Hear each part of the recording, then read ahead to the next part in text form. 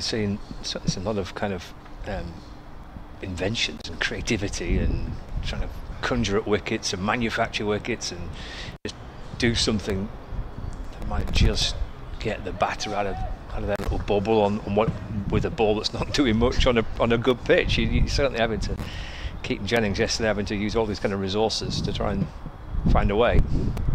Bailey bowls Fuller, driven, textbook drive, but straight to wide mid off. End of the over, 334 for seven after 103. I mean, I, I, really liked what Nathan Lyon was doing yesterday with almost targeting that leg stump and the pads of the Hampshire players, having those close in catches, because, you know, that's the benefit of having someone like a Nathan Lyon. Yes, he's, he's a spin bowler, but when you look at the, the changing room and the players he, he occupies that with, with Pat Cummins, Josh Hazlewood, Mitchell Starc, the idea is they've probably you know, shared as a, a, kind of quartet. Those can now be shared with the, the Lancashire bowlers who carry their own experience, and particularly for some of the younger players in this side. It, it, was one of those signings where I saw it announced and I went, that's a good one. You, you, want to encourage these types of players to play in the county championship, and I feel, I think you and Gemma were speaking about it yesterday that some people are against the thought of Australians coming over and getting practice in English conditions. I, I, I disagree. I think it's brilliant to attract the best to our first class competition. Yeah, I agree. Uh, it was uh, it was it was brilliant to watch him yesterday on a pitch that was offering absolutely nothing for him.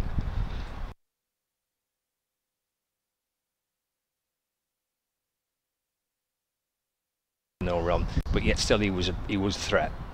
Just a credit to his skill that he had nothing really to work with from the surface. But yeah, actually, I didn't listen to the Tom Press interview, but Kevin was saying that you know he was talking about his his flight and his dip that was the, that was the challenge that he faced yesterday. It was it was really interesting to hear that. In fact, he's warming up. He bowled 30 overs yesterday, so it's obviously in for another another stint in the not too distant future. It's run away down towards deep backward point by Dawson for a single. Moves on to 80, 335 for seven my favourite thing about Nathan Lyon, Lyon is that me and my two friends, we had tickets to the men's Ashes test at Old Trafford last summer. Unfortunately, we had day five tickets. We were a bit optimistic. We also wore very optimistic clothing, so sat there in the massive scaffolding stand, yeah. absolutely freezing, desperate to try and see some cricket because we were convinced it was going to be the greatest Ashes test ever. William bowls a short ball and swat away by Fuller off a top edge and he'll get four for it down towards the fine leg boundary. It's not where he was aiming as he tries to swat the ball out towards mid wicket and the ball balloons off the bat and disappears down towards um, fine leg for four. He moves to 14. The one thing about James Fuller is that the time he occupies at the crease, it's going to be entertaining. Yep. Yeah. But yeah, so we were at, we were at the test. Okay. Originally, though, we were thinking fancy dress before we saw the forecast. Yeah. we were like, you know, get into the, the party stand mood, and we were hit by an idea. There's Williams back into uh, Fuller, forward in defence, and there's no run. Well, there's three of us, so we thought, let's do a little bit of wordplay. We'll go as the Nathan Lyon, the Witch, and the Wardrobe. quite like that. It's quite creative. My friend was fully prepared to get a bold cap on, right. sit there dressed as Nathan Lyon. My yeah. other friend got to go as a witch.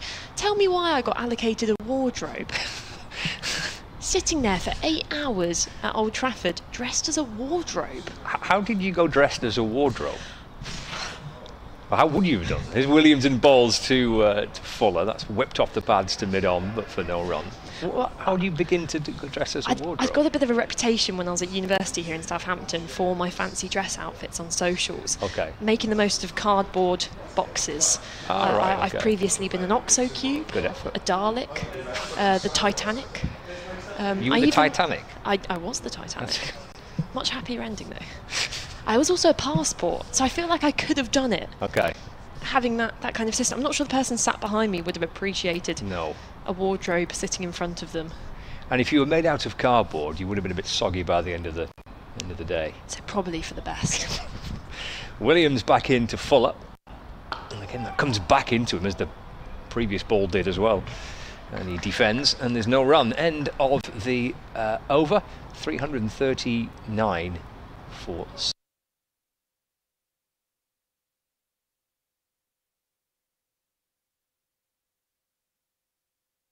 up to the top to obviously have a look at the Yeah. splendid views. Um, and unfortunately, witnessed someone probably fall down half the stand because it was so slippy. Oh, blimey. Um, right. So yeah, Yeah. I'm not sure if that ended up in a lawsuit or something, but ho- hopefully they're all right. I'm sure. Hopefully, yes. Hopefully. It kept, it's, it's a bit high, isn't it? It is a bit high. I wouldn't get me up the back of that stand. There's absolutely no chance.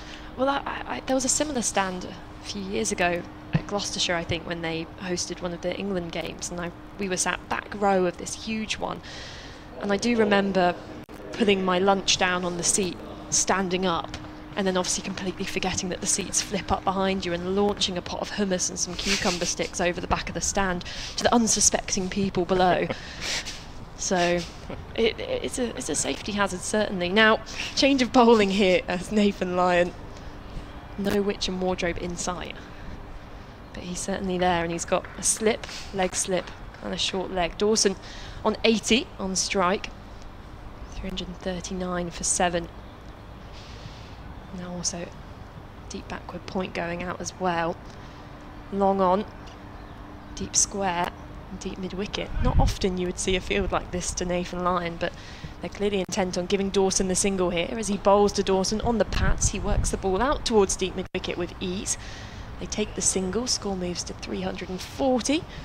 Be interesting to see which of the fielders now come inside the ring. That deep point coming in, but the three on the leg side remaining out. So maybe Hmm. just a bit of knowledge of the way James Fuller likes to play here. Yeah, it's a bit kind of into out, isn't it? This this field. You've got some catches out in the deep, just in case Fuller gets a little bit restless and tries to have a go, and then you've got your close catches in as well, with your leg slip and your short leg slip in place, short mid wicket. Just as the sun comes out now, it's a bit of a cloudier day, but plenty of people have come in. I'm sure lots of them here to see this man with the ball in hand. As Lyon bowls, slow delivery, driven down the ground by Fuller out towards that long on fielder. They jog through for a single, 341 for seven. I think Kevin was saying yesterday it was the highest um, crowd for the first day of the first match of the season here for 10 years or something like that. It was two, over 2,000 inside the ground, which was great. As Lyon skips into the crease, full again, wristily flicked this time by Dawson down the ground. Another single taken, 342 for seven. I mean, I, I feel there's been almost a collective agreement and kind of movement this summer because of what's happening in the world of cricket, considering the red ball game. As Lyon bowls on the back foot, defending this time Fuller. That you know, people who who value the game and they love it, I think they're making a more of an active effort this year to really show that appreciation. So if people, yes, there are fantastic streams now you can watch it on, but if you have the day off, getting down to your ground and supporting it, I think people are really recognising the importance of that this season. As Lyon bowls, shout for leg before the ball balloons off into the covers. They scamper through for a quick single underarm throw at the non-striker's end stumps. Hands on the head of a few of the Lancashire fielders as we just watch this replay. I guess the consideration of did it pitch in line? I think it probably just did, but there was a bit of height on there as well. Nathan Lyon had his hands on his knees and didn't move until I think the umpire gave him a bit of a nudge to say, You've got to bowl your next delivery, mate. As he's in again now. To Dawson, flatter delivery, cautiously pushes it back down the ground and fielding off his own bowling. Nathan Lyon ends up on the floor this time. Bit of help from his teammates to get back to his feet. And that's the end of the over, 343 for seven. Have you, have you guys received confirmation now that last week's county championship game doesn't hmm. count as part of Nathan Lyon's allocated games? Yes, yes. That's good news. It is, yeah. I think they were they would have been a little bit disappointed had two overs constituted a, a, a match for them, but they did have to put the inquiry into Cricket Australia. So no, he does that. That didn't count, which is a, bit of a bonus for them. Uh, It would have been a, little bit of a waste. Um, so he's got this match and then six more. He's in which he's available for. So it'll be six of the next seven after this one that he's, he's um, allowed to play in. I was telling Kevin yesterday, I was reading some quotes from Michael Clarke, uh, former Australian captain, who's, who's been really quite critical of Cricket Australia and their decision to restrict his time here. He, um, he said, you know, didn't understand the, the decision at all. He, for him, it made little sense. And I know that Nathan Lyon said he was disappointed he can't be here all season.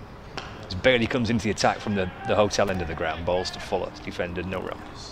I mean, you know, obviously there is concern for, for workloads, but Nathan Lyon's not a player who is going around playing in these these franchise leagues. And I listened recently to a great podcast um, which featured David Wiese, and I think it's Hitman for Hire, and he speaks about his life going from franchise league to franchise league, and it's relentless, and you're in different time zones and everything. But Nathan Lyon doesn't quite have that lifestyle. It's mainly for Cricket Australia. Is Bailey over the wicket to Fuller, defends, no run. And you know he's in such good fitness. He's at the peak of his game. You know, if I was Cricket Australia, I'd be looking at this and going, take a full season because you know might come back round to the next Ashes cycle or even then. I, I, I would agree yeah. with Michael Clarke. I think that daft. any exposure to, to different conditions is going to be so helpful. And you know, I think people in England recognise the the help he's he's going to contribute to the club. We mentioned earlier with the players in this team today, but obviously lots of talk around how he can help Tom Hartley as well and Lancashire's other young spinners. Bailey two to Fuller, three, four, three for seven. It's flicked away off his hip behind square on the leg side, and uh, they flirt with the idea of two, but decide against it. Uh, Jack Blatherwick's quick across the ground to deny the chance of a second, so 344 for seven now. Although I saw Lancashire, of course, signing Chris Green for mm. the hmm. T20 Blast, that seems like a, a pretty good signing. Well, it's because of yeah, because Lyon was going to play T20 cricket for them. He was going to play through the, the Blast campaign. And he's not obviously he's not going to play now, so they've had to try and find another option. And uh, yeah, Chris Chris Green signing, which is yeah, quite like that. He's done some BBC commentary. He has, yeah, yeah on the balcony here at Utilita Bowl at one stage. Which is the place to be. Exactly. No better place to commentate on cricket than on a hotel balcony. Especially when it's 30 seconds from your room. There's Bailey into uh, to Dawson. And uh, Dawson off the front foot and defends, and there's no run. Three, four, four for seven. I would say yesterday, I do quite. Uh, I mean, it's all right when it's like this. When it's raining, it's not much fun, is it? But well, it's never much fun anyway when it's raining but it is a it is a cracking view from up here. I mean, you're a long way from the action, but you are outside, so you do feel like you're still part of it. It's nice to have the atmosphere around you, and to be honest, I, I, I think it's quite an accurate time for to remind me to go get my eyesight checked. If I can't see the ball anymore, it's a good reminder. Bailey balls forward, goes Dawson again, defends to uh, to mid off where Bohannon fields, and there's no run. But you do feel as if you're up in the clouds, and you could observe every part of the stadium and kind of take in that there's people playing cricket over there on the concourse. Others are peering down onto the nursery ground to see the second 11 or the Southern Vipers training. And you feel very encompassed in this ground, which is obviously sunken into the ground a bit. It does mean you're, you're sometimes saved from the wind a bit. We're probably not, but I'm sure the people in the stands are.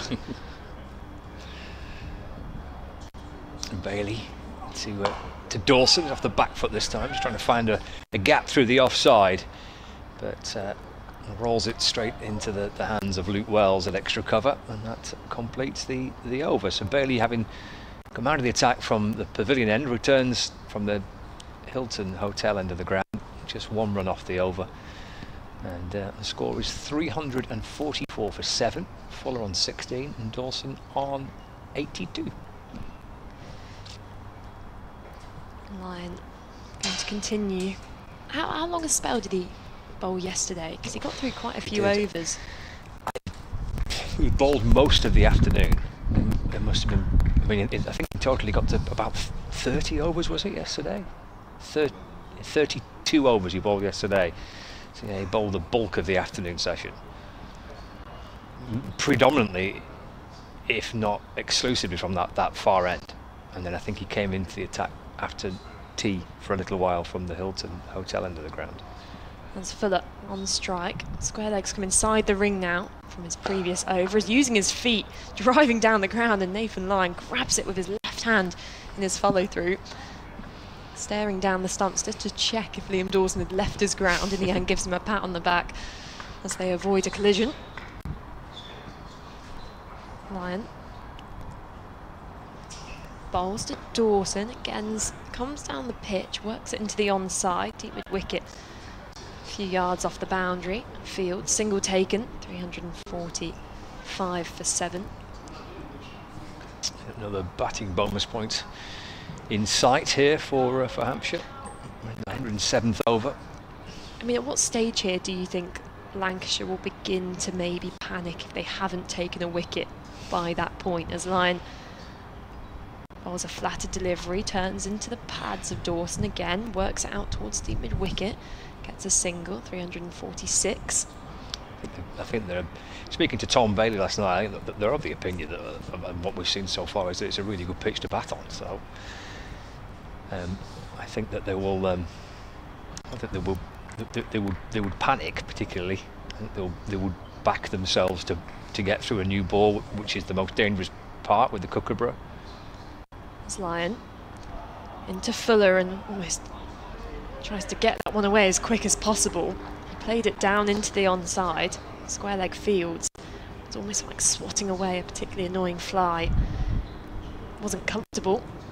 That's the one thing with Fuller is that he gets runs, he gets them quickly, but sometimes his technique isn't quite suited for the longer format. But this time, he gets the ball away lot more confidently. Again, finds square leg. It's a dot ball. 346. Although I had some great times watching James Fuller though. A lot of the time where he's been batting with Keith Barker or Kyle Abbott, Mohamed Abbas down at the, the end of the kind of innings and he just, you see the field spread. It's a bit like when you were playing rounders as a kid and the field spread for you, you knew it was, it was going to be a good time. They feared you. Lyon bowls outside the off stump, defending it's further back down the pitch. And that's the end of the over. 346 for seven. After 107 overs, and I think we're going to be having a double change. As Scott Reed makes way. And yet again, we're going to be joined by the analyst, Simon Hughes. And Kevin James shortly. Morning. Morning, Simon. I'm going to say morning and goodbye because oh. I'm going to go hand over to Kevin. Is it something personal? Maybe. Can't, can't make any promises. Well, great to hear Melissa back on, on the commentary after a brief interruption yesterday. And uh, the situation here, 346 of 7 Hampshire. So adding a few to the overnight score, having lost one wicket, Ian Holland. But uh, James Fuller and Liam Dawson together doing well here. Dawson on 83, Fuller on 17. Yeah, big miss. partnership. Yeah, big miss last night, wasn't it? Dawson on 51. I don't know if you saw that. That cut shot. Oh, uh, I think it was Bailey. second slip. Yeah, actually, yeah. No, no, it was in the in the covers. Will Williams. Actually, I don't think I did see that. Here's Bailey switched ends this morning. Length ball to Dawson, who's forward. Plays it out towards extra cover. And it was late on yesterday. In fact, it was off uh, Blatherwick. I missed that. He was on the back foot, mm. tried to hit crossback through the covers. Obviously, didn't quite middle it and Will Williams, it went straight in. In it was shortish cover, wasn't in a, a, normal position, but I think he got maybe he got slightly um, confused with the with the speed that the ball hit him because it probably didn't hit him as, as, quickly as he would have expected. In the end, it was a bad miss at that time yeah. of night as Dawson works it away on the leg side for a single and moves on to 84 and it's 347 for 7. I suppose it's one of those things that uh, another aspect of playing with the kookaburra that you perhaps don't think of initially, but because it doesn't do as much for the seamers, chances come less often. Therefore, you've got to take them, and it's something that obviously has hampered England many times in Australia, which is why the the whole kookaburra idea has been brought in to try and get teams to be more used to using the kookaburra, and that means taking catches. Bailey into Fuller. Fuller's forward. Pushes that up, punches it up to mid off. Are you in favour of the Kookaburra ball? Would you like to see it all the I way through? I hate it. I think yeah? it's absolute rubbish. I mean, do you know, I, have actually been to the Duke's factory a few times. Um, it's in Walthamstow in East London. And it's a fascinating place. There is a man, uh, I'll, I'll, I'll, fill you in after this ball, um, who his only job is to put wax on the ball. It's, it's quite interesting. Okay. What would his title be? Waxer.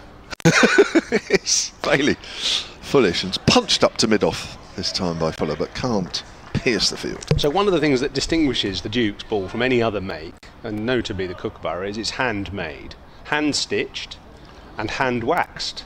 And what they do is a, a, a little man sits in the corner of the of the factory, and he he rubs wax onto the ball. Uh, he heats it up with a naked flame 1st so the wa- wax is nice and soft, and then rubs it into the ball. And the idea of that, after this ball, Bailey to Fuller. Fuller's on the back foot and works that into the covers, into the gap, but there is a man sweeping. So it's just a single. Fuller moves on to 18, 348 for 7. The, a- the idea of that wax is to stop the moisture getting into the ball. So these balls are specially adapted for English conditions where we know it's always going to be green and moist for most of the year. And a cricket ball with moisture in the leather, we all know from our days of playing football in the 70s when leather footballs got very heavy with water, didn't they? Yeah. Well, the same happens to a, a cricket ball as well. And the, the Duke, the top class Duke, has wax applied to the to the cover of it to stop the, the moisture getting in. Okay.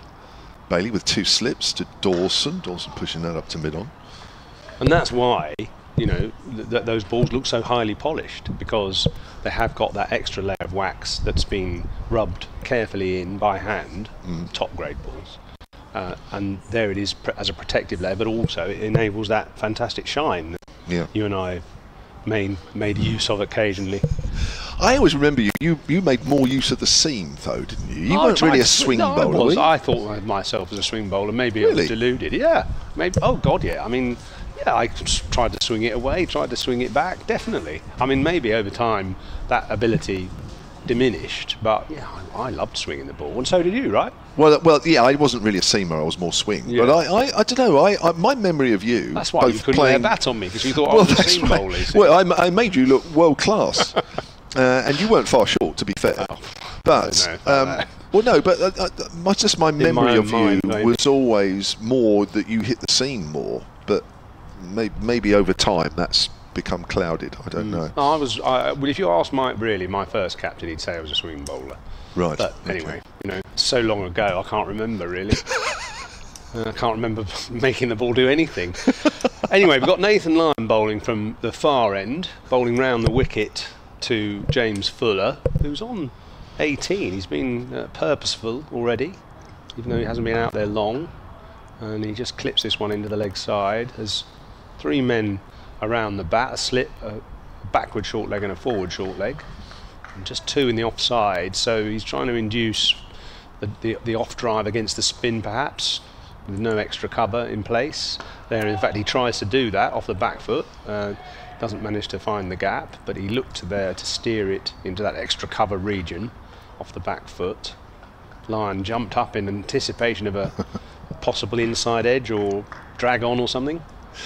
Didn't you just love his enthusiasm yesterday, Yeah, Nathan yeah, Lyon? brilliant. 32 overs yesterday, and he was Fantastic. Yeah. top class. He was. Here he comes again. Bowls turned into the leg side by Fuller, no run. Yeah, brilliant. I think there are some spinners that can be over the top Yeah. Mm. when they bowl, almost like they think there's a wicket coming every ball. I didn't get that feeling with him, although, it, well, in a more not um, not subdued, but a, you know, more introverted way. He's still excitable every ball, isn't he? Here he comes again. Bowles tossed up a little bit more, and Fuller read that well. Actually, got onto the back foot. It was a little bit slower. He had time to work that into the leg side. Picks up a run uh, with the man out at deep mid wicket.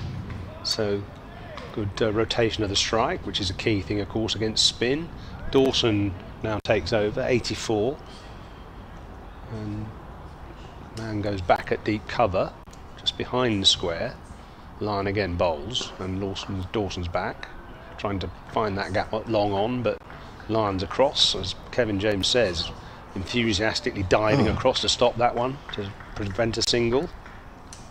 It's great, isn't it? I, Yeah. I, I, I can't keep my mm. eyes off him in a way. Yeah, I, I, I mean, I was just thinking of other Australians I played with actually. Here's Lyon again. He bowls and tossed up and turned into the leg side and just short of the man or wide of the man, at wide mid on. Uh, 350 comes up for Hampshire at the end of that. Nathan Lyon over, Dawson on to 85. I played with Dean Jones, the, the, the sadly late Dean Jones uh, at Durham, and the injection of energy and enthusiasm that he brought. You know, there are always going to be players like that that are homegrown as well, aren't there? Yeah. But he was amazing. He was just, he was someone actually that you wanted to play with because he made you feel a, million dollars or 10 foot tall or whatever. Yeah. You didn't want to play against him because he was an absolutely savage chirper, sledger. You know, and you could see why he was unpopular because he just said horrible things if you were the opposition, and you know, blew up, blew smoke up your bum if you were if you were his team. I can were. imagine. I can imagine. He, phrase. Yeah, I can imagine he was great to play alongside. I did. I did actually play against him. Yeah. When he had a short spell at Derbyshire. Ah, You may remember. yes, he was captain there, wasn't Yes, he? he was, and uh, I remember a game at Chesterfield Hmm. where he was captain. And actually, as Bailey comes in to start a new over, it's a low full toss which Dawson punches up to mid on. And that is uh, fielded by Nathan Lyon. Um, and actually, he was he was all right actually because he came in the dressing room because there was a lot of rain in that game, and um, he obviously knew one or two of our guys and what have you. And uh, I could tell the way he came into our dressing room and chatted with them and sort of included one or two of us. But you know, then I thought, yeah, this guy's a top good bloke. But he did have a huge reputation for being the other way, didn't he? Mighty fine player, that's for sure. Slower ball. Dawson waits and guides it with the face of the bat opened to Gully. And There is no run. I mean, he just had. He was someone that, you know, in the field, he would just be geeing people up all the time and throwing himself in the path of the ball and hurling it back to the keeper. And there was that sort of buzz around the bat when he was in sort of slip cordon or gully Yeah. or whatever. You know, that just lifted everybody. And also, you, you want to star, don't you? You want to show off to, to those sort of players as well. Agreed. Bailey runs away from us. Off the back foot pushes that into the covers. No I, run. I, I, I thought because there was a lot of negativity when Steve Smith played three games for Sussex last year, and you know I could sort of see that because people were saying, well, he was taking the spot of a young Sussex player, but I just think a player around for that short period just lifts everybody. You know, you all want to impress him. He'll, you'll see him uh, close at hand, how he operates, how he practices, his slight obsessions with various things. I say slight obsessions. You know, I, I, I talked to Ricky Ponting about um, about Steve Smith. Uh-huh. I'll tell you after this ball. Bailey. Cut by Dawson. Moves a man out to, to deep backward point. Dawson moves on to 86 with that single. 351 for 7. Um, we were talking about Smith, and we're saying um, someone said he's a bit on the spectrum, Steve Smith, isn't he? And Ponting said he is the spectrum. I know that it's interesting because in our BBC office in Southampton, there are many people there that uh, don't really give too much about cricket, don't know anything about it, wouldn't give it a second thought. And yet, when it was announced that Steve Smith was going to play down the road at Sussex, one or two people came up to me and said, "Couldn't get any tickets for that game, could you? We'd love to go and watch it." So it, it's amazing how Yeah. one or two players Right. can just create that interest. Absolutely. Bailey in again. He's got two men on the drive on the leg side. There's a drive, but it's gone straight down the ground. Good diving stop from Nathan Lyon. Oh, there's the enthusiasm. Even though he's got he's got through 35 overs Yeah, in a day and a bit.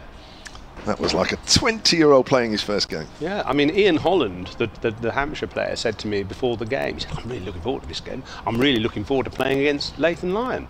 Obviously, brought up in Australia, very familiar with Lyon. Yeah. Probably played against him in club cricket, maybe, but uh, you know, he just said, oh, I'm really excited to play against him. It just lifts everybody, doesn't it? The It is. presence of a, of a star player.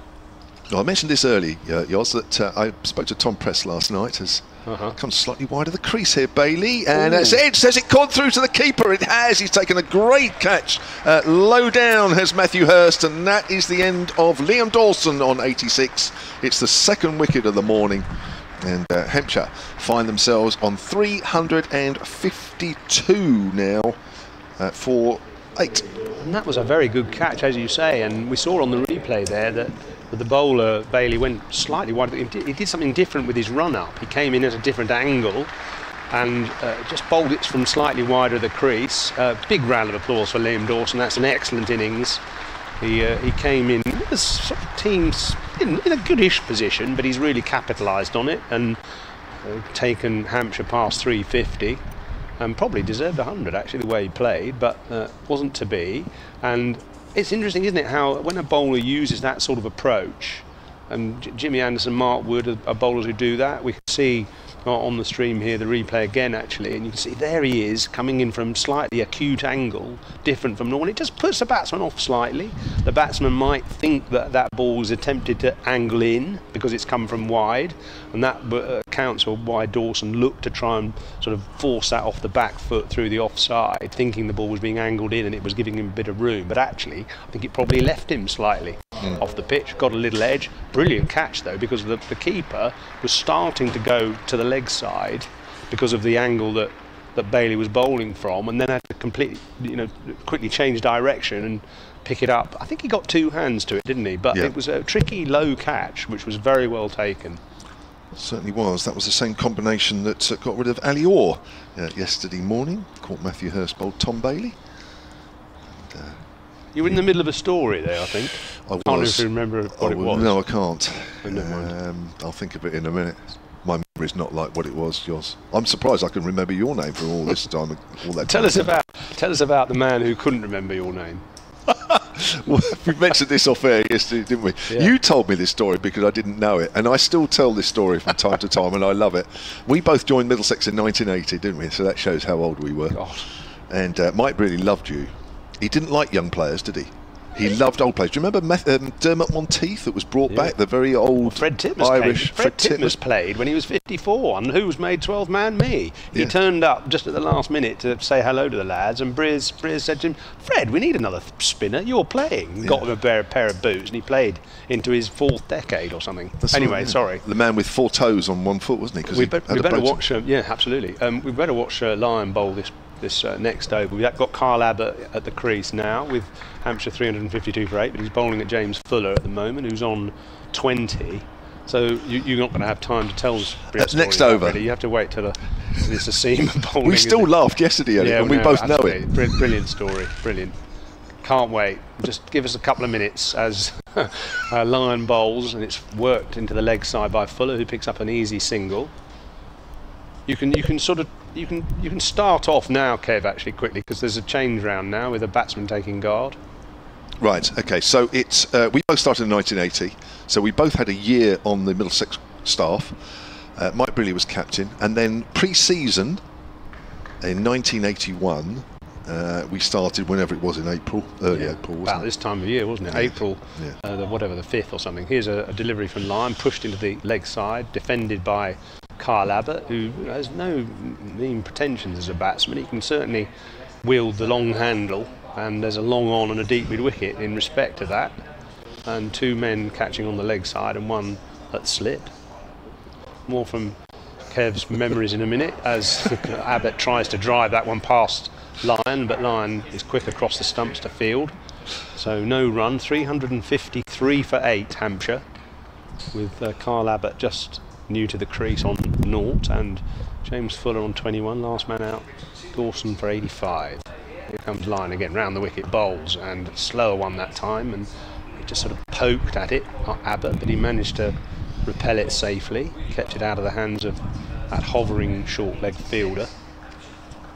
So one more ball from this Lyon over, 36th over of the innings. He has 205 so far. He bowls and driven straight to mid wicket by Abbott. That's the end of the over, 353 for 8. Go on. Right. so Second year on the staff. 1981, 1981. pre season training. Yeah, we all walked through the Grace Gates at various times, ready to start at 10 o'clock or whenever it was. And as I walked up the road behind the main pavilion at Lords, you were standing there behind the pavilion talking to Mike Brearley. Uh, obviously, getting getting in there early.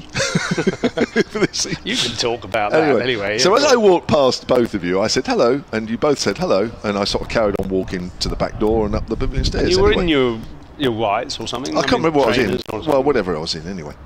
So I just walked past, didn't think anything of it. And then um, when you eventually finished your conversation with Mike Brearley and came up to the dressing room, uh, you uh,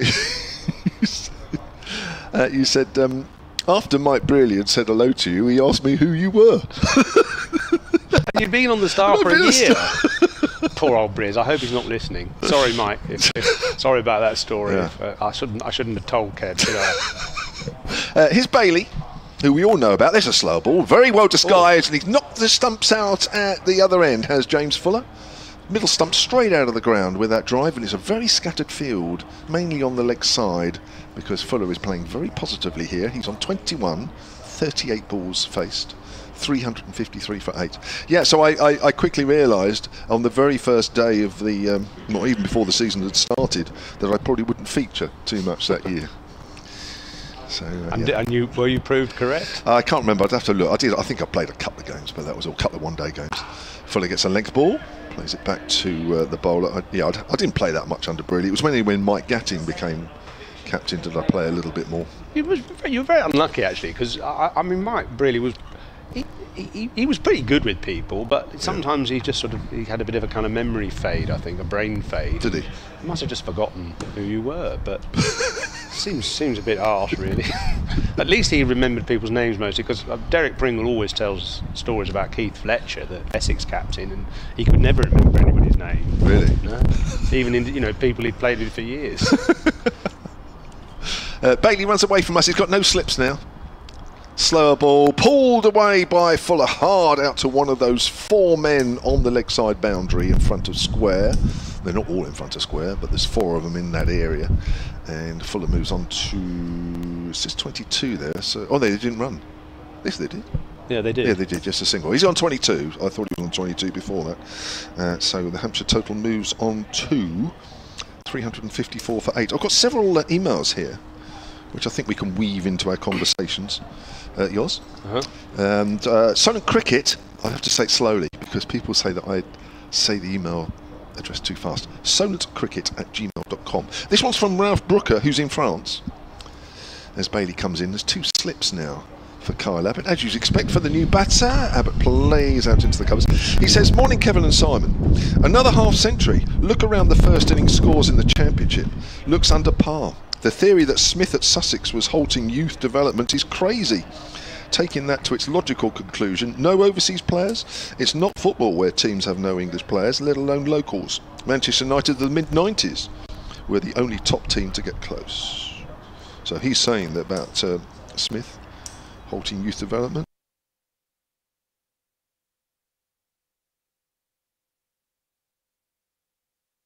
Players they would have loved having Absolutely. him around and just sort of, what does he do now? What, how does he work this out? That's what it's all about. Here's Bailey, uh, but he's pushing nice and straight up to mid on. Well, yeah, I mean, I mean it's just a learning experience. Everybody being around a player like that. I mean, I spoke, I spoke to Smith online. I, I got to know him actually quite well and had a few calls with him online. You learn something every time you talk to him. Yeah. it- something about the game, something interesting, some observation. You know, it's fascinating. You know, he's an absolute cricket badger. He can't stop himself. I, I- he goes. I mean, he used to say, "I go to bed at night thinking about Stuart Broad bowling to me, and now I can get the runs with three Really? slips and a gully and two in the offside." Yeah, he's, he can't. He can't rest. That's a nice shot by uh, Kyle Abbott. His head out square on the offside where there's a fielder that's deep. The reason because they want to keep Abbott on strike. He does take a single. He will keep the strike. And he's off the mark, 355 for You've got, you've got some other emails because I got Yeah. I had one here from a Twitter uh, a tweet yesterday from someone about the stream actually just saying fantastic watching from Kuala Lumpur sharp images sound and picture quality and loving the commentary as well Good. Well, that's really nice. If you're watching the live picture feed there, you'll see a scorecard of the uh, Hampshire innings. Top scorers in the innings so far 86 from Neil Dawson, who uh, beat Tom Prest's 85 yesterday by one.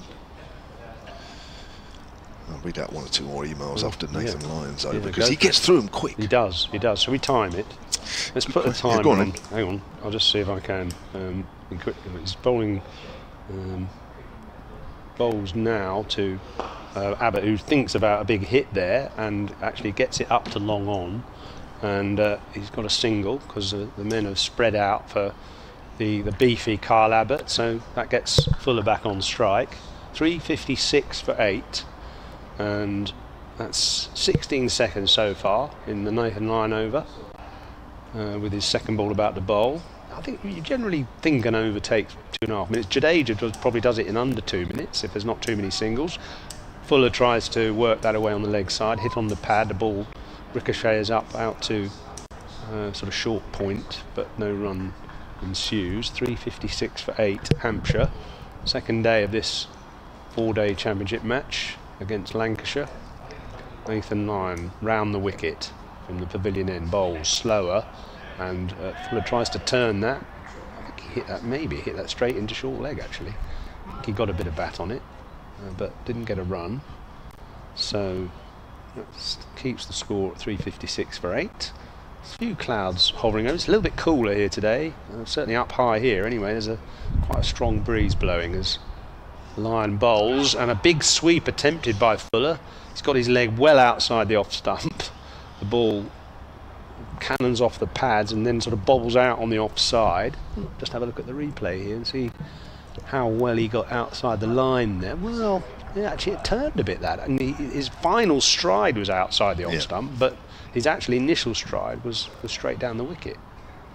He tries to flick this one to find uh, deep mid wicket and does so. Fuller, uh, so he gets a single, takes him to 23, 357 for 8. Just a word or two exchange between Lyon and Fuller there. Probably just saying, you don't want to be playing that sweep, mate. It's a bit too risky on this pitch. just a little bit of advice. Shane Warne has always used to like doing that, didn't he? To Oh. have a little word with the non-striker. Here comes Lyon again, bowl slower, and Abbott back on the crease, and that's the end of the over. Two minutes and ten seconds. Wow. Just think how many overs you'd get in a day if everybody bowled at that speed. That's incredible, isn't it? That's fast. Go on, you've got emails, don't you? Right, okay. Andy Wallace has emailed solentcricket at gmail.com. Andy's in Oxford. Thanks for your great commentary. Made it to the ground yesterday and got my pink headpiece. Great addition to the Here Live. That's the uh, new earpieces that Hampshire are uh, selling on the ground. Question on partnership running after the run out yesterday. Do batters practice running between the wickets as a pair with coaches randomly throwing, or is it just something that can only be learnt in a match? Good question. That is. And what's your answer? Well, uh, the answer is not really. I, I don't think that really does happen, No. actually. I, I have done it on one occasion uh, when it rained at Horsham. We were playing Sussex, and I ran the captain out, Mark Nicholas. Oh, good. and uh, when we didn't start the next day, he made me go out and practice some running between the wickets on the on a wet outfield. But that was more of a joke, more than you know serious practice. But I'll be honest with you, in the, all the years I played, uh, I don't know about you, yours, but I don't remember anybody specifically practicing calling. No. I, I mean, what you do see quite often is teams practicing with two batsmen in the nets. One batsman facing the ball and the other guy, guy non-striker, and the coach says, "Right, after three balls, I want you to take a quick single." Yeah. And they do, or they run a three or something, which is a, a fitness thing as well as a, as it being a, a an exercise in running between the wickets. It's also a fitness thing as well. You have to make, run a three after every three balls you face in the net, and it also rotates the strike. Uh-huh. But there's no fielders involved because it's in the net, so it isn't really proper practicing running between the wickets. True. Uh, it's me, isn't it? Uh, Luke Yes. Wells bowls. Start of a new over for him. The leg spinner. That's a cutaway out into the deep in the covers. Single to Fuller takes him to 24. Useful runs down the order here for Hampshire. 358 for 8. Just the two wickets this morning after 15 minutes of play. Ian Holland was LBW to Will Williams for 14.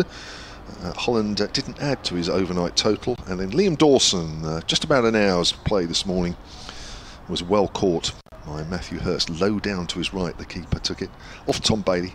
And Dawson made 86. It's a good point though about you know practicing running between the wickets, and it's something that probably teams neglect. Uh, Those, those little details are really important, aren't they? I'm just wondering if it's something that might come in. Oh, there's a good drive there down the ground from Kyle Abbott. One bounce for four just below us. Oh, he got a hold of that well. Just put plonk the foot down and the swing of the bat through the line of the ball. Well, he doesn't bother with running between the wickets, does he?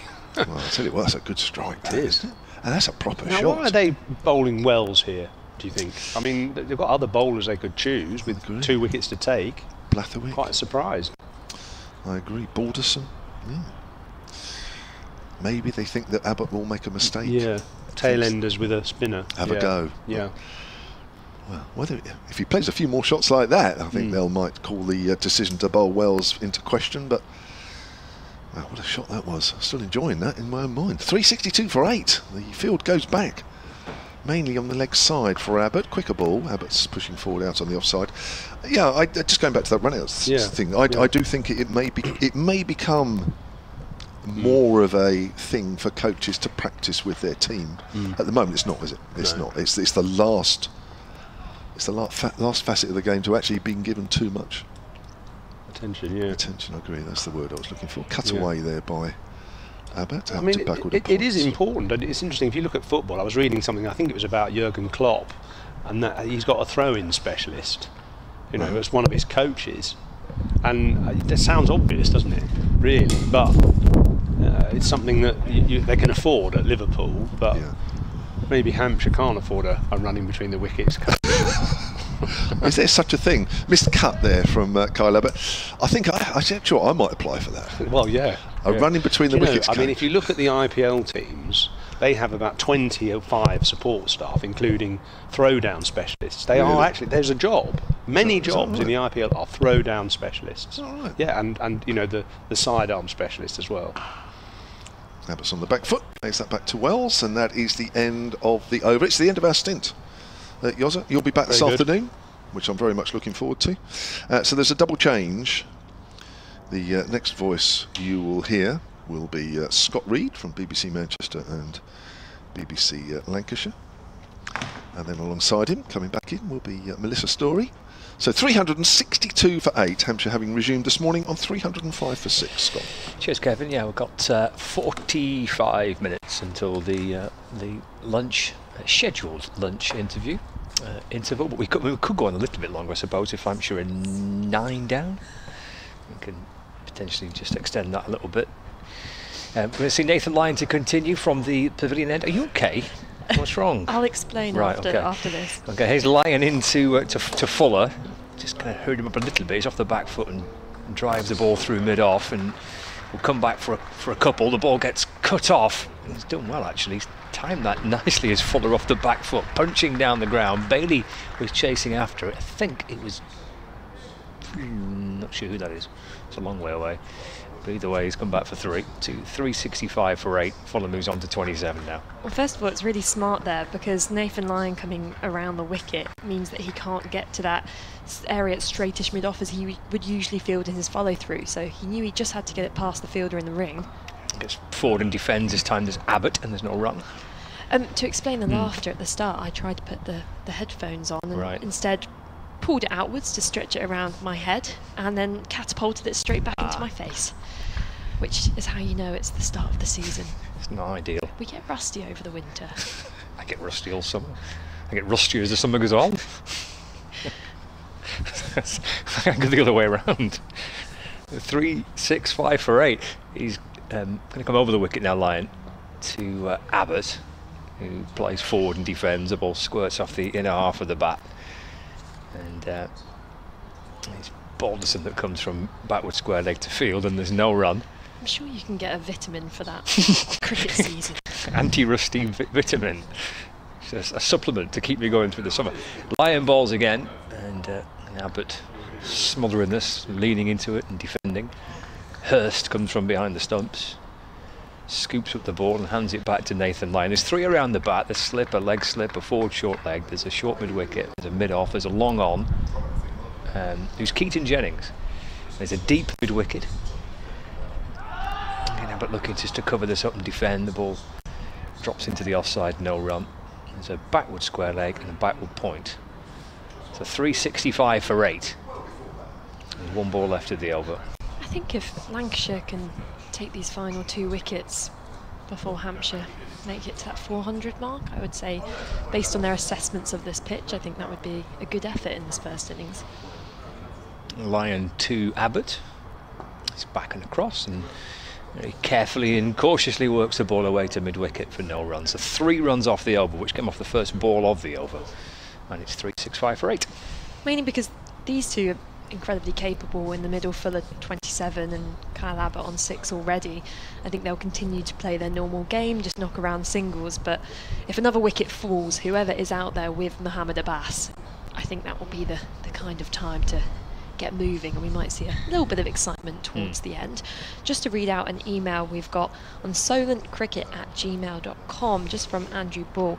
A a few emails we've been getting about accessing this radio coverage on the BBC app and website. There's been a few changes to the layout, so you have to click on a drop down which says there's one option for live reporting, but we're under the watch and listen column. As Luke Wells, outside the off stop, edged to slip and taken. And it was a good catch, high up in the end. Keaton Jennings and Luke Wells takes the important wicket of James Fuller. Bit of extra bounce from that hmm. delivery, hitting one of those almost rough areas. And it was a really good take there It from was, Jennings. Up yeah. high, went quick. You see those ones sometimes fly past first slip, and you almost look the, see the look of, look of shock and amazement on their face. But he did a really good job just to get behind that. And Hampshire now nine down, 365. Fuller goes for 27 off 47 balls. You could see from Keaton's reaction, couldn't you, that it he was a little bit startled himself. I, I, I watch back on the replay here. You can you can see Keaton in, into position there at first slip, and you watch his reaction as that comes off the off the bat. I think that's a terrific take. I know it seems to come right into his his body's right up to his chest, but he kind of stands there and kind of looks in a little bit of shock. Well, my initial slight confusion, it was a thick edge, and as we said, it went flying, but it was the reaction of Matthew Hurst, who kind of looked back, saw the catch get taken cleanly. I don't know whether he thought because of the amount of bounce and turn it got, if it had just been off the surface, because he looked back at the umpire mm. just to check his finger had gone up, but in the end, it's a helpful wicket. It's Luke Wells' second of this innings, two for 29, his figures. It's quite a bit of bounce there, wasn't there, for Wells? you do sometimes get here at the Utilita Bowl certain ends just being able to almost enact that bit of extra bounce and you'll tend to see when Hampshire have the ball in hand that Keith Barker in particular, James Fuller like to bowl at those because they hit the pitch that little bit but harder and bowl with a heavy ball. Whilst when the other end can be, you know, a bit more placid, then you, that's when you have Liam Dawson working away and the likes of Mohammed Abbas who can just hit that one area repeatedly. But you, you definitely do see variance in bounce. And there's still a little bit of, of green on the pitch, but there is obvious darker areas. Of course, we know that it's not been the driest start to the season ever, so there is going to be moisture around there, which means that the pitches might come out of these four days looking a bit more rough than they would later on in the summer. But certainly, that one did uh, did spin, did bounce, and Mohammed Abbas who's on strike. The final batter for Hampshire has five deliveries to face from Wells. They've got a slip and a short leg. As Wells is in, flat delivery behind it, defending. Here's Abbas into the covers, no run. Interesting to see uh, how Luke Wells continues to develop his um, bowling this this season. He he bowls uh, in the T20 Blast. He'll bowl his four overs almost certainly in the Blast. He's a big part of Lancashire's attack. As he bowls, this time on the pads, and it's tickled round the corner down towards fine leg. Mohammed Abbas gets off the mark. His first runs of the season met with a very warm applause. He's yeah. he's a hugely popular figure around here, and he occupies almost his, his penthouse here in the hotel. He's got a penthouse. Wow, this is the He's most we can offer. That's, yeah, we've got to treat him like royalty. Does he really have a penthouse in the hotel? He, he does he does occupy here, obviously for most of the season. So we've got to we've got to treat him well. The Abbas room, is it? It? Sure, I, I'd like to think he's got a hot tub, as well as bowls full driven down the ground towards long off, and a single taken. Lovely the idea Score 367 for nine. I'm trying to think which other perks would be deserving of someone like Mohammed Abbas. Actually, I'm I, am I right in thinking? I'm, I don't know if it was Jamie mentioned this with the other. Was it something like Manchester City were staying here before a game a season or so ago? As Wells bowls just Ooh. short of short leg although might just have to have a look at the replay there whether it did just carry. Either way it was been a low catch for the fielder. Again Wells tall bowler getting a bit of extra bounce got his line right this time made it awkward for Abbas. And it would have been a difficult one for George Bell there. As the fielder cover comes into a catching position. really trying to squeeze Abbas here. I think I'll be having more around the bat as well as his bowling, defending is Abbas. And it's the end of the over, 367 for hmm. nine. 116 overs gone. Yeah, and I I'm sure someone told me the story that when City stay here, Pep Guardiola normally has a certain room in the hotel or something, but that was the Abbas room. Abbas Yes, was staying in that room, so Pep, you've got to find somewhere else to stay. I- it's dedicated to him. I think I. I'd like to think they should name it after him, but no, that you, you do get quite a few of the football teams staying here before. I think I came up here. I think when the Lionesses were staying around the hotel, and walking around, and that was pretty cool. I had a chat with two of the Watford players in the lift on the way up. Yes, they're here, aren't they? I saw them this, this morning at breakfast. Yeah. There was also a Pompey fan in the lift, so he was wishing them good luck. It was, you can imagine. All the best today, boys. It's Nathan Lyon into uh, to Kyle Abbott, who's coming down the pitch and hammering it back over Lyon's head. It's in the air and taken. Keaton Jennings takes a very, very fine catch. Lyon picks up his third wicket. Abbott's had enough of watching Abbas block it at the other end and goes for a big shot, hits it back over Lyon's head, and that's a very good catch by Jennings coming round from the long on boundary, running and taking a low catch in front of the pavilion, and then instantly sprinting off to put his pads on to open the batting for Lancashire, Keaton Jennings. That's the end of the Hampshire innings. Uh, Abbott, uh, Abbott goes for seven, and it's uh, Hampshire all out for 367, and Lyon finishes first innings with three wickets. And as you said there, credit to Keaton Jennings because we were just describing his wonderful catch in first slip. Then to go out towards the boundary, take a similar, not really similar, but entirely different catch. It just shows his versatility in the field and you know that willingness to put yourself in the key positions at times where this, but actually by taking those last few wickets quite cheaply, I think Lancashire, on on the whole, wouldn't be too disappointed with that if they assess this to be a good batting pitch. When you look at the reliability of their top order in particular, going onto this surface and the style of cricket they play, particularly the dependency of the top order, I really think that if I was Lancashire, I'd be looking at this and going, if that new if that new Kookaburra ball is just a bit null and void, particularly with the sun coming out now, we can really maximise here. Yeah, I, th- I think they've been pretty pleased with that. They've taken the last four wickets for 60 runs. Tom Bailey mentioned if they can try and he- said that they would, would they would be really pleased to have knocked Hampshire out for, for about th- about 350. So he's, he's in that region, isn't it? That they were kind of hoping would be the ideal outcome. I agree. I, th- I think Lancashire should be pretty pleased with with uh, with their work this morning with uh, with the ball, but it runs on the board still, and um, uh, there's a reasonable amount of expectation on Lancashire's top three. There's, um, with the exception of Tom Bruce, who's played quite a lot of first-class cricket. There's then quite a lot of relatively younger players: Balderson, Bell, Hurst in the middle order. So there's a little bit of pressure on the on the top three of Jennings, Wells, and Bohannon to, to get Lancashire out to a to a good start. But yeah, I think they've done pretty much all they can do today. Just to run you through the Hampshire scorecard quickly before we have a slight break. Ali Orr, new opener for Hampshire, departed early on yesterday, 10 off 42. But actually, just before that, Fletcher Middleton was run out for just six. Bit of a recovery between Nick Gubbins, who scored 50, and James Vince with 56. Tom Prest impressed with 85. Liam Dawson recently dismissed this morning on 86, and then some more of the tail, not necessarily the tail, the lower middle order. Ben Brown with just five, Ian Holland with 14, James Fuller with 27, Kyle Abbott with seven, and Mohammed Abbas one not out. And then for the bowlers, Tom Bailey. 27 overs, two wickets, 60 runs. Will Williams, 19 overs, two wickets, 49 runs. George Balderson, just the 14 overs, no wickets for him and conceding 60 runs. Nathan Lyon, a valiant effort with well over 30 overs bowled, I think 38.1 there in the end. Went for over 100 but picked up three wickets. Blatherwick 10 overs for 47, then Luke Wells with two wickets there at the end, 8 overs for 31. His figures. We'll have a short break and we'll be back with you in around 10 minutes.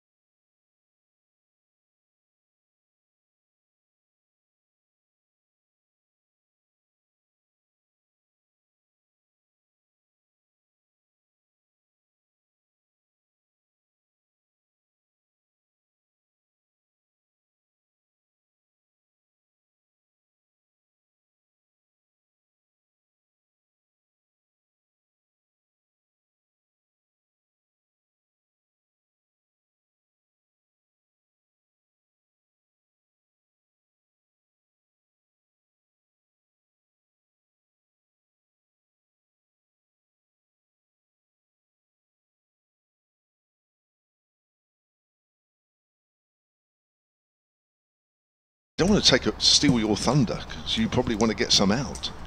But I just want to tee something up. In fact, I tell you what, I'll tee it up after this over. Okay. See, I remember this happening before, Kev. As Mohammed Abbas runs in to bowl straight on the target immediately, and Wells drives to mid on. No run. You did this last time. You, you teased a stat for probably around 10 minutes. Yeah. And then you read it out, and I think we'd mentioned it 20 minutes ago. Ah, right. So I, I'm, I'm wary. It's a bit of a letdown, was it? My expectations are always really high, though. Yeah, I know. Well, that's why they have to be particularly good stats that I come out with. I, do Obviously, on that occasion, it wasn't. I do have a few stats for this afternoon. Do you? I've Been comparing both of these teams' performances from 2022 to 2023 in terms of batting, bowling, fielding. As Abbas around the wicket gets Wells playing at that one through to Brown behind the stumps. Bit of liveliness from the crowd here in this push for the home team before the lunch break. They'll love to pick up a wicket or two here. Have to be some good bowling because this is a strong opening partnership. Certainly is, yeah. Two left-handers as well. So is your stat worth getting out first, or one of your stats worth getting out first before mine, or can yours wait? I think my stats need a bit of time. I've written a whole dissertation. Abbas, back of a length, coming down the pitch as Wells and just tucks it off the hip to square leg, no run. Lancashire yet to get their first runs on the board. Mohammed Abbas, we were speaking about his slightly exaggerated penthouse suite. Yeah. He lives in luxury here, doesn't he? I like to imagine a, a four poster bed with hourly massage and food deliveries. Only the best freshly sourced food as well. As he bowls now, leaving that one alone as well, slightly wider, and he watches it go past into the gloves of Brown. Didn't you love that story about his room? La- it was last year, wasn't it? Last Me- summer. Me and Scott Reed were speaking about this. Isn't it great it? that he gets priority? Mm. I'm sure there'd be a few people who would take priority. I'm sure if King Charles came to visit, What, and asked him to move out? Yeah, I don't know. I think the, the, the club would put up a bit of resistance. Well, you know that person that did ask him to move out last year. You know the story, don't Pep you? Yeah, Pep. as Abbas. And beating the edge again. Wells this time just on the front foot, leaning into that defence. Wasn't too much he could do. It's not so much movement in the air, but it's coming through nicely. A good zip. Sure, a few of the Hampshire bowlers after the disappointment of that game against Durham being rained off, that they're raring and ready to go. You'd hope so, wouldn't you? Isn't it nice to be known just by your first name? I mean, when you say Pep, everybody knows immediately who you're talking about. It's like I wonder if Beyonce. that- well, yeah, Melissa. I wonder if people will come to. As soon as somebody says Melissa, they'll think of you. as Abbas bowls, defending back down the pitch. Fields in his follow through, and it's the end of the first over. No runs, no wickets. Maiden over. Right, this stat, because this is probably timely, this one, because we expect the next bowler to bowl will be Carl Abbott. So here we go. Uh, this is not one of my own stats, this is one that has been passed to me. I think the correct word is stolen. Well, I didn't want to go as far as that, but I guess it is, really. Uh, one or two people know of this, but I shall now share it with everybody. Now, uh, there has been some stats passing around over the last week or so where somebody has calculated uh, each main county ground who has the most wickets and the most runs. So we are now talking about the Utilita Bowl in its existence since what 2001. Who has taken the most wickets and most runs on this ground? Now, I mention it now because Kyle Abbott has the second most, and he has. Well, the one that's got the most is Dimi Mascarenhas on this ground, 190. That, that makes sense. Yeah. Kyle Abbott has 186. And here he is, bowling to Jennings. Jennings pushes up to mid on and there's no run. So by simple calculations, if Kyle Abbott gets four wickets in this match, he will equal Dimi Mascarenhas' record as having the most wickets on this ground. That is a good stat. Do you like that? I'm so glad I kept my expectations high because they've gone up even more next time you say you've got a stat. I mean, did did this stat when you were reading it do this for every single county, every single ground? I do have that email. Oh, Would you like me to pass it on at some point? absolutely. Here's Abbott, Bowles and Jennings. Pleasant drive up the ground. That should go all the way. And it does. Nice stride from Keaton Jennings, over pitched from Kyle Abbott. And Lancashire get their second innings under, uh, first innings underway. Yeah, that was a glorious drive from Jennings. Just waited on it, didn't have to really put much into it. That's how you know it's a good batting service. Just a push, races towards the boundary. Correction. Expectations Well, back down. 186 is the right figure, but it's actually Dimi Mascarenhas says 186, and Kyle Abbott has 182. So still four wickets in this game. Still four wickets behind. Abbott's round the wicket. Oh, he's walking into that, Keaton Jennings.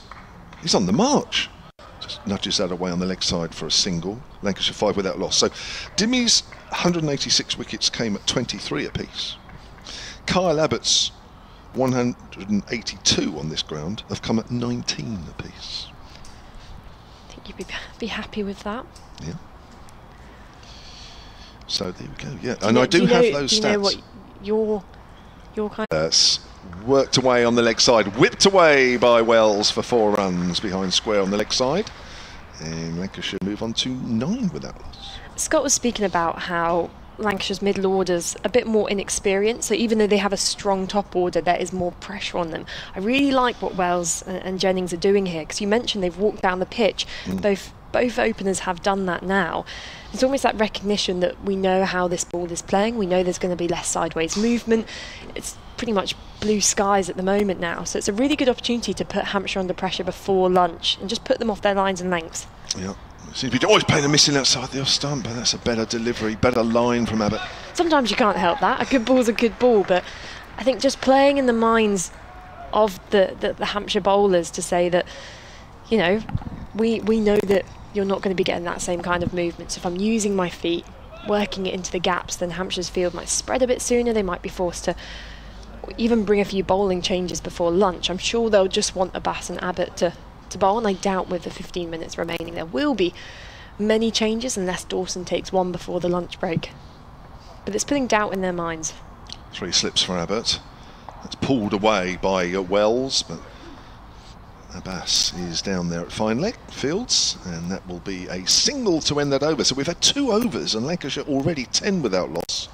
And both batters out there in the middle have five apiece. Got an email through here on solentcricket at gmail.com from Barry. I think this was for you, Kev, when you were suggesting that people get to a certain level of fame when they can only be referred to by their first name. Yes. But Barry has said, Hi, Kevin, there is a song by the Allman Band called Sweet Melissa, which. I'm not aware of. Hmm. Not fa- I'm not sure I'd fancy being s- serenaded with a, a song with my name in it. Sweet Melissa. Is there a is there a song called Sweet Kevin? That certainly doesn't refer to me, no. I'm sure we can Sweet Melissa. The thing is, I mean, if, it, if if that song was composed more than 20 odd years ago, then obviously not you. Abbas bowling, defending. There's Wells again using his feet. Coming down the pitch. 10 for none the score. I've got a better knowledge of music than that. Have you? My parents raised me on The Who, Electric Light Orchestra. Did you grow up with listening to that? Yeah. I went to see the Electric Light Orchestra in Did concert. you? Yeah, Oh, good fun. At. Wembley. Yeah. How, how long ago was that? Oh, quite a while ago. You don't have to say an exact figure, it's okay. Well, if I'm honest, it was so long ago I can't remember. 80s. You're talking 80s. Uh, well, no, what am I talking? Yeah, it might be 80s actually. As Abbas past the umpire, back of a length, using his feet again. Wells, I think in fact he's almost in a position out of his crease permanently now, but he guides the ball into the covers for no run. Who? Wow, where? That comes from your parents. Yeah, the Beatles, love the Beatles, Yeah. But oh, everyone, I think everyone loves the Beatles. I've got really into Carole King recently. Bit Okay. of, bit of soul music. Hmm. You've got to pass the hours by when you're sat in the office. as in comes Abbas. Bowls to Wells on the front foot, playing around the front pad, and the ball juts out towards mid wicket. Feel that just pulls out a cloth from back of his trousers to dry it or shine it. I'm assuming shining it because with sunshine beaming down on the ground now, you don't expect there to be any any dampness, but it doesn't look it, does it? It looks it looks wonderful, and I mean, the, the efforts of all the ground staff around the country to get pitches playable so early on in the season against all the awful weather conditions we've had is pretty valiant effort. Abbas is in, beats the edge. There's a great contest here between Abbas and Wells. Just looks down the pitch and comes down to give it a tap, exchanges some words with Keaton Jennings. There is a bit of a breeze here. You don't expect it will be influencing things out there in the middle too much, particularly as they're sunken more into the ground. We're having a bit of a gust. Yeah, we here. can feel it. I'm just looking at the flags either side of the uh, Rob Brownsgrove Pavilion. They're not moving at all, are they? The wind's down this end. It's probably because we're closer to the space station than the cricket at the moment. There's a bat in defending as well. Solidly behind that one. Drives to extra cover, no run, 10 for none the score. So how can there be gusts down here and yet at the far end nothing? It's weird, isn't it? I've always thought there's been a different kind of atmospheric conditions here at the Ageas Bowl because I was playing a ground a, a game on the nursery ground before where it was snowing where we were sat, but in the distance you could see sunshine. Okay. It, it, it's it's a bit like the Eden Project. I think that ground's got that's a different climate. This one's the gusty one. If you go to the car park, you'll find a flood. Leaving this one as Wells through to Brown. End of the over, ten for none. Off the first three here. About ten minutes to go till lunch. Another maiden for Mohammed Abbas. But the Eden Project's enclosed. This is fully open. Oh yeah. That's why I think it's a it's a, a miracle. You know what the Eden Project has as well? Giant zip wire. That's what we need here. Does it really? Speak about all the entertainment in the shorter format of the game and DJs and dancers and everything.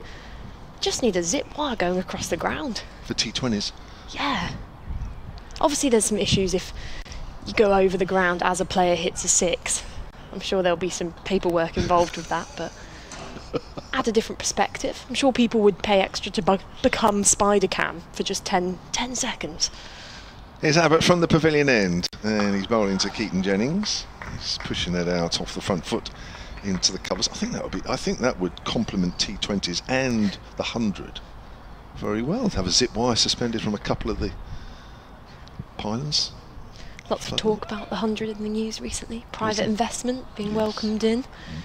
Might bring a few changes to the structure. Although I've had a really time inter- uh, interesting time over the winter listening to kind of players speaking about the schedule, in particular the T20 Blast, um, in a few months' time. Abbott round the wicket again. Jennings just plays, or just gets turned around a fraction as he pushes up to extra cover. And obviously these decisions are being made on a on a greater scale by people, you know, locked away in rooms. But when you're speaking to the players who are actually out there delivering it, and when you look at the T20 schedule this year, where players are playing an evening game in one city, having to get back to, to their home club, and then something pointed out by Tymal Mills, I think it was, that even when you're arriving at your club, once you get off the coach, players are then having to drive home, potentially, you know, at 1, 2 in the morning, and then play a T20 the next afternoon. You know, there's serious concerns from the players. Jennings pushes that up to mid on. Yeah. So I just, I mean, it's such an interesting time. I, I don't know if there's ever been, you know, this much discourse around the game when you've got this one almost focus on the white ball game and how to fit it all in and how to introduce private investment but not let it dominate and not lose, you know, the the identity of all these clubs. And on the other hand, you've got people desperately fighting to, you know, save the red ball game and make sure it remains prominent in our in our structure. I think it, there's just so much news happening at the moment.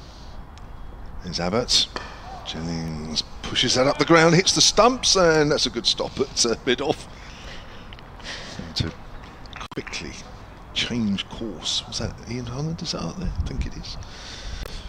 Um, no, you're right. Uh, uh, it's interesting. Somebody said to me last night about sort of all that, and you know things might have to change because there is so much more white ball stuff now in the season. to cram in, and yet we're still trying to play an awful lot of four-day games at the same time. Something's something's got to give, isn't it? These players are doing an, a lot. How about in the sunshine? Oh, he's walking into that one. Jennings and leaves that one alone as he does so. I think Ben Brown might be in with a chance of doing an MS Dhoni behind the stumps here. He's got to. He's got to, isn't Just he? keeping an eye on the speed Jennings gets back to the crease. I mean, one thing is, you know, will it ever get to a stage where obviously plenty of players are more suited to red ball cricket, some more suited to white. Some have already made that decision that they only want to focus on the white ball game or the red ball game. Will it become a, a point of time where we have four day cricket taking place at the same time as a T20 competition? And, you hmm. know, county fans will have to choose which game they, they want to go watch more. That's true. Jennings forward. That's gone out into the covers. End of the over. That's a maiden for Kyle Abbott. Score remains on 10 without loss. Hampshire being bowled out for 367 uh, a little earlier. That's true, isn't it? Do you go to a Hampshire T20 game or do you go to a Hampshire four-day game? Because if enough players are, are, you know, establishing that distinction between what format they're going to play, Mm. can there be scheduling clashes in an, in a you know organised fashion? It would obviously be tough on some people because it would force their hand to make a decision, and Mm. you know, lots of people don't want to. They think that playing in the red ball game helps their white ball skills and vice versa, but. You, you know, you just don't know what's what's going to happen in, in the next few years, and it's interesting to see that kind of uncertainty as Abbas is into Wells, leaves that wider delivery alone. It was full, went through to Brown, quite high on the bounce. But obviously, in the women's game at the moment, we're really shortly going to be finding out the, the kind of allocated tier one counties as a result of Project Darwin. And you know, if you look at the men's game and think it feels so tumultuous, you know, the women's have gone from having a county structure to that and the Women's Super League, then into eight regions with the Charlotte Edwards Cup and the Rachael Heyhoe Flint Trophy, and now it's going to change all over again. And a lot of the time, the women's game, you know, can look to the men's and get an indication of what works, what doesn't. As leaving this one again and withdrawing his bat from the shot is Wells in a Star Wars-like manner. But it, you know, it, it's it's so interesting to almost look a few years in the future and go, yes, we have these fixtures scheduled in at an international level, but there's so much doubt around what a, a summer's going to look like for, for domestic and, and county players. It's exciting, though. It is. Well, I, it's lovely. I, I, you know, I love all these new innovations, and obviously some work and some don't. But as I, my understanding, you probably know this as well. The tier one women's counties are going to be announced next week, aren't they? It's it's very soon, I think. Yeah. I think I think the counties will find out at some point next week. Abbas Bowl's full, kept out by Wells. Forced to play that one after a few leaves, drives to mid on for no run. How And long? How long after that it is announced publicly? I don't know, but I've, I've got a feeling it's somewhere towards the end of next week. And it is going to be interesting because, you know, these tier one counties are going to be professional. Tier two and tier three is uh, are going to be amateur, with the hope of eventually making those tiers professional. Particularly tier two, because you're going to have to make tier two professional if you have any hopes of doing regulation and promotion. As Abbas bowling and just teases Wells into the drive there. Looked to play an expansive shot. He rehearses it now without making the desired contact. And Abbas yet to concede a run. He's got two balls left in this third over.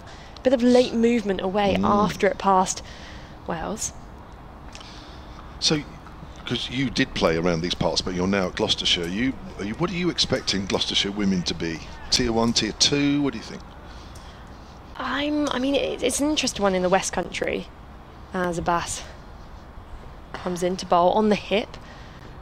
Cutely worked out towards deep square for a single. Score moves to 11 for none.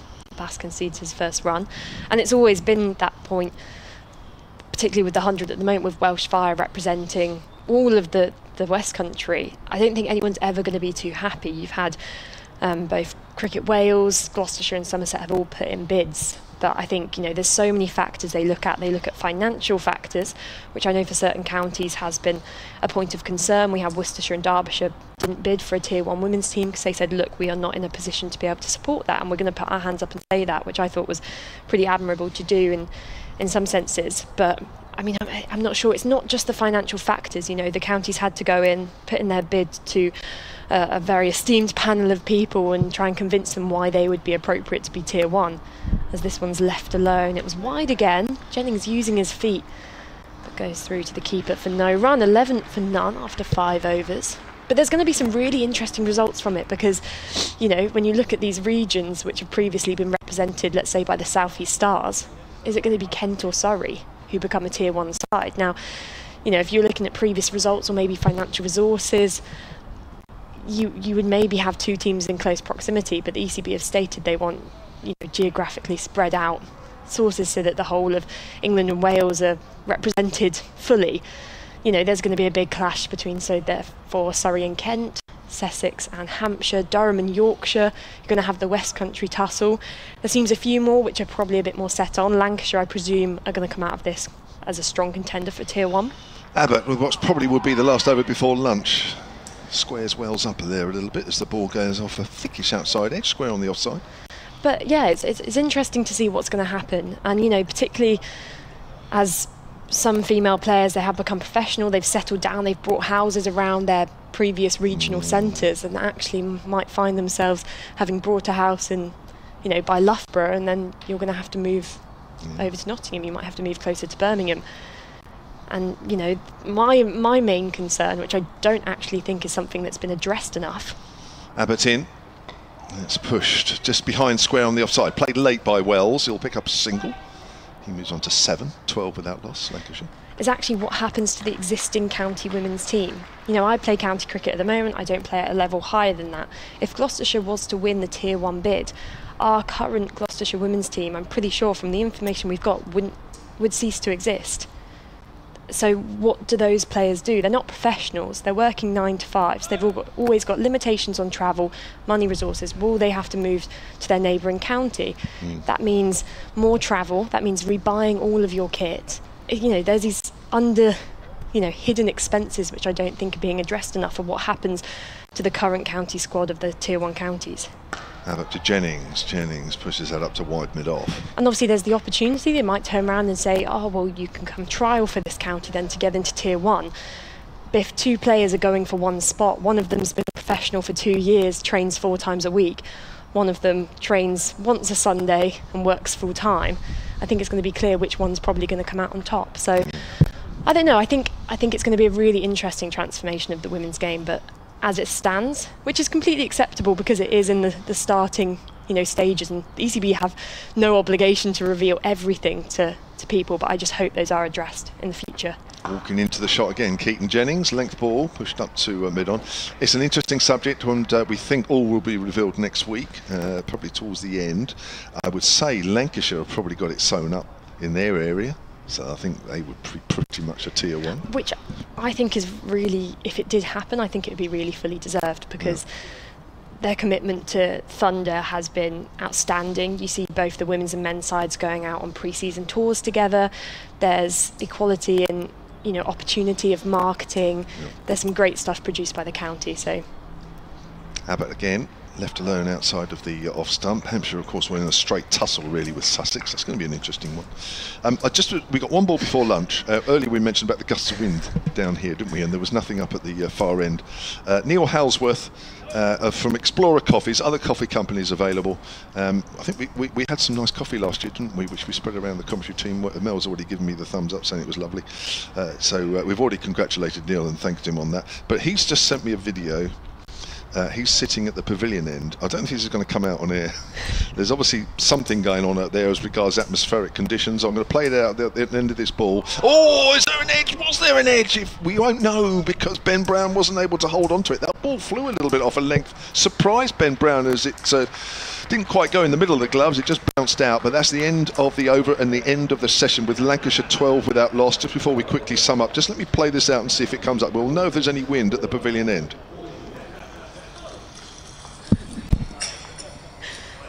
Let's hope there's Can no profanities in the background of this video. No. I can't hear a lot, so maybe there's not too much going on over there. That's probably why he sent it. Uh, so thank you, Neil.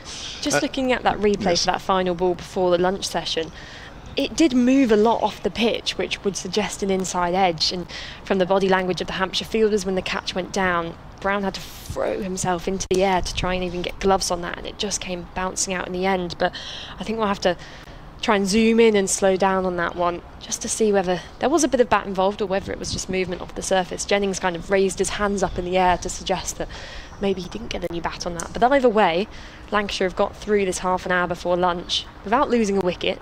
Just the 12 runs off the, on the board, but I think overall both sides will be happy, and I think we've got a good afternoon session. We certainly have. So Lancashire 12 without loss at uh, lunch break on day two, replying to the Hampshire all-out total of 367. Hampshire resuming this morning on 305 for six. Liam Dawson out for 86, one of those four wickets this morning. Uh, just moved on from his overnight total of uh, 61. Uh, Will Williams, uh, Tom Bailey, Luke Wells, and Nathan Lyon, the wicket takers uh, this morning, with uh, Nathan Lyon finishing with three wickets for 110 off just over 38 overs. Thank you, Mel. Thank you, Scott Reed, as well. Will and, uh, and the analyst uh, will all be back with you this afternoon from a 20 to 2.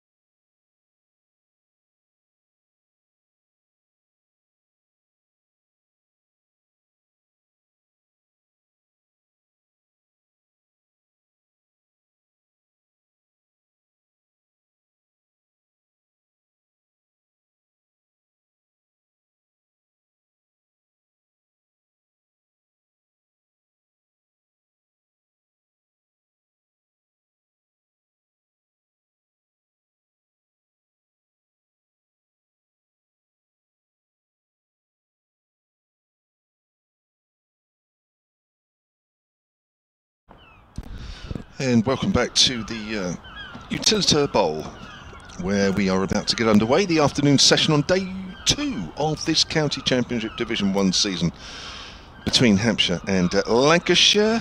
As we head into the second session, Lancashire are 12 without loss, replying to Hampshire's all out total earlier this morning for 367. Liam Dawson, one of four wickets to fall this morning. He went for 86, having moved his overnight total on for 61. There was a wicket each for Will Williams, Tom Bailey, Luke Wells, and Nathan Lyon. The Australian off spinner Lyon finishing with three wickets. Uh, Keaton Jennings will resume on five not out. Luke Wells seven not out. Your commentary team this afternoon is uh, myself, Kevin James, and from BBC Manchester and Lancashire, Scott Reed. And a little later, you'll hear from uh, TMS commentator uh, Melissa Story and also the analyst Simon Hughes. That's how we look. And uh, we've had a nice little bit of lunch. Hmm. And uh, we're back ready as Mohammed Abbas from round the wicket from our commentary end bowls and forward is Wells. Plays it out on the onside to Kyle Abbott, and we are underway. So Hampshire added four wicket, uh, 62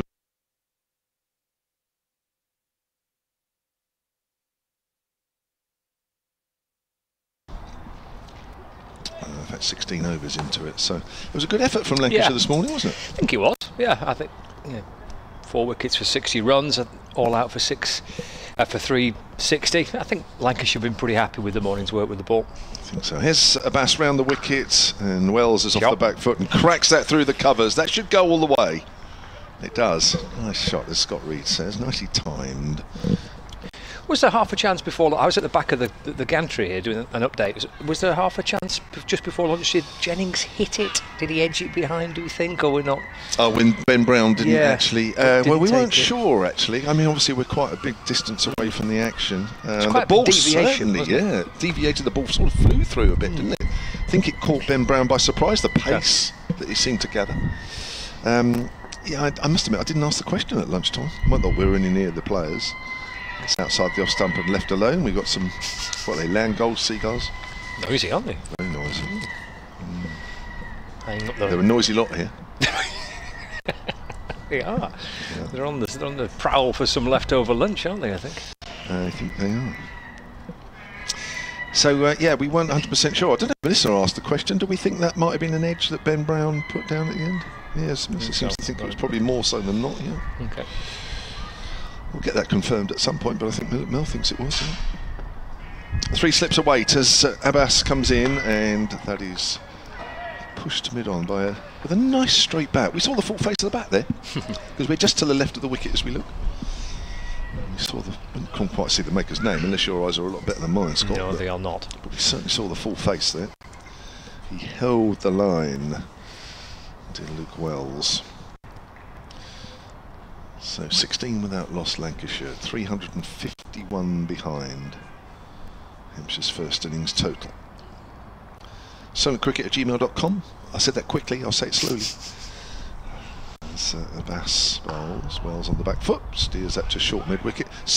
Cricket at gmail.com on the emails and at Solent Sport on the tweets if you want to be in touch at any point today. We are all good. We are on the BBC Sport website and app. We are on the live picture feed via the Hampshire Cricket website, which I guess is also on the Lancashire Cricket website. It is. back. Yep. And we're also live around the ground for the first time here. All working. As Abbas comes in again, it's turned away wide of short mid wicket Ian Holland. And they might pick up two here. They do. They turn for two. Throw comes in from Ali Orr. And that's the end of first over after lunch. It's 18 without loss. Because you've got a strong and experienced um, top three with Luke Wells and Keaton Jennings and Josh Bohannon will bat at three. Last week, George Balderson batted at four. I, I don't know whether that he'll, he'll bat in that position again this week or whether they might push Tom Bruce up to four. And then got Balderson, Bell, and Hurst as kind of the middle order. So and all three to a lesser extent Bonson, I guess, but are relatively inexperienced. So there's a little bit of pressure on uh, on Lancashire's top three. Yeah. Try and get through this uh, new Kookaburra ball and try and build a, a base to uh, to go on from. Let's see Kyle Abbott from the pavilion end. Jennings leaves that one. Just slides through into the gloves of Ben Brown. They've got a leg slip in place for for Keaton for uh, Keaton Jennings. Three slip fielders. And, uh, and a leg slip as well. Fine leg, which is Abbas. Is um, mid wicket, mid on, mid off, and backward point. The sun is uh, is shining. Nice bright start to the afternoon session. Abbott muscling his way back in. The ball's around the wicket to, to Jennings, just turns him round. Jennings defends up towards mid off, and there is um, no run. So 18 without loss. Jennings 5 and Wells on 13. Those noisy goals appear to have disappeared. Mm. Maybe they found something to uh, to munch on during the course of the afternoon. swooping around in front of the hotel, looking for a, some stray chips, perhaps some leftover lunch. Abbott to Jennings. It's a fuller ball which he tries to whip away through the onside. Stifled appeal from the bowler and from the slips.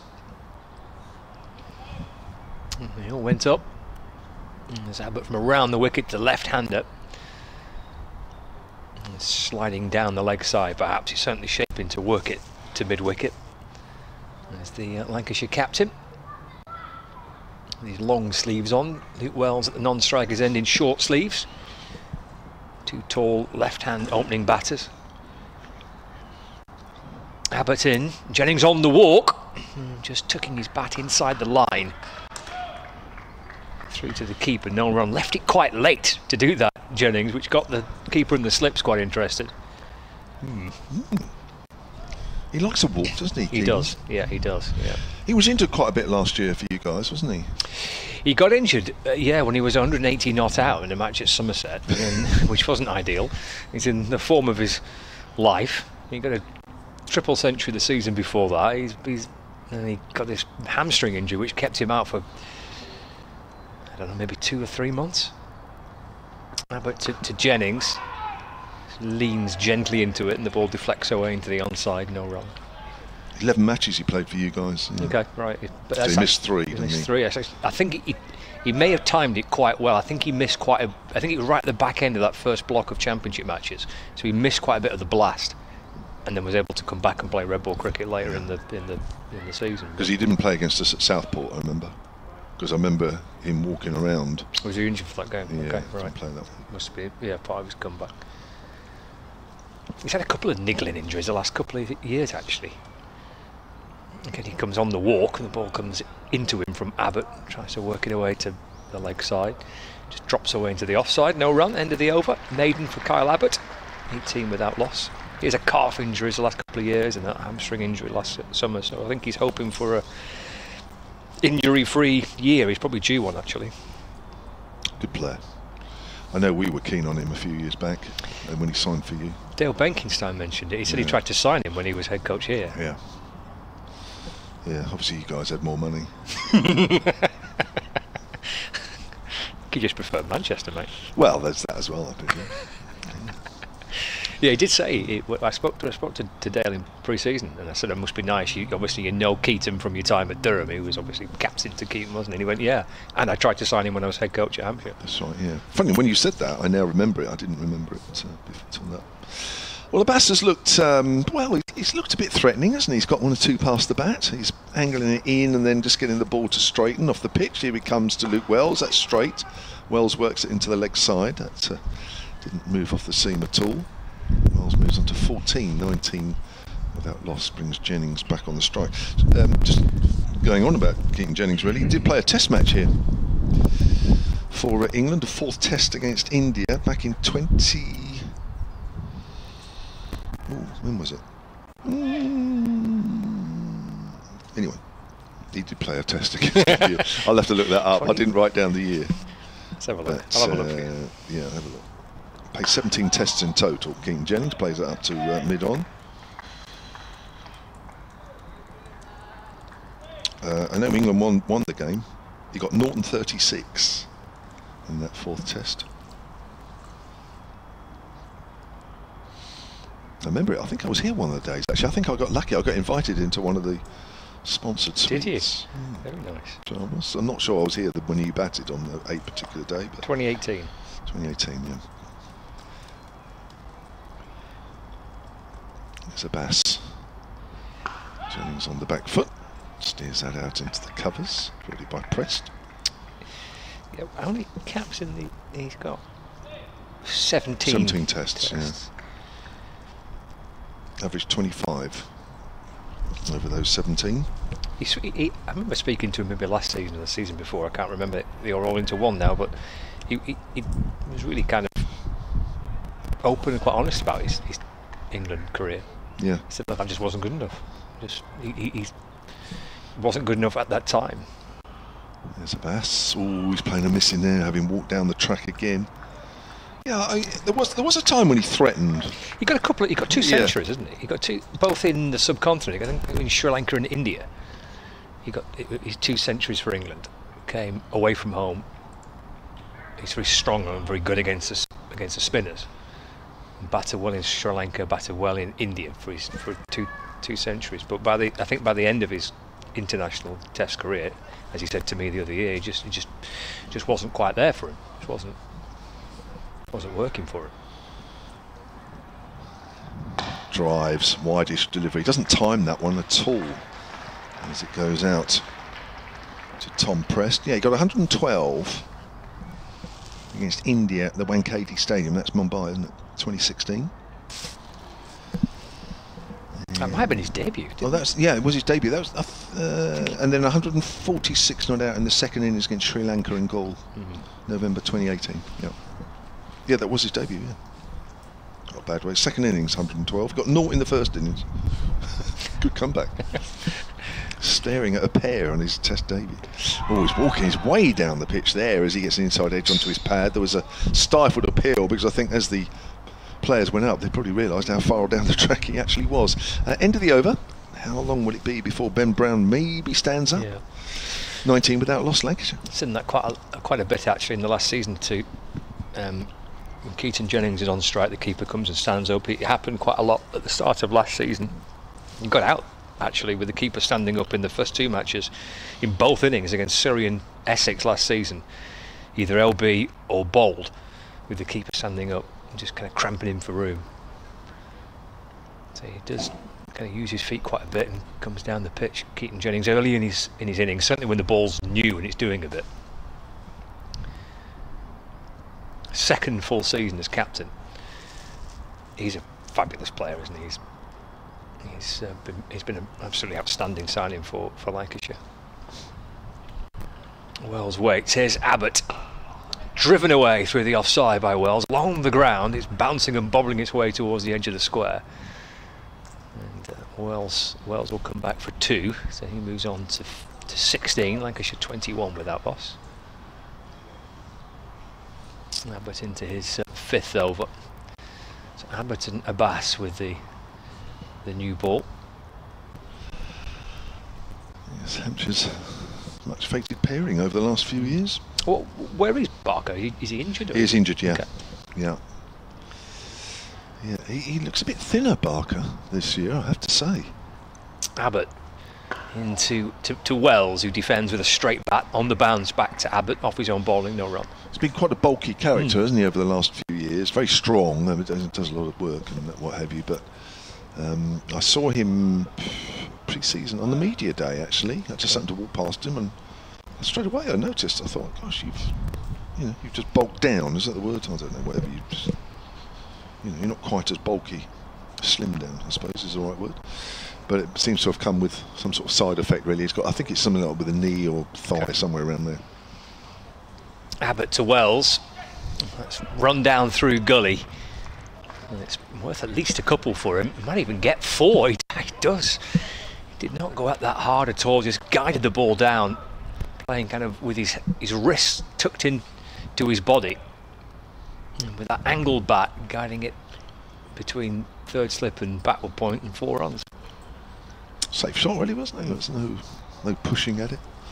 Is that the challenge for Hampshire, do you think, uh, Kevin, again this season, to try and keep all three of them fit for the for the season? Is key. Because you've got John Turner, who of course is rapidly and has rapidly made a name for himself. He's actually injured at the moment as well. Right. So he's not able to come in and if Hampshire wanted that option. Brad Wheal was in the 12, was left out. He's had his injury problems, didn't play any championship cricket last year. Only came back by the 50 over competition. So there's yeah, there's one or two sort of frontline seamers that are struggling a bit injury wise at the moment. Abbott to Wells. It's a nice shot, just dabbed away through the leg side. There's a short mid wicket in place. Just bounces to the right of the man there, and Wells gets through for a single. Moves on to 21, 26 without loss now, Lancashire.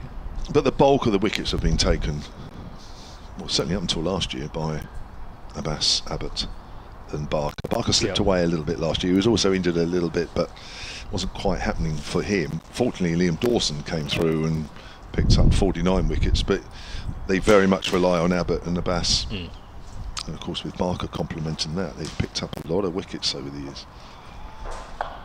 Ben Jennings on the on the move, just drops it into the offside as Abbott comes in again. Actually, good running that. He's, he's taken a couple of steps down the pitch, just drops it into the offside. Wells is alert to what his captain's thinking at the other end, and they do get through for a single, 27 without loss. Let me give you some examples. 2021, Abbott, Barker, and Abbas, 128 wickets between them. 2022, 160 wickets between them. All, all got 50 plus. That was the season, wasn't it? That was a season where Yeah, probably yeah, that was the one we played you guys. Yeah. it, at the end. Abbott to, to Wells, it's short and wide of off stump and left, end of the over, 27 without loss. Last year, a little bit down, 117. That was because Barker was well down on 20. Um, Abbott 44, Abbas 53. But sort of Dawson made up for Keith Barker last year. So, yeah, and the feeling is really that uh, as a as a three-pronged attack when Barker's fit, it's uh, you know people feel that really to be effective trio, maybe this year might be the last year as a trio. So Hampshire's last real chance of having them make a huge influence as regards getting towards a potential championship title. Not helped the fact that, s- like you mentioned, John Turner's not fit at the minute. You, No, that's you, right. you need you need good kind of reinforcements there, don't you, to try and manage Yeah, those three. I agree. And it's something that's been talked about here for a while, you know, having somebody else that can pick up 50 wickets for you a season. Because I don't know if you were on when we touched on it last uh, yesterday, and you know, from a Lancashire point of view, you've got Tom Bailey picking up 50 wickets a season for the last few seasons, but you haven't really got much else backing that up. You know, Will Williams last year, 39 wickets, which is second most. You know, you need a little bit more, don't you? And then somebody else chipping in with that money to make a serious challenge, don't you? Yep. Uh, we've got a bowling change because it's Ian Holland with his medium pacers round the wicket. Immediately turned on the leg side by Keaton Jennings for runs. There will be two. Jennings moves on to eight. 29 without loss. Uh, the year before, you got Bailey picking up 52. You got Will Williams 36. It's it's not really enough, is it? If you want to be a title challenging team, Yep. it, it needs at least two bowlers with 50, and if you can get your third in that bracket, you, you've got a serious chance. Here's Holland again. Again, it's uh, turned away. This time in front of the square, and that's well fielded, but it still brings a single. That is a challenge that Lancashire are trying to deal with, really. Um, but certainly playing at home. Not so much if you're at outgrounds. If the game's at Southport or Blackpool, you, you're probably going to get a result one way or the other there. But certainly in Manchester, trying to bowl teams out twice. Every championship match there last season was drawn. No one won at No. Old Trafford, either home, you know, either the away side or the home side. So you, you've got to try and find a way of winning games, Yeah. home games in particular. Holland. Ooh, slight leading edge there from Wells as it goes out on the offside. And you're right, because, you know, the wickets here, and we're already seeing it this year, is going to be a little harder for the bowlers. You know, in, in the last two or three years, generally here, if you keep the ball on a good spot and keep it pitched up, you're going to be in the wickets, generally. and I think the bowlers are going to find it harder this year. Um, obviously, more so now with the Kookaburra balls for four rounds. It's Holland. It's pushed up to mid on. So 50 wickets actually this year would probably generally probably be a bit harder than it was last year, I would say. So anybody that does that again will. Well, it'll it'll be a slightly better effort than the year before, I guess. Mhm. So yeah, and I think the Hampshire bowlers might find that tougher this year. But uh, yeah, as well as scoring runs, you've got to you've got to have your wicket takers, haven't you? and you need more than one. You need probably more than two. There's Holland, keeper standing up, forward. There's Wells. Nice accurate delivery there from Hampshire's Aussie American all-rounder. Didn't play for uh, America, I noticed, in the winter this year. Has played in the past. I know when I spoke to him last year, he was hoping to play in some sort of finals or something soon. Okay. I have to ask him about that actually. Comes in, runs away from us and bowls, and that's hit over the top. That's a lovely shot. It's the right length, and that even though it plugs in the outfield, it may just touch the rope. It does. A perfectly decent shot there from Wells. It was slightly overpitched there from Ian Holland. It was in the slot, and that ends that over. Holland's first. And Lancashire move on to 30 without loss, although they haven't shown Holland as a completed over. The scoreboard showing 30 anyway. And Lancashire trail by 333. It's 34 without loss. It's gone up now. Yeah, pretty solid start this by uh, Wells and by Jennings. They do, complement each other really well. I mean, they're obviously very similar in stature and build. They're tall guys and both left-hand batters, but they tend to to find ways of scoring in different ways. Uh, So even though physically they- they're very similar, as a bowler, you're having to try and bowl differently to them because they Mm. they, they score in different ways. Good they score at different paces too. You know. They're good players. Yeah, his strike rate at the moment is almost double Keaton Jennings'.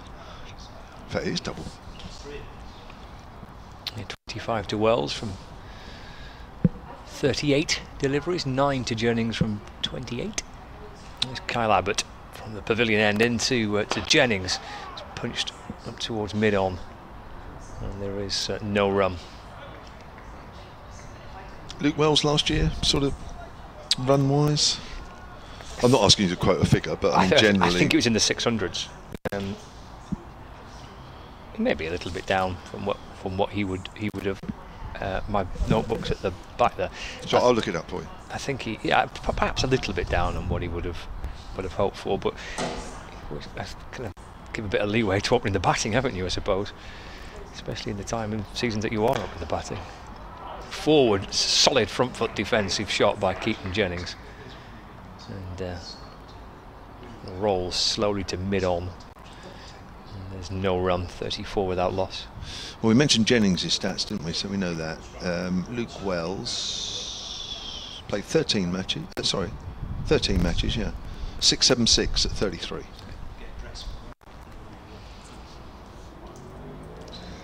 I I still think as an opener, when you get into the 30s, it's sort of all right, isn't it, really? Abbott to uh, to Jennings, cracked away. Can't beat the infield. That extra cover, no run. Pretty sure that th- those numbers would have been down on the previous year, for example. I think last year may have just been a slightly, slightly quieter year for, for Wells. Let's have a look.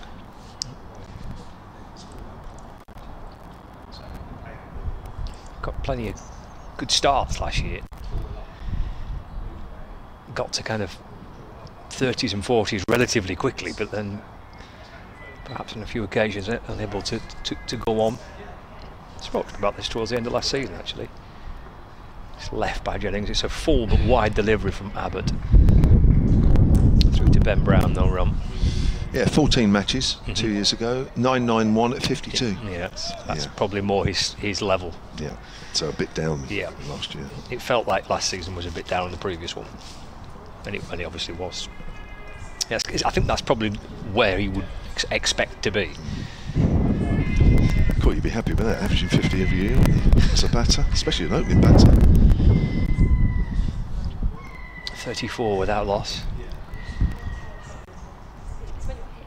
Abbott to, to Jennings. Just uh, nudged away off his hip out to the leg side, but for, for no run. Got an email here from Emma Hall, cricket at gmail.com.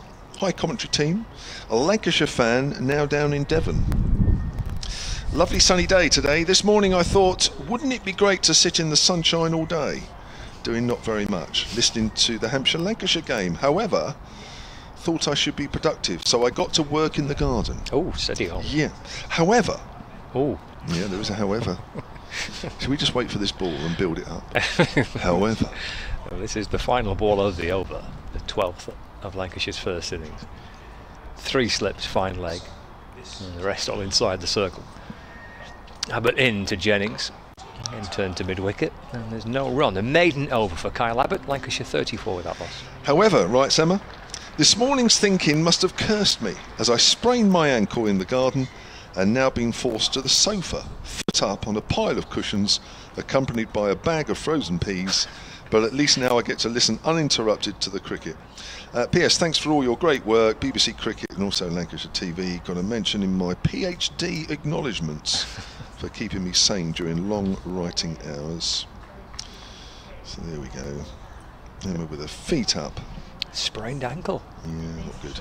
gardening related injury. Yeah, bag of peas. Bag of peas. So always a bag of peas, isn't it? There's never anything else that you put on this, on something that Broccoli, frozen broccoli. Nobody puts that on. No one puts that on. No, Mm. Frozen cauliflower. doesn't happen. No. Frozen berries or something No. doesn't happen. Is it because peas mould better around? Could be. It could be that. Yeah.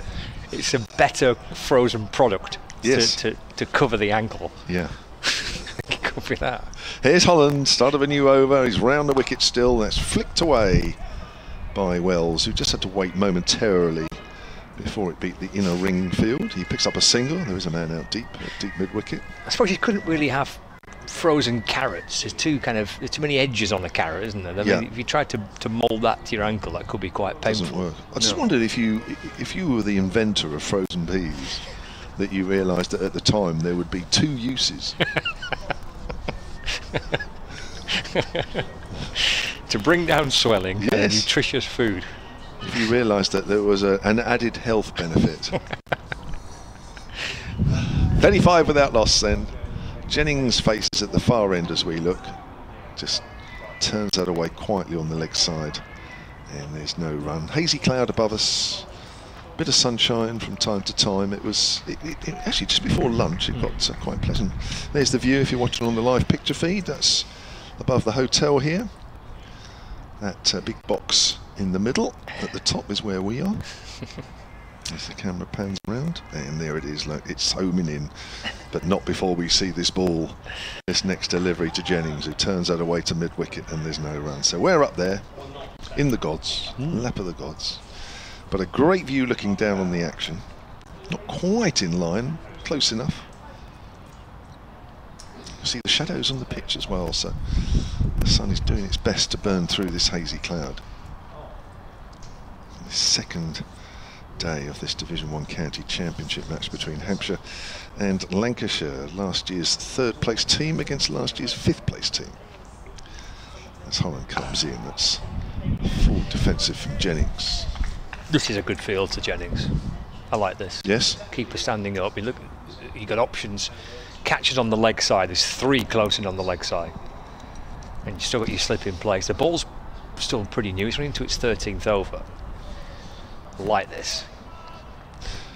He can't walk into his shots, he would do this against a pace, somebody of Holland's pace, wouldn't he? He absolutely would. Yeah. Yeah, Yeah. so he's been prevented from doing that. He might still, he might trust himself, but he always run that risk of walking past it, as that's a nice, solid forward defensive up to mid off.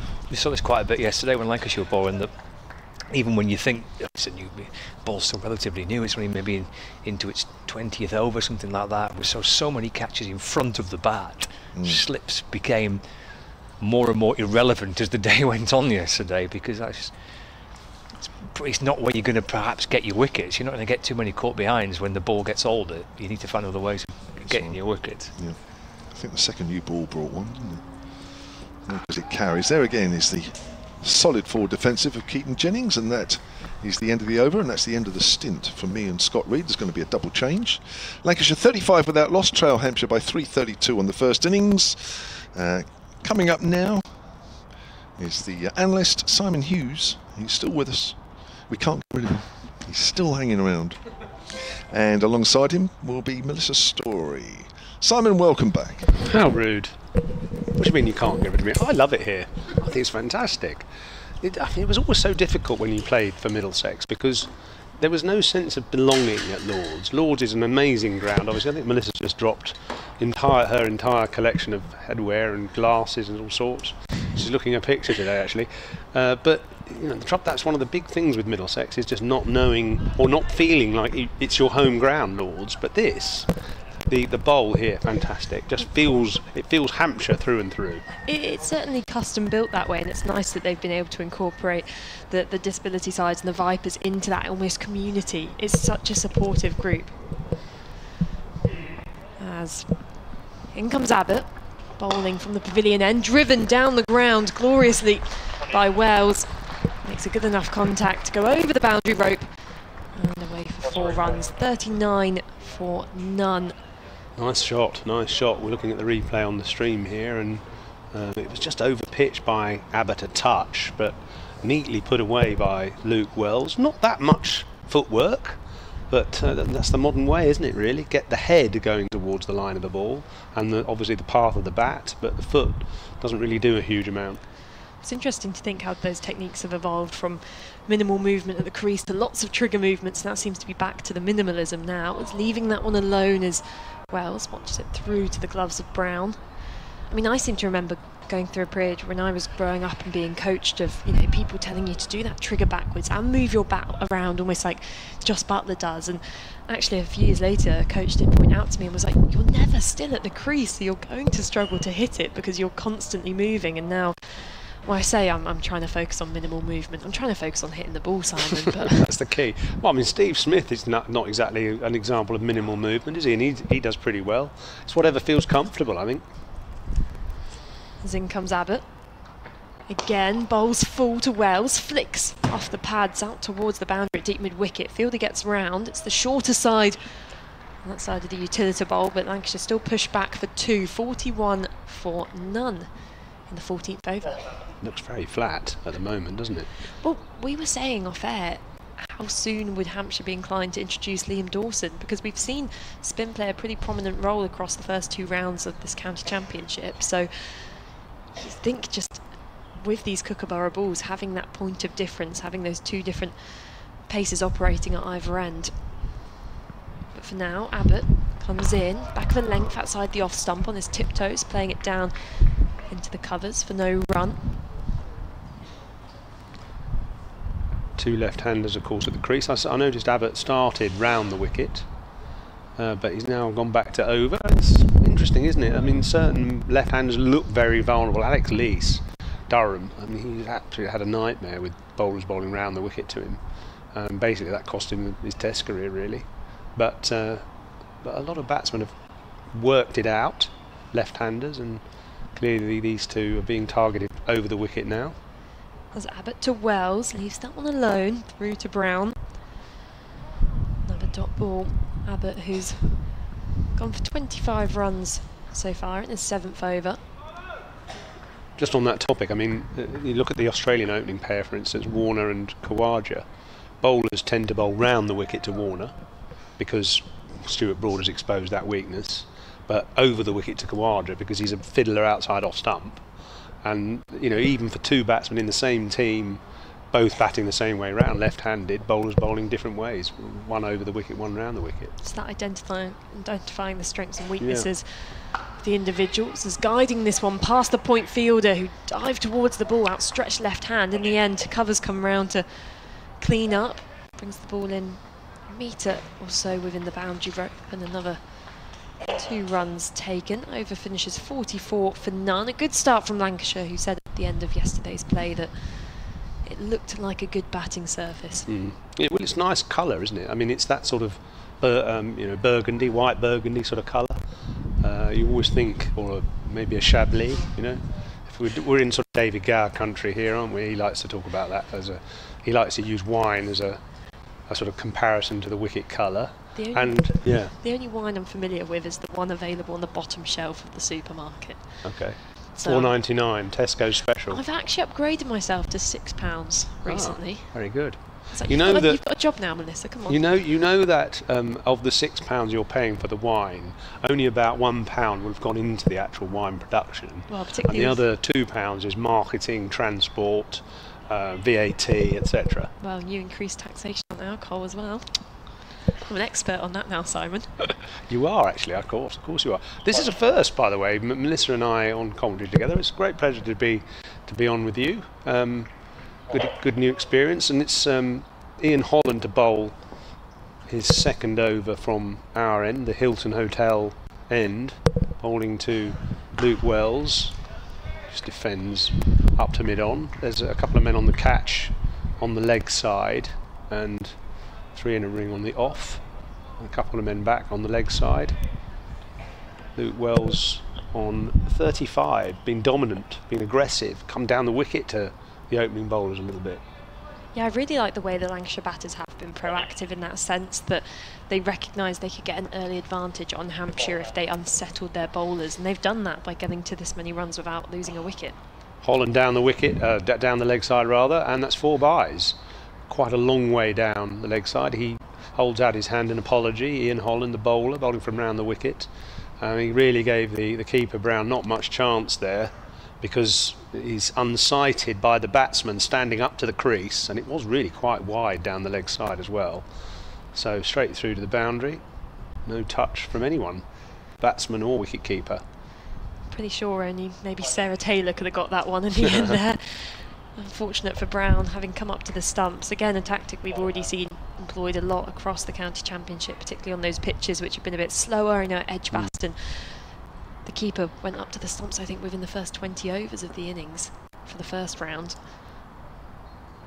So it's Holland with a, a reasonably long run for his pace, bowling round the wicket to Wells on the leg stump, turned into the leg side, fielded sharply at short mid wicket. The score 48 for none. In reply to what did Hampshire get? 367 was it? Yeah, 367. 367 in the end. What do you make of this field? Because we've got a fine leg, kind of deep-ish mid-wicket. In terms of how Hampshire are, are going to find a wicket and break this opening partnership, like what is the tactic here? Because to me, it's not too clear. yeah, hoping for a miscue through mid wicket. That's a pull from Wells out to deep square leg, and a slip by the fielder, but he stops it. Oh no! And uh, I don't know if he's hurt himself there. Uh, he's got up in the end. Is that Carl Abbott down there deep square leg? I think it's James Fuller. It's James Fuller, right. Thank you for that. Your eyes are better than mine. So anyway, it went through for two. It is actually a bit damp around now. I remember somebody yesterday slipping as they fielded it. It's a 50 up for Lancashire as well. And it's taken them the best part of 15 overs. A good run rate so far, the opening pair.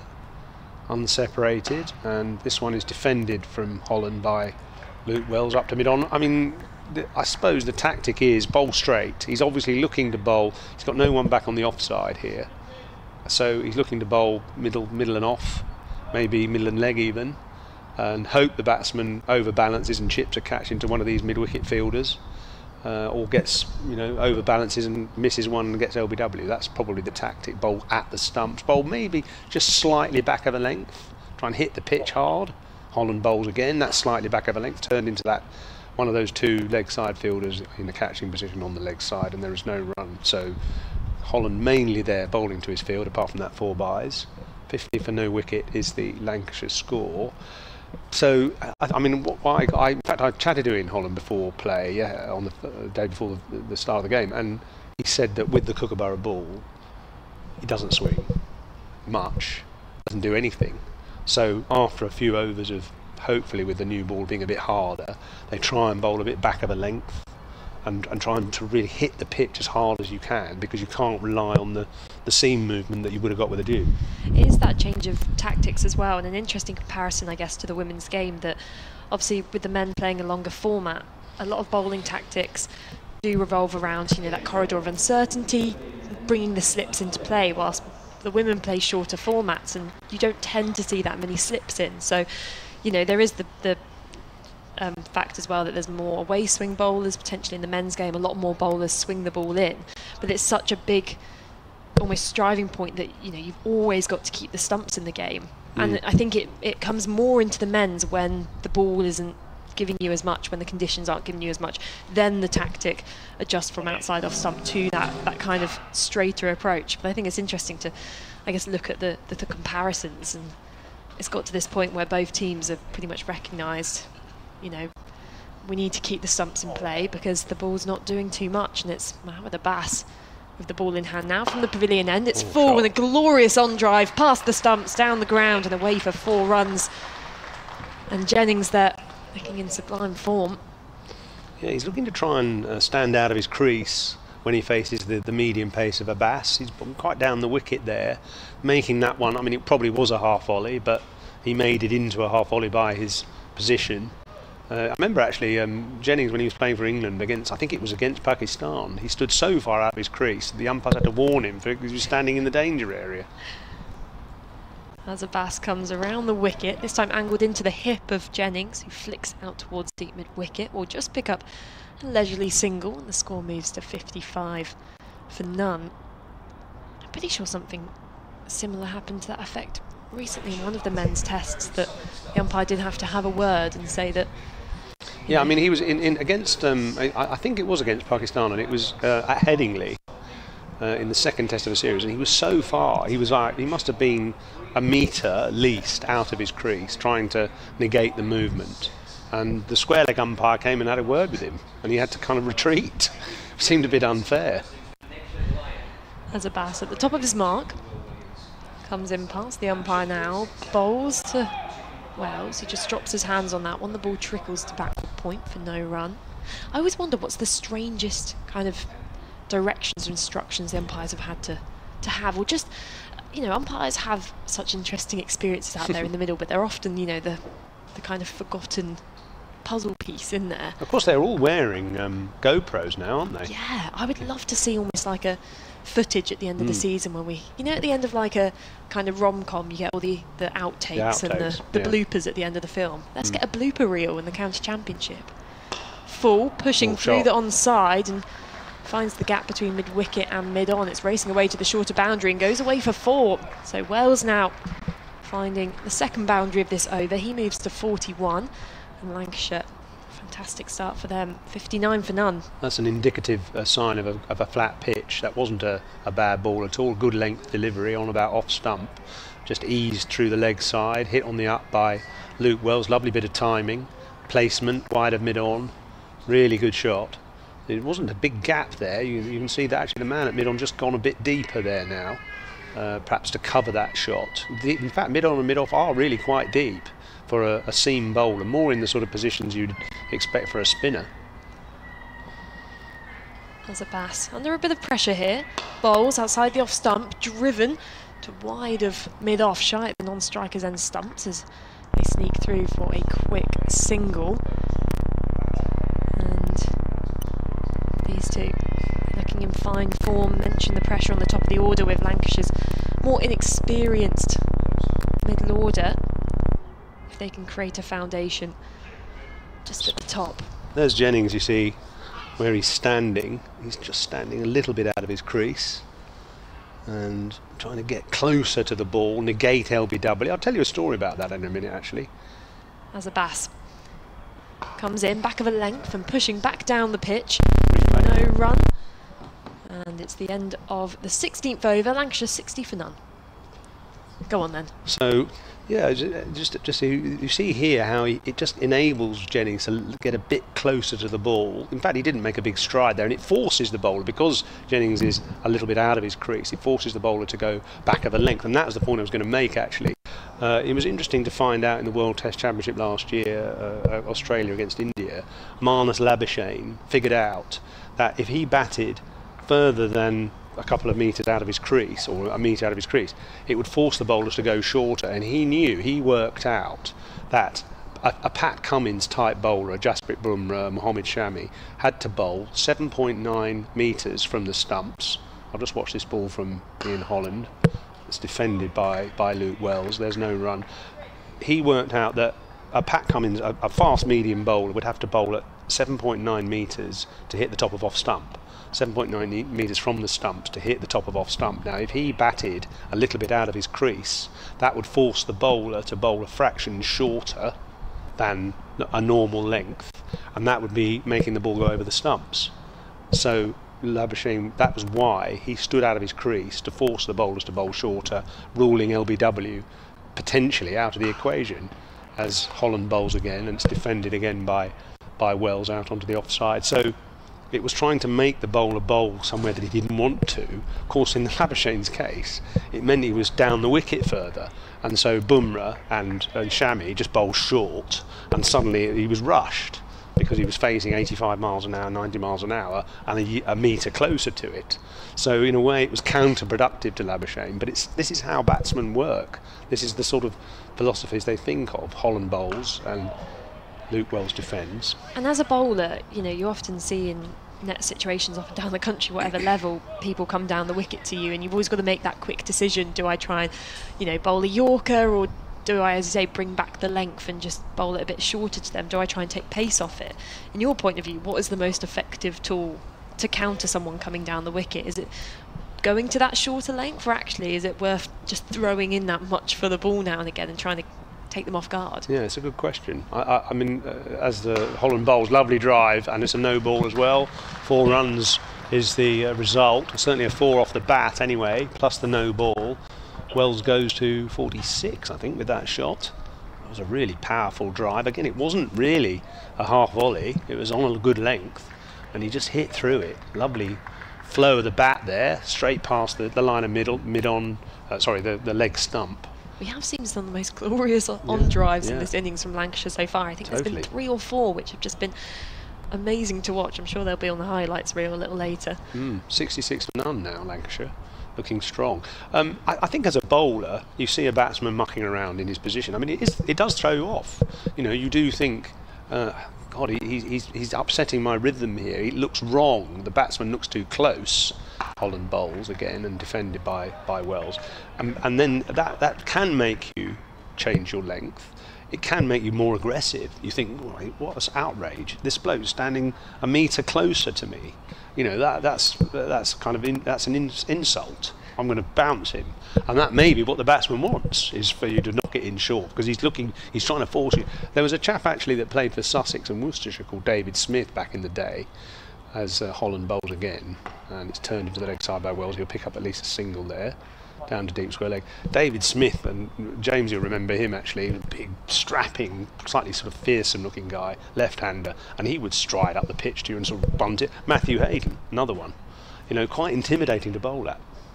I mean, it's, it's interesting from, I guess, a, a point of view of a player Uh, in my position. I don't think I've ever bounced a ball higher than someone's knees. So I guess that rules out the shorter option to go into. So I've almost tried to. Have you not watched my videos about speed up, speeding up your bowling? I- I- done a couple. I will tonight. Yeah, you should. tonight. You should. There's a few little techniques you can use. Here's Holland again. Bowls driven by Jennings this time, but it's straight to the man at, at short extra cover. So there's no run. 67 for none. I mean, it, it's. Uh, I've been working with my son Billy on increasing his pace a bit, and using a couple of bowling coaches to, to help that. A few drills you can do. Speak to me later, Melissa.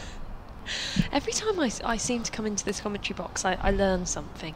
Last time, or last summer, I was here and I picked up a bit of an injury, and Emily Windsor was doing that game with us, and she sent me out a whole physio plan.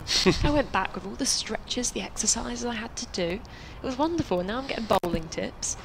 It makes it all so worthwhile. Not that it wasn't before. You need a medicine ball, if you if you can, 'cause you can, you can do these throws against the wall with a medicine ball, two-handed. Oh yeah, I've, That's al- one. I've, I've always got a medicine Yeah, ball Yeah, you on always got one of those knocking it's, around. it's always in my handbag. also, actually. hopping. You can hop along like this, hopping along on one on your back leg to strengthen your back leg, sort of transfer to your front leg. Funny you say that already, because I actually hop everywhere already. Do you? Yeah.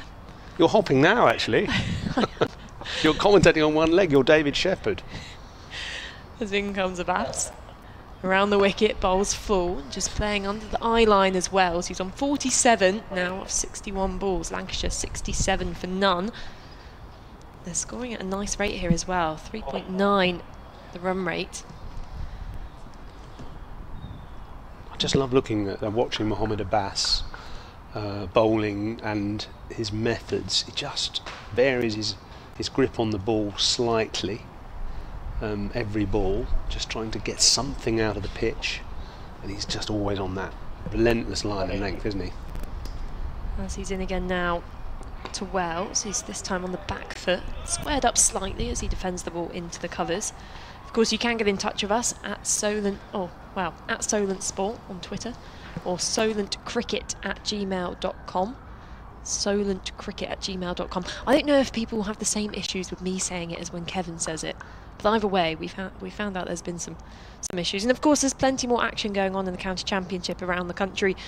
We can run you through some of those scores as we go through the rest of this Mohamed Abbas over between Essex and Kent. Essex batting first, finished 500 and apologies 530 for seven declared as this one's full, clipped to mid wicket for no run. In reply, Kent 60 for one. In a game between Nottinghamshire and Worcestershire. Nottinghamshire 399 all out in their first innings, and in reply, Worcestershire in a bit of turmoil, 20 for 2. That game between Surrey and Somerset, Somerset 285 all out, and Surrey 192 for 1. So tough going for Somerset there at the Oval. A quite highly entertaining game between Warwickshire and Durham. Now, I can confirm that Durham are finally batting. As Abbas Comes into Wells, he clips it into the onside. They run the first one hard. They're going to comfortably come back for second in the end as the fielder cleans up. Slightly off balance. Wells moves to 49. Lancashire 69 for none. We, we were just looking at uh, Abbas's run there, you know, just to to see uh, how how he approaches bowling. Um, actually, uh, I thought there was a replay coming up there, but but there wasn't. Um, just just looking at the, he's still trying to operate round the wicket and I, I love the sort of nice, easy rhythm of his bowling, his run up, his it's not it's all about the run up is really important for a bowler to get that momentum the tempo right not be too quick or too slow. Sometimes you're leaving too much to chance at the, at the crease. If you're too slow if you're too fast you can arrive too early and be off balance. Ah, as Abbas into Wells he pulls it away down to fine leg and that single will bring him a half century. 50 of 65 balls, striking at 76. It's been this is, this pretty is dominant performance so far yeah, from that, Jennings. Has, Apologies from Wells. yes, uh, it, it, has. It's been very good actually, and um, Abbas there, you saw you saw just a little hint of his nice fluid run up but there's no margin for error on this pitch and slightly short of a length. It was easily pulled away by Wells, slightly over pitch. He's driven the ball imperiously, so it's been an impressive innings. As in comes Abbas. Jennings this time advancing down the pitch, slashing the ball away. There was a shout of catch from one of the fielders. I don't think it was ever in contention and that finishes the over. Lancashire 70 for none after 18. Just to quickly run you through the rest of those scores. Warwickshire in the end declaring 698 for three. Then in Division 2, Glamorgan 237 all out against Derbyshire, who are 146 for five in their first innings. Yorkshire with 326 all out against Gloucestershire, and in reply, Gloucestershire 126 for three. That game between Leicestershire and Sussex, Leicestershire 338 all out, and Sussex 146 for one. And then finally, Northants and Middlesex. Northants still batting in their first innings. They're 499 for five, with Emilio Gay scoring 261 in that game against Middlesex. Impressive. Just, just looking quickly, just looking quickly at Mohamed run. You Mohamed Abbas's run. You see, we slowed it down there a little bit at the end. Lots of activity right at the, the, the delivery point. This is if you're watching the, the live Hampshire, Hampshire stream, and it was that lovely uh, rhythm he builds up when he's bowling. We'll just have a one more look at it here. You can see how consistent and even that rhythm is. Actually, he transfers the ball from one hand to the other just before he bowls, and then it's the explosion at the crease as well there with a brace front leg. So a change of bowling now uh, at our end. It's uh, Liam Dawson, who I thought might uh, get a go. Uh, Ian Holland couldn't find much with his medium paces, so the spin has been introduced by James Vince, and he's going to start over the wicket to the left-handed Wells. Well, both batsmen are left-handed. Here comes Dawson. Hampshire's star of last year, and he's immediately edged actually down all along the ground towards the third man boundary. Two fielders in pursuit will pull it in, and the batsman have gone through for three. So, probably where he intended that, Wells, but he's riding any luck that he's, he's getting at the moment, as well as playing some really fine, commanding shots. He was on to 53. Dawson now is going to bowl to Jennings. The score 73 for none, Lancashire. They bowled out Hampshire for 367 this morning. They just had a few overs of batting before lunch. Dawson setting his field. Just bringing the man in at mid-on a touch, slightly closer. Um, he's got a man back on the cover boundary and a man back at deep square leg. Two men close to the fence and the rest around the bat. Cut by Jennings. That's a good shot. That was a little bit short by Dawson. He's found the gap. Jennings on the offside in front of square. That was a well-timed shot. A little bit rusty delivery from Dawson. First his first ball in Championship cricket this year, maybe, or second ball rather, He's, uh, in Championship cricket this year. Just a fraction short. I just wonder with the, the confidence these two Lancashire openers are batting, whether you know, they didn't want to speak too soon, but Hampshire are looking back and just wishing a few more of their batters had, had gone on past that three-figure mark. Lots of people got starts, but it's a good batting surface. Here comes Dawson again, and another one that's a bit short. This time Jennings hits it in the same spot, but not with quite the same power, and it's retrieved by the, the deep cover fielder, that is Holland actually, back on the, the cover boundary, picks it up, and they go through for a couple of runs. So Jennings on to 20 now from 46 balls, 79 for none, Lancashire. The sun retreats behind a cloud. A, a plane has just taken off from Southampton Airport, and so is that delivery. That's taken off. Whacked over the top by Keaton Jennings. A lovely shot, lofting Liam Dawson for a one bounce four to long on. Taking the aerial route and a confident shot there. Well, this is great from Lancashire if they can immediately put Liam Dawson under pressure, which they have. Mm. This over's been expensive already. It's gone for 13. Yeah. And he's been so, you know, much considered as Hampshire's strike bowler for at least the last season. Dawson again bowls, tossed up a bit more. That was a bit more about that delivery. There's a slight bit of annoyance about it, I think. There's a bit more on that one. And Jennings let it go through to the keeper.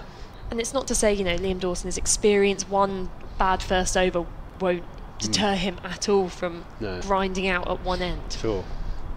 Dawson bowls again, and this time padded away by Jennings. So the last two deliveries more what he was looking for, just a slightly rusty over from Liam Dawson to start his own bowling spell. So 83 for none now, in reply to Hampshire's 367. We um, and the field change round now. Uh, batsmen have a quick drink. I'm not surprised actually. 83 for none. They've been out there for an hour and a half. It's the first drinks break I think I've seen in this game so far. Uh, it has been not warm but sunny at least and a nice sort of pleasant environment to be playing. the pitch, pitch is flat, James, isn't it? I mean, it's looking good, isn't it, at the moment? Looking rather ominous for, for Hampshire. I just think as a batter, you get past 50, is a pitch that you should be looking to kick on. Two 80s in the Hampshire innings, two half centuries. Wells 53 not out. Is he gonna is he gonna give it away? Mm. Is he gonna be bowled out? I don't know. They look strong these two openers, don't? Do. They look well set. He played a miss once or twice with the new ball, but apart from that, not a lot to. If you were if you were numbers three, four, or five, mm. you wouldn't be up there thinking I'm coming in anytime soon. No, number five probably hasn't even got his pads on yet. Nah feet up. Here's Abbas round the wicket from the pavilion end and bowls, and that's worked into the leg side by Wells for a single. Scoring a good rate here, 80 per 100. It's uh, 84 without loss now. And Wells 54, 24 to Jennings, who will face the next uh, delivery. Taking guard, Jennings there. I wonder if he's changed his guard at all. He's looking uh, very solid and, and, like he's he likes batting out of his crease. I wonder whether Brown shouldn't stand up to the stumps actually to stop him doing okay. that. Well, he was standing up to Ian Holland, wasn't he? Yeah. Obviously feels Abbas maybe he's a little quicker. as forward is Jennings out into the offside. I would say there's probably not a lot of pace difference. No, we've, no. we've I both mean, seen ex- it. exactly. I mean, if you look at, I mean, look at Jennings. He's looking to just get down the pitch a touch, isn't he, as the bowler bowls, and Abbas is trying to find that edge, trying to find a little bit of movement. But Jennings, so far, using his reach, using his positioning. Uh, to, to negate any kind of possible movement that, that Abbas has found, and yeah, I mean, Jack Russell would have been straight up to the stumps Yeah, I wouldn't he? agree. I think a few keepers would have been. I'm sure Ben Brown is thinking about it. Hmm. Look how That's close the slip fielder is as well. Agreed. Jennings pushes that up to extra cover once more. A little shorter this time from the pass. So it's unusual, isn't it? Vince is actually closer at first slip than uh, than the wicketkeeper, where he's in his position. When the batsman goes back to his uh, position, you'll see that's Vince's feet just in the back shot there, and he's actually closer than the keeper. Normally, you find first slip is deeper than the keeper, don't you? Now, is that wrong? What's going on there? It's, it's an ind- indication the bounce is low, isn't it? Yeah. And that the slips are not expecting it to carry very So much. it's a slowish pitch, isn't it? Yeah, Really? Tom yeah. Prest said as much to me yesterday. Here's Abbas again. Walking into it is Jennings, as he has done many times. Yeah. All the seamers so far, mainly mainly Abbas actually. He looks like he's got a lot of time, doesn't he, he? Jennings? Sort And- of strides into the ball, and uh, it's almost like um, sort of old-fashioned elegance, isn't it? Sort of Victorian, sort of statuesque sort of style. He reminds me a bit of Trescothick. Yeah, that's a good forward like that. comparison. yeah, yeah. And, Not uh, quite as aggressive, maybe. No. But the, the, the, the strong, almost forward defensive, whether they're hmm. walking into the shot or just playing it conventionally.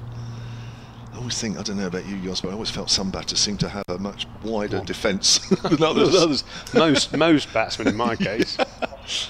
Plays that into the ground, Jennings, just momentarily watches where the ball is to make sure it doesn't kick back onto the There's some that also seem to have so much time, and you think I've really put, I've tried my best to bowl that as quick as possible, and the bloke's are just sort of almost had a cup of tea and a fag before he's actually had to block it. I know. Almost like it's everything's in slow motion, isn't it? But the balls come out your hand. Mind you, mine was all like that, but it's uh, slower. And you think, yeah, they're they're in position. Makes it look so easy. Always, I've told this story a few times. But I remember batting once with Gower, Hmm. and there was a Durham seamer who you would have played with, Melvyn Betts. Yeah, Queen's quite quick. He was quick. He was. Well, he was. He seemed bloody quick when I was batting. That's turned away on the leg side. They'll just amble through for a single, 84 without loss. And I remember um, at the old ground at Southampton, and he was bowling at me, and it was going through me. It was like, whoa! I was going, blimey! You know, as it was going past me like a bullet. And Gower at the other end would just stroke into it all Yeah. the time. They were. I'm thinking, why is he slowed down when he's bowling at Gower? Yeah. it just looked that way. No, I, I, I remember bowling at Gower. And, and sort of trying my best to get him out and bowling as fast as I could, and he would just sort of nonchalantly flick it down to fine leg, with it all the time in the world, and, and jog, jog down for a single, and just say, I remember him saying to me once, "It's what I call a help pull." A help pull. I needed the help, but it was just a sort of little nonchalant little sort of. "Oh, I don't need to hit this one for four because there'll be another four ball in it. Shall I just um, do this over and then it's uh, hand over to Scott? Oh, reverse sweep attempted there, and there's a strangled appeal as uh, Jennings tried uh, something more unconventional. He does like the reverse sweep. It's uh, something he plays a lot, and we've seen him do it against uh, international opposition, but it didn't come off there. Um, luckily, he got his foot outside the line, so there was no chance of an LBW. Now he goes back this time, trying to play with the bowler's length there. So the first ball trying to play the reverse sweep, or the front foot there going back and forcing it up to long on for a single. Good player of spin, Keaton Jennings, someone who was considered for the England tour of India, but in the end, England stuck with their Bazball mm. opening pair. They did pretty well, didn't they? Does he score quick enough though for Yeah, them? well, probably. Yeah, well, he- I think his, his, his scoring rate's reasonably quick. That was a good delivery from Dawson that uh, Luke Wells was a bit late on, actually. It seemed like it just snaked, snaked a bit low.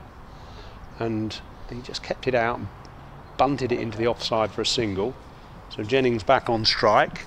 Lancashire 87 now for no wicket in the uh, 25th, 7th over, is it? I can't read. My eyes are gone. Right, and worked into the leg side this time by by Jennings, straight to the mid wicket fielder. So Dawson not finding the going easy so far. I remember seeing him bowl here at Middlesex. He got 10 in the match, didn't he? At least seven in one innings, and it was turning square. But not this pitch. So over the wicket he comes to Keaton Jennings, and nicely worked into the leg side, but adeptly fielded by the short leg. He picks it up on the bounce, flicks it back to Dawson, the bowler. Tries ferociously to polish the ball on his on his trousers, trying to get a little bit of shine. It's not easy with a kookaburra. They refuse to shine those balls after 20 overs or so. Just have that sort of dull kind of look. And here comes Liam Dawson again, bowls and driven crisply by Jennings, but straight to short mid wicket, fielded. A diving stop, I think, by James Vince. And that's the end of the over, 87 for none. Over to you, Kevin and Melissa. Thank you very much. Yours, the analyst, who's with us over these four days. I think he's got to disappear soon. He's, he's, he's going to a dinner. Are you speaking at this dinner? With Rob Key. With Rob Key. Oh, managing director of England Cricket. Wow. There we go. Are you asking the questions or doing a chat? Bit, of both. Simon, it's a bit of both. Mostly him. Mostly him. Yeah, that's. Uh, well, that'd be interesting. Report back tomorrow. Please do. Yeah, we'd love to know what. It's a podcast, you know. We'd love to know what you say, Simon, more than Rob Key. Oh, really? Mm. I doubt it. Uh, sure, it's good. Was it in Kent somewhere? Yeah. Yeah. okay. Bearsted Cricket Club. Bearsted Cricket Club. 275th anniversary. There we go. I'm sure you can hear. 275 anniversary. There you go. What cricket celebrity are you speaking to tonight, Kev? Uh, I'm going to be um, in beefies. Uh, anyway, there's a, length ball from Abbas. Oh, it's caught at short mid wicket. And there's the first wicket. It's Luke Wells. And that has come from nowhere. I think that's Tom Prest that's taken that catch low down. And where did that wicket come from? It was clipped away on the leg side, but it wasn't very far off uh, the ground. And Prest has taken one inches off the turf.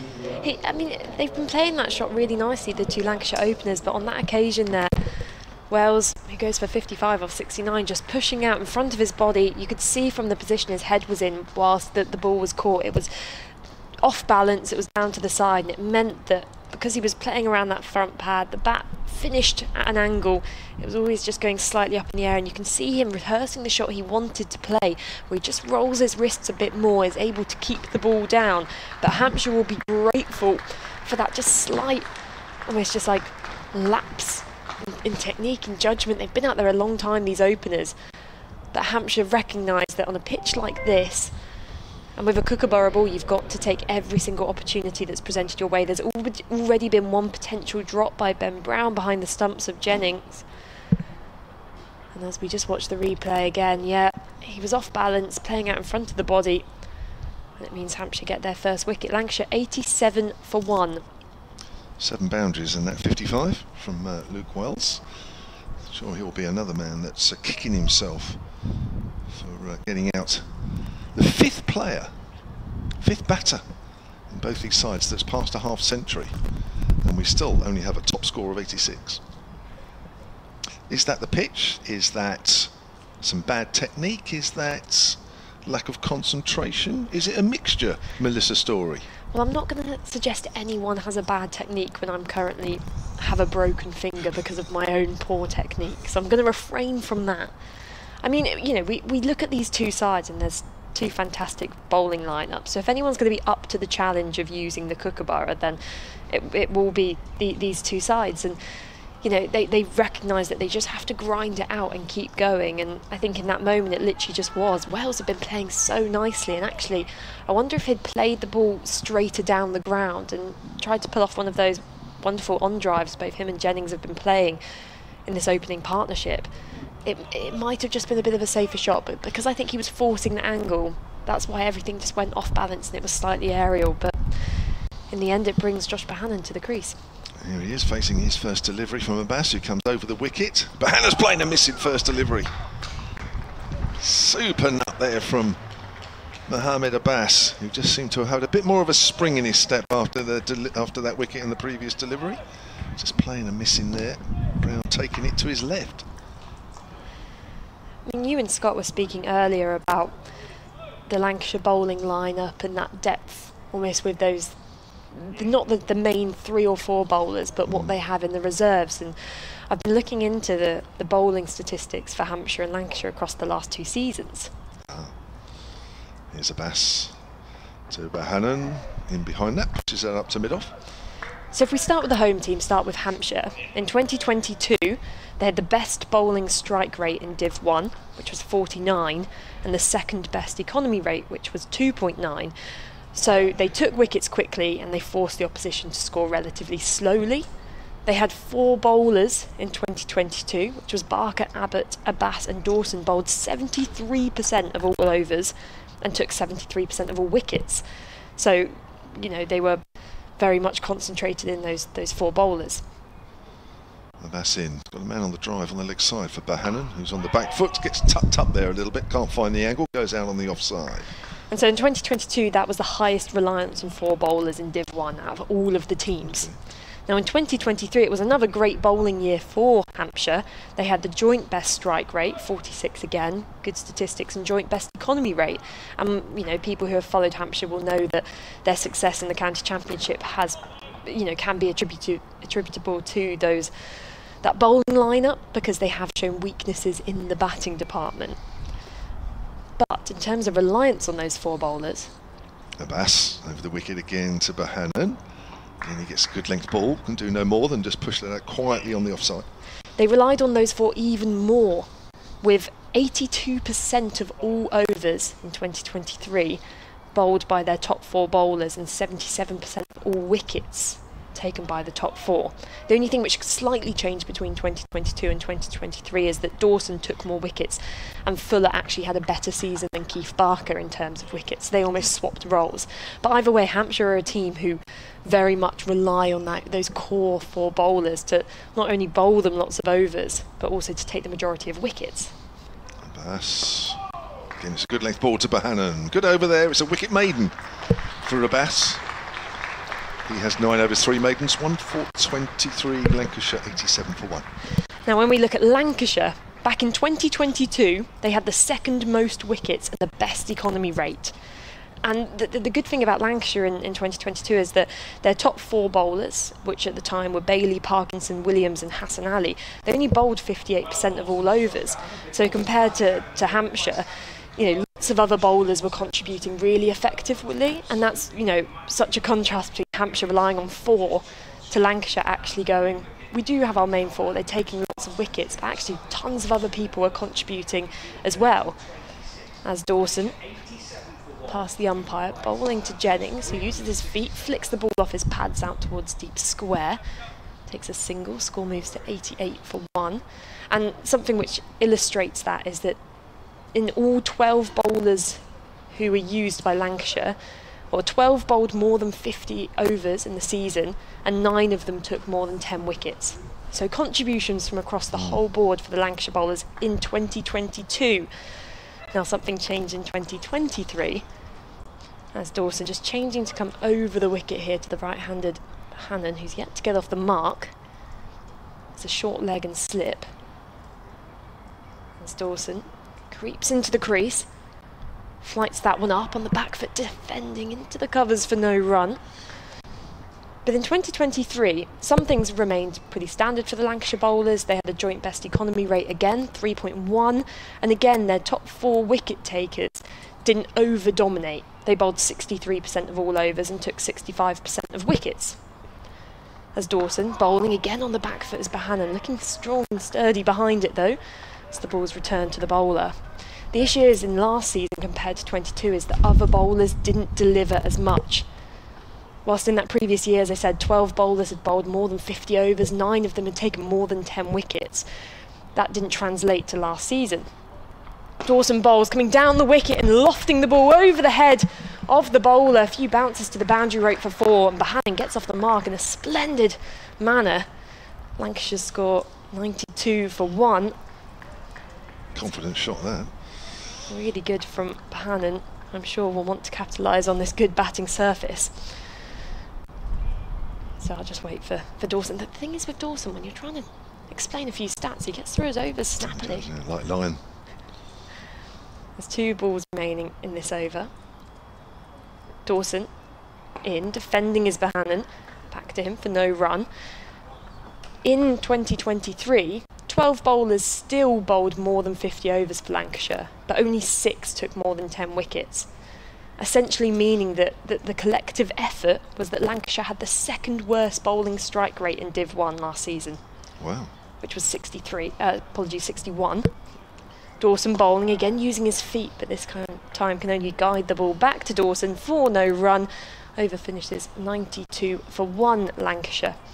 Uh, so simplistically put, the difference for, for Hampshire between 2022 and 2023, there wasn't too much change apart from they've always had an over reliance on their core four bowlers, and just in that last season, Fuller played a bigger role than Barker. But for Lancashire, whilst in 2022 it was a real collective effort, last year, because those sideline bowlers and those newer bowlers coming into the squad weren't picking up as many wickets, it meant that it took Lancashire far too long to take wickets, and hence, despite their superb batting performances, which really were some of the best in Div 1, they just could not force victories. And that explains you know, why most of their home games, particularly at Old Trafford, resulted in, in draws. And unfortunately, of course, considering the point system for last season, draws were worth significantly less. Yeah.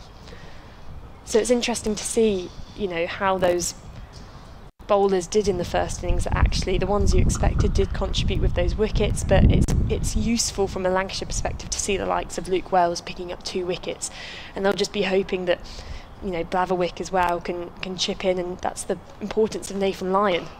Abbas to Jennings pushes that to one of two men short on the leg side.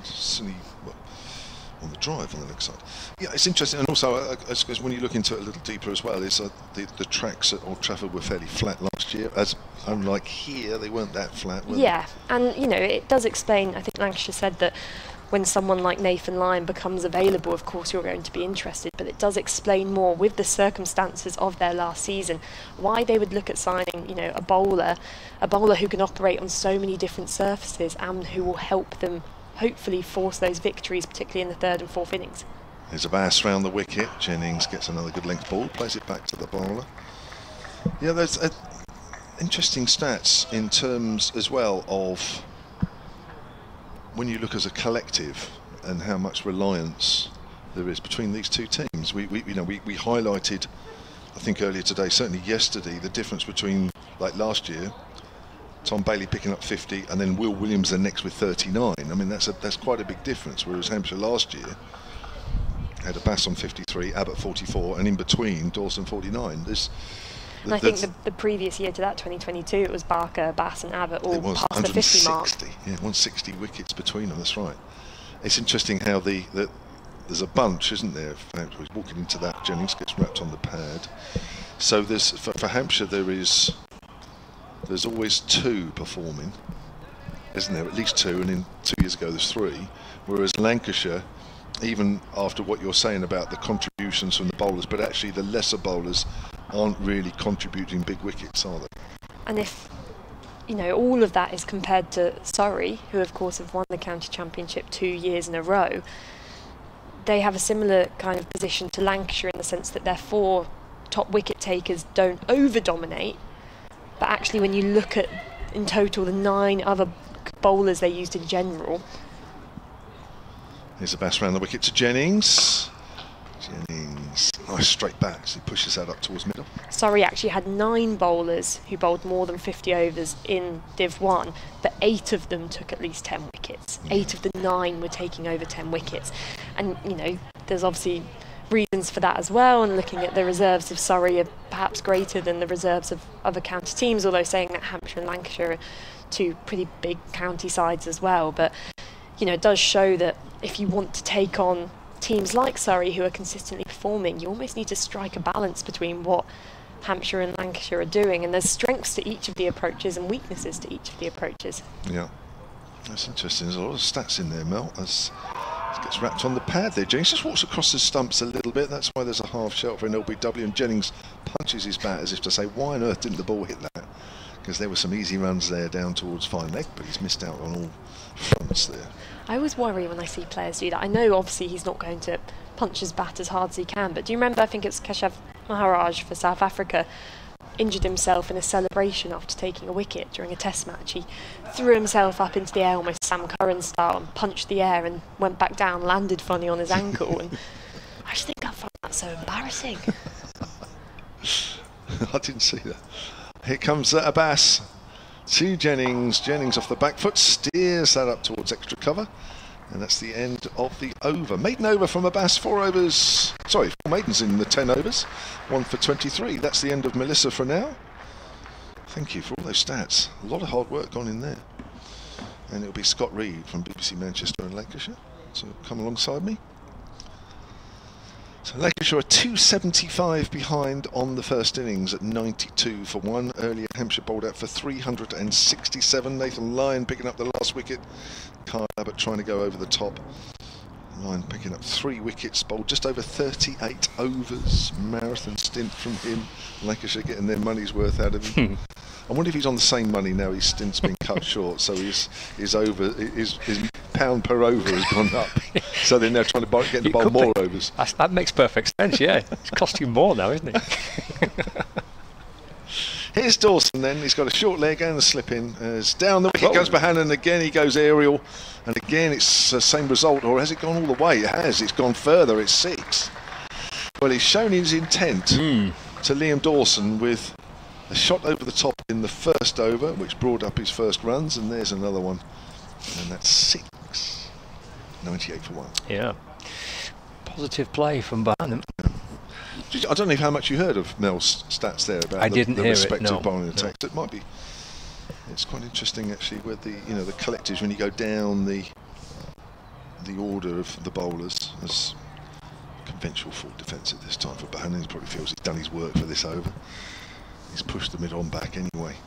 Um, yeah, well, I'll let, I'll let Mel go through those stats a little bit more with you maybe at the break because it's quite interesting. Breaks Okay. it down for Hampshire and mainly for Lancashire, which is Well, bo- uh, bowling stats. yeah, just a percentage of wickets from you know a group of bowlers and what have you. How it's changed from last couple of seasons. It's pushed out on the uh, offside. I'm just trying to think from a Lancashire point of view. Last year there was, if I remember rightly, less bowlers taking the percentage of wickets, or was it the other way around the season before? Can't remember. See Mel, Mel will tell you. Don't worry. At 98 for one, I'm sure most people listening and watching got it a bit more. My memory lasts about 30 seconds, and that's it. I've moved on to something else. That's turned away on the leg side. In fact, was Simon Hughes here earlier? I can't remember. I know you mentioned it. Uh, Bailey got 50 wickets last year and 50 the- year before, and I think the nearest to And that was, that, was, was Williams, wasn't it? In the kind of late 30s. Yeah, Matt Parkinson two years ago, 36. That's the thing. You've, you've got one bowler taking 50. Oh, Bohannon's Oh, gone big, and this time he's opened the face and he's gone over the top of mid off quite deliberately. He knows mid on's back. Mid off wasn't, and he just hit into out. Just a little curve on that downswing. Beautiful shot. Was, wasn't it? 100 up for Lancashire. Mm, lovely shot. There it is. If you watch on the live picture feed, you'll just see there. Just opens the face of the bat up as he hits through the ball. It's a nice sh- shape on it. You'd be pleased with that at Augusta, wouldn't you, really? Teeing off. Well, if you were, uh, got the dog leg Yeah. left to right. Beautiful, that, wasn't it? Perfect. Yeah, just hitting it around that dog leg. 100 up, Bohannon 14. Of just 15 deliveries. Off the back foot. And there's the gap he's got. He's got mid off and mid on back, and now he's opened it up so that that's a single down to Abbott at mid off. And uh, he's done a job earlier on, Bohannon, hasn't he? Luke Wells would be kicking himself, wouldn't he? He looked in absolutely fabulous touch. He was uh, he was ticking all over really nicely, and I think he'll be absolutely furious with himself. Got a very nice 55. He's not the only batter. I mean, that's, that's the fifth batter in the match to get to 50. We've Got four, didn't we, in the Hampshire first innings? Yep. 280s, 250s, now 50. Just chipped it straight to uh, to mid wicket. But that's something to do with the pitch and the ball getting a little softer where it just Could doesn't quite come on. Yeah. So if you just push it a little Mm. too much, or as Mel said, if you're just not slightly in the right position, you're just leaning over a fraction, and then you end up pushing at it in a in a in a, in a position that you don't really want to be in, then uh, the ball just leaves the surface. Whereas Mm. pitch with a bit more pace, it would go along the deck. That's what you said. The you- ball's just holding a bit, it'll go up in the air. And you're seeing quite a few catches in front of the bat, aren't you? For that reason, I would Yeah. Yeah, the uh, Disappointed his runs left out there, I reckon, for Wells. Yeah, you're right. 69 balls, seven fours in that 55, and he looked, yeah, he looked good, didn't he? It looks like an absolutely belting batting, batting pitch, doesn't it? It looks hard work for the He seamers, does. he does. He does. especially yeah. after the first 10 overs of Yeah. the new ball. 12 overs, maybe. Be Kyle Abbott from the pavilion end. Josh Bohannon on strike, two slips behind him. That's turned out toward mid wicket by Bohannon. And uh, there is no run, so Mo Abbas spell five overs, two maidens, one for 15. He's replaced by uh, Abbott. 103 for one. Bohannon 15, Jennings on 27. Two slips in play, so James Vince and Liam Dawson at first and second slip. Three on the offside at point, cover and mid-off. There's a short mid-wicket, there's a mid-on, square leg and a fine leg. Abbott over the wicket to Bohannon flashed away nicely through the leg side. He's done well to pick out the gap between the two fielders. Another slip as well, it's not the first time we've seen uh, players slip out in the outfield. Fletcher Middleton this time. Bohannon hustles back for a couple. He moves on to 17, 105 for one.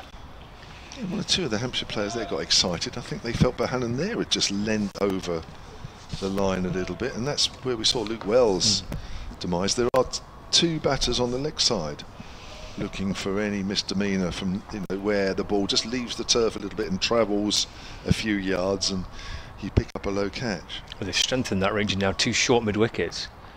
As uh, Bohannon tries to force this ball away into the offside, jags back in towards him. There's no run. They did have one short mid wicket and one kind of short square leg. They've now got two short mid wickets, two catching mid wickets. The fielder at square leg in front of the square leg umpire also just creeping in. So they've got three fielders close in on that leg side now. Plus your mid on and your fine leg. So trying to perhaps get Bannon to lean forward and work the ball away towards mid wicket. Drives away through the covers instead this time, Bohannon. And it turns and comes back for two and quickly realises that uh, he's reaching the rope for four. Bohannon moves on to a very bright and breezy 21 from 20, so 109 for one. Looks in good touch, doesn't he? Yeah, the, the, the, the two fielders on the leg side are not obviously not set for that, but Abbott's natural ball is just to sort of come in to the right hander, and we saw that two balls ago, didn't we? Really, where if Bohannon's then pushing it away on the leg side, it's if your head gets outside the line of the ball and you're pushing at it, it does tend to make the ball go in the air a bit. That's why those two guys are close in. Abbott to Bohannon, who calmly defends, rolls up to mid on, and there's no run. Everything comes from the your head, really. If your head's in line with the ball, you tend to be over the ball, easier to keep down. If you're just leaning over towards the offside, and the ball's just coming at you a little bit, so the ball is on your left as you're hitting through, and that's when it tend you, you lose you lose control, total control of the shot, and that's why you end up just going in the air a bit, and that's what happened with Luke Wells. There. As Mel explained. 109 for one. Bohannon waits. Final ball of the over because Abbott's muscling his way back in. Calmly played back to the bowler by Josh Bohannon. That completes the 26th over of the Lancashire first innings. 109 for one. 21 to Bohannon and uh, 27 to Keaton Jennings. All this in reply to the total of uh, 367 made by Hampshire this morning. Yep, added 62 for their last four wickets. Nathan Lyon with three hard-earned wickets. Every wicket, I think, is hard earned, isn't it? It in this, is in this actually. Yeah, game? no, it's it is as as a bowler, you know, in this game, and I think we're going to find that here at the Utilita this season. That uh, every wicket is a little bit more valuable than perhaps it has been in the previous two or three years. The wickets have been, you know, a little bit more helpful to the bowlers on the whole. I think we might see some. We'll see more cricket here going well into it, but deep into the fourth day than we've seen for a while. Dawson's over the wicket to Jennings, the left-hander. Reverse sweep, which goes straight on the 45, and it's James Fuller there. He uh, did well, actually, and then wasn't quite sure with the ball. So I tell you, it's Kyle Abbott who did well there, and then had to look around him to make sure he knew where the ball was. It was right on by his feet. Dawson into his fifth over here, none for 31. Bohannon's got stuck into him a little bit.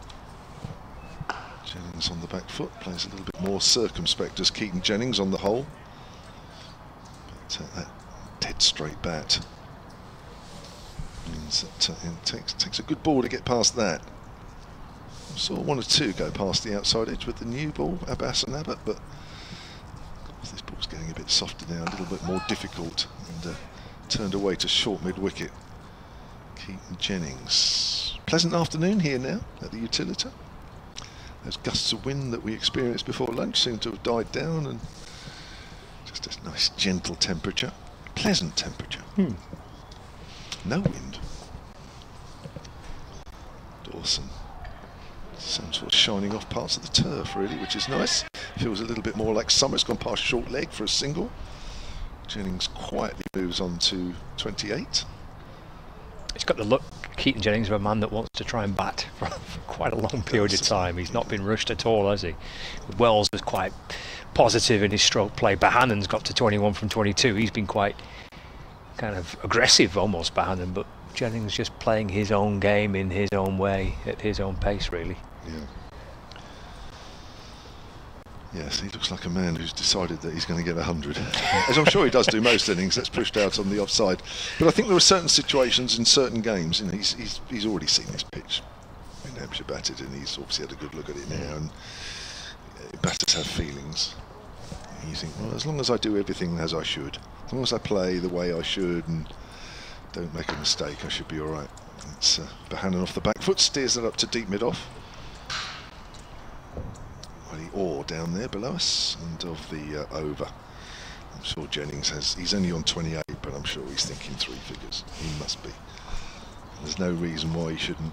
It's going to take a very, very good ball, maybe a bit of good fortune from a Hampshire point of view, or a, a big mistake Mm. from Jennings, I think, to stop him.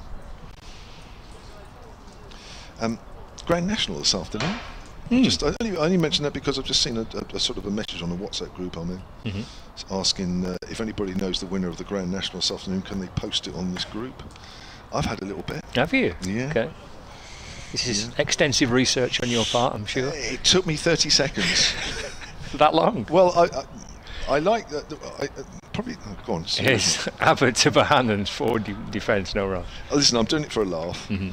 Uh, I probably look at a name that I, jumps out at me because it might have some connection, but it, nothing did. So on the BBC Sport website, there was a very quick guide to the horses. Mhm. So I read them through last night um, for about three minutes and decided on a particular horse. Right. So you, have you gone entirely off the name? Oh, No, just because of the, the, the, the three-line description of what it's done in okay. the past. Oh, so you did actually do Only because I looked Right. at it. But yeah, so I've gone for one. Shall I say who it is? Abbott to Bohannon forward and defends again. There's no run. I've gone for a horse called Hmm. Delta Work. So Right. why don't you two pick a horse out? Have a quick look. Mel, you can have a quick look when you're on and just just sort of say, right, I, I, if I was going to put a hundred pounds on this, I haven't. I've just put a couple of pounds. That's all. Right. But if you were going to put some money, have- Mel, pick a horse and we'll have a bit of fun later on and see. What, and then maybe when you go off commentary, Scott, pick a horse and we'll, we'll compare, shall we? It's happening soon, isn't it? It's four o'clock. It's an hour early this Oh, year. right, okay. So it is in the next hour or so, I think. Right. So uh, not to put any pressure on either of you. Abbott to Bohannon just tries to. He's encouraged by a little bit of width there, and he goes for a shot, but doesn't quite time it as he would have liked. There's no run. If you're listening to us and you'll be watching the, the national at the same time, uh, do let us know if you win. And more. Of, right, you're going for That was quick. Panda Boy. Right. What's what's the price on that, Mel? I don't know. I like its name. Panda Boy. Right, Mel's got Extensive Panda research done by Melissa here. Right, Panda Boy. He's got five stars. It's got five stars, that'll do. Oh, that's enough. It's like an ordinary takeaway, this, isn't it? Here's Abbott to, to Bohannon. He defends a ball that just comes back in towards him, and there's no run. That was quick work. Well, it was quick work, no messing about there. Well, oh, there's one called Mr. Incredible. Oh yes. I might just have to. I'm gonna have to go off the off the names because I don't know what I'm doing here. So what's wait, wait until I do the commentary the next over, and I'll give you a little bit more time to have Okay. a look. It's always a bit of fun Grand National, isn't it? Just even if you don't put any money on it, just pick one out and see what it does. One, one, one for one. And as Bohannon waits for Abbott, who's who's in. It's defended to the leg side again. There's no run. Remains 111 for one. Bohannon on 22. It's actually quite intriguing little spell this because they've got this plan in place here for Bohannon with these two short mid wickets in place and the ball perhaps just coming back in a little bit towards Mm. Josh Bohannon, just trying to get him to work it out and bring those two slip fielders into the game. One slip in place. It's a quite a crowded looking field. Anything that might just be a little fraction loose. We've already seen Bohannon nail that away through the covers for four. Final ball of the uh, of the over. Abbott to uh, Bohannon. Eased away to the offside and stopped that extra cover. No run, so a maiden over for Kyle Abbott. His fourth, nine overs, four maidens for 34. Lancashire are 111 for one. Well, he's looking good out there, Bohannon. He's uh, looking to score at any opportunity. Looks quite positive out there. Lancashire's top scorer last year with 12.57. Was also with the England Lions during the winter. Got 125 as top scorer against England A. January and February that tour was out there. It's like uh, he's picking up where he left off. Scott's having a look at uh, some horses while I speak.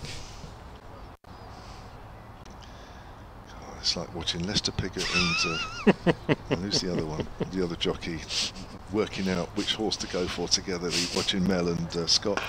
Down the wicket comes Keaton Jennings and drives along the ground to Ali Orr at deep mid on. Start of a new over there from Tony McCoy. That's the one. It's like watching you two. like There's a lot them. of horses to pick from, isn't there? 112 for one. Deficit of 255 currently. Earlier Hampshire bowled out for 367.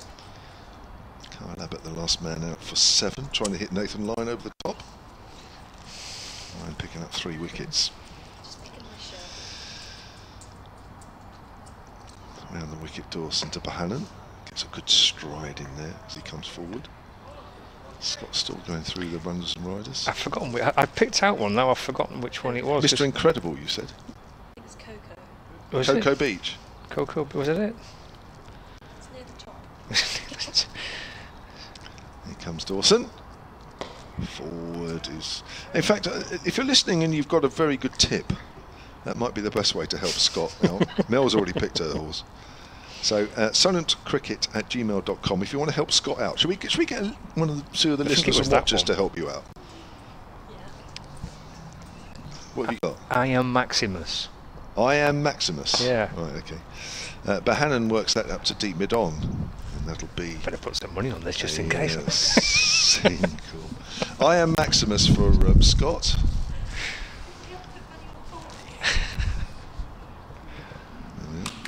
and I've got Delta work. So there we go. Okay. We'll have a bit of fun and we'll find out who does what later on.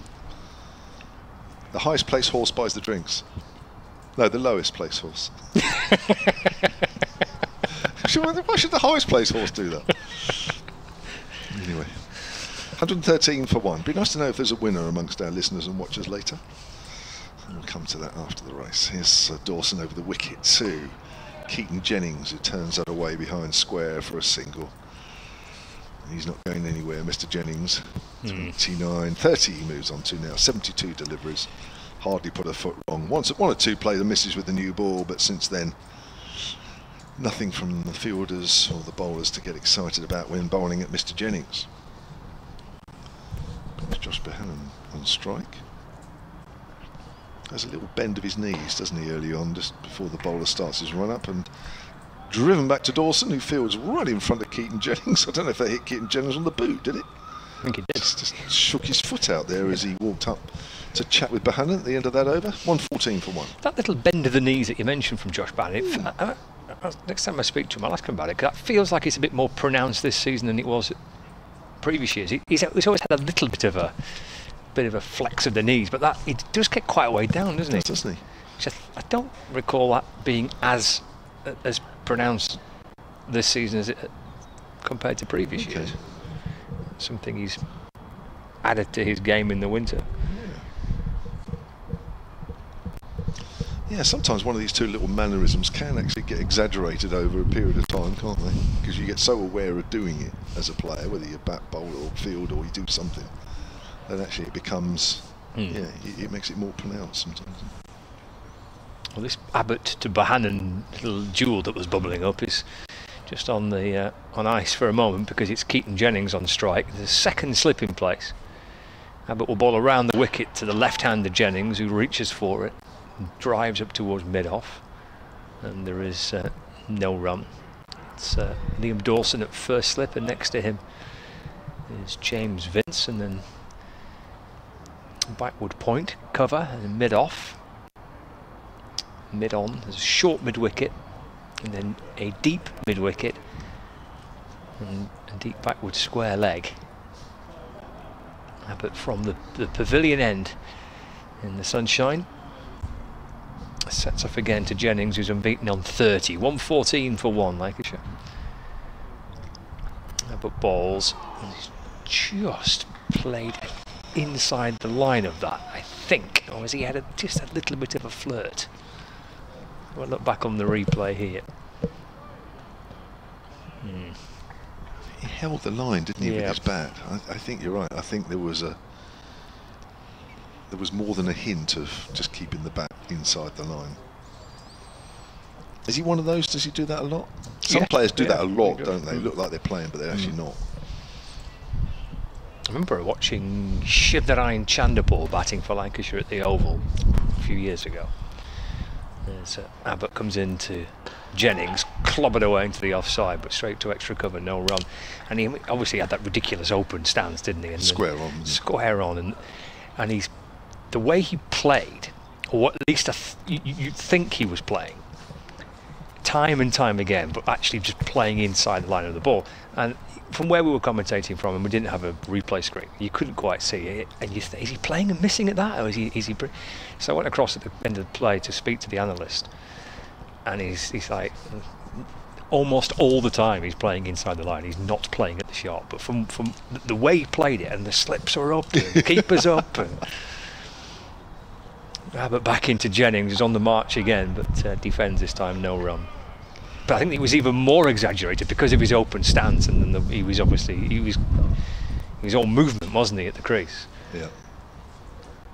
But just constantly knowing exactly where the line of the ball is and, and how he's not looking to play a shot, and fooling us all, at least fooling me anyway, which is not difficult.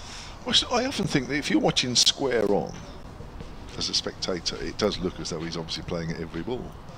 I mean, You might get a better view if you were sitting literally directly Mm. behind the bowler's arm.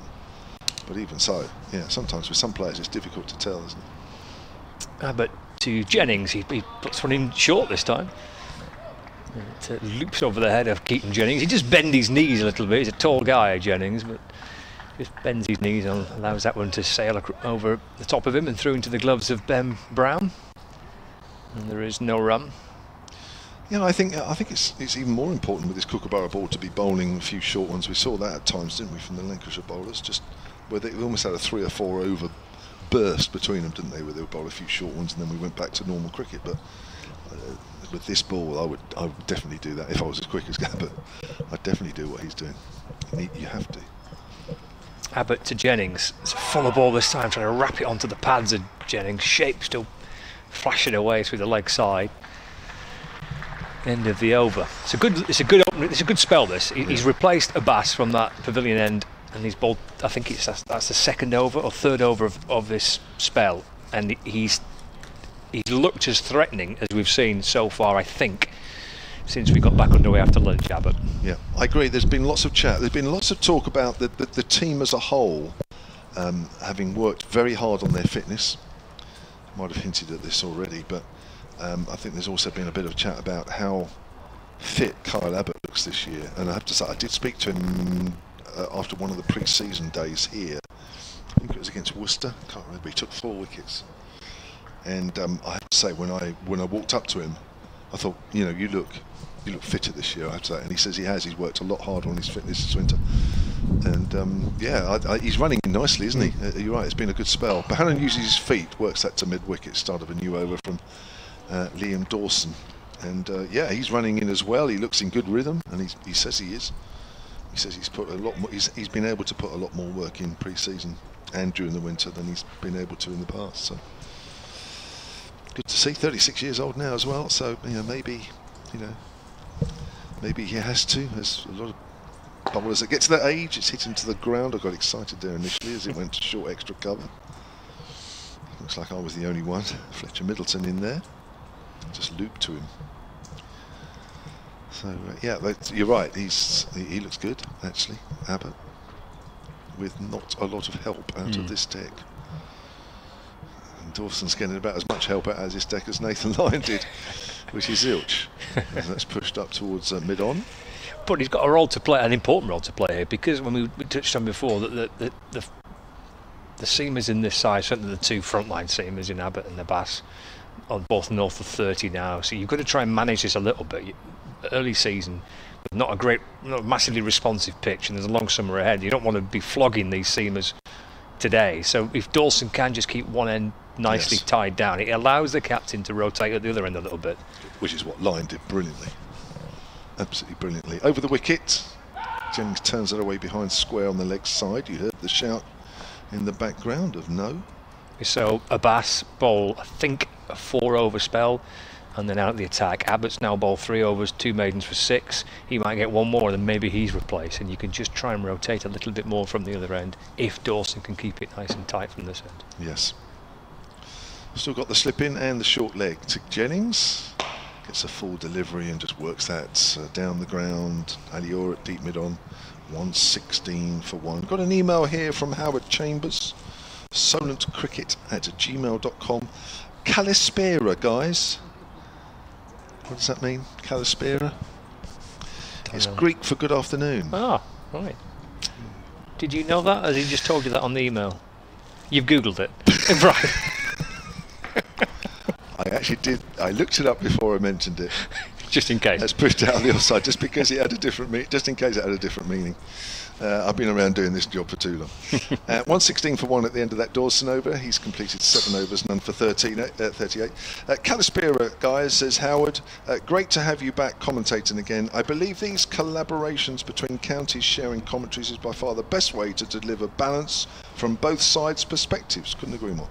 Unfortunately, some counties feel they only need commentary from their own side giving it a very jaundiced perspective and even embarrassment of commentators not recognising other teams' players, hoping the very best for you and your counties, or in their counties, says Howard. Uh, well, there's some truth in that. I have heard from various times, one or two streams that have commentators that really only speak highly of their own team, and yeah, but it's, it's up to them, isn't it? But here at uh, Hampshire here at the Southern Vipers, which we include them as well, it is very much a balanced commentary.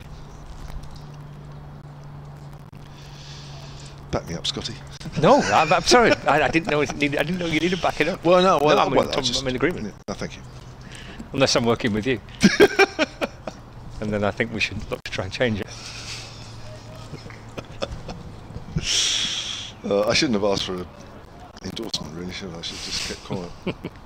But thank you, Howard. No, that's that's that's that's very true, actually. Bowling change. So Abbott's three over spell is ended, and Fuller replaces him. Balls to uh, to Jennings.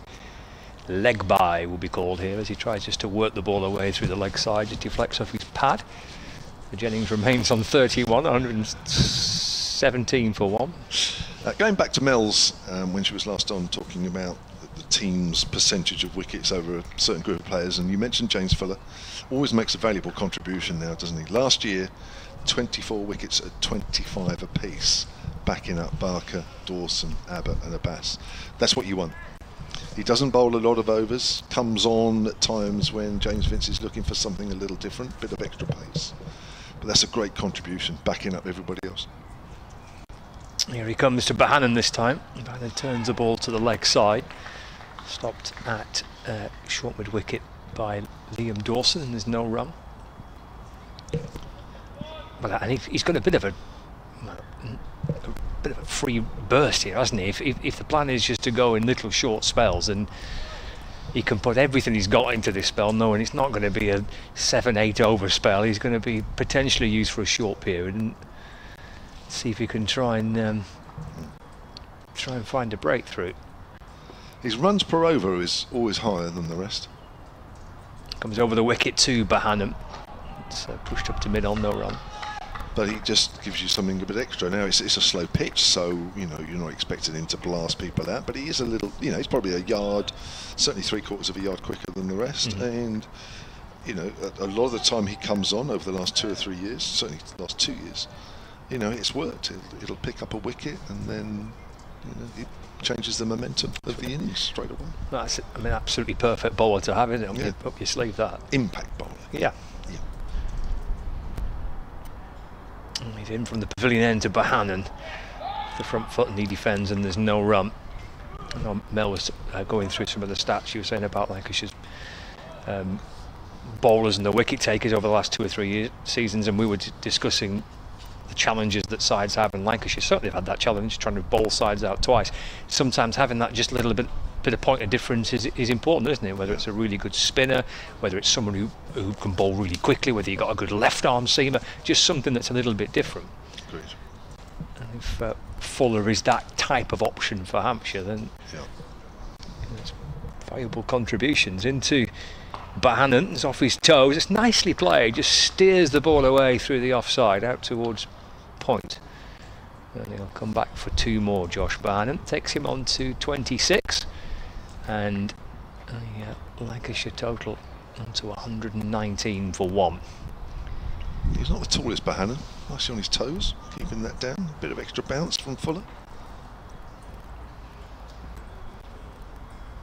He must be in a great position now. He must feel so comfortable in his game. I think he does. I spoke to him again in pre-season. Number three is very much his spot now in this Lancashire side. Able to, to work this away to uh, to square leg, and there is no run. It's the end of the over. 119 for one. Scott Reed will stay. I'm and staying. he'll be joined by Melissa Story. Cheers, Kev. What we got left today? 41 overs remaining in the day. So we are uh, nine overs away from the, the tea interval.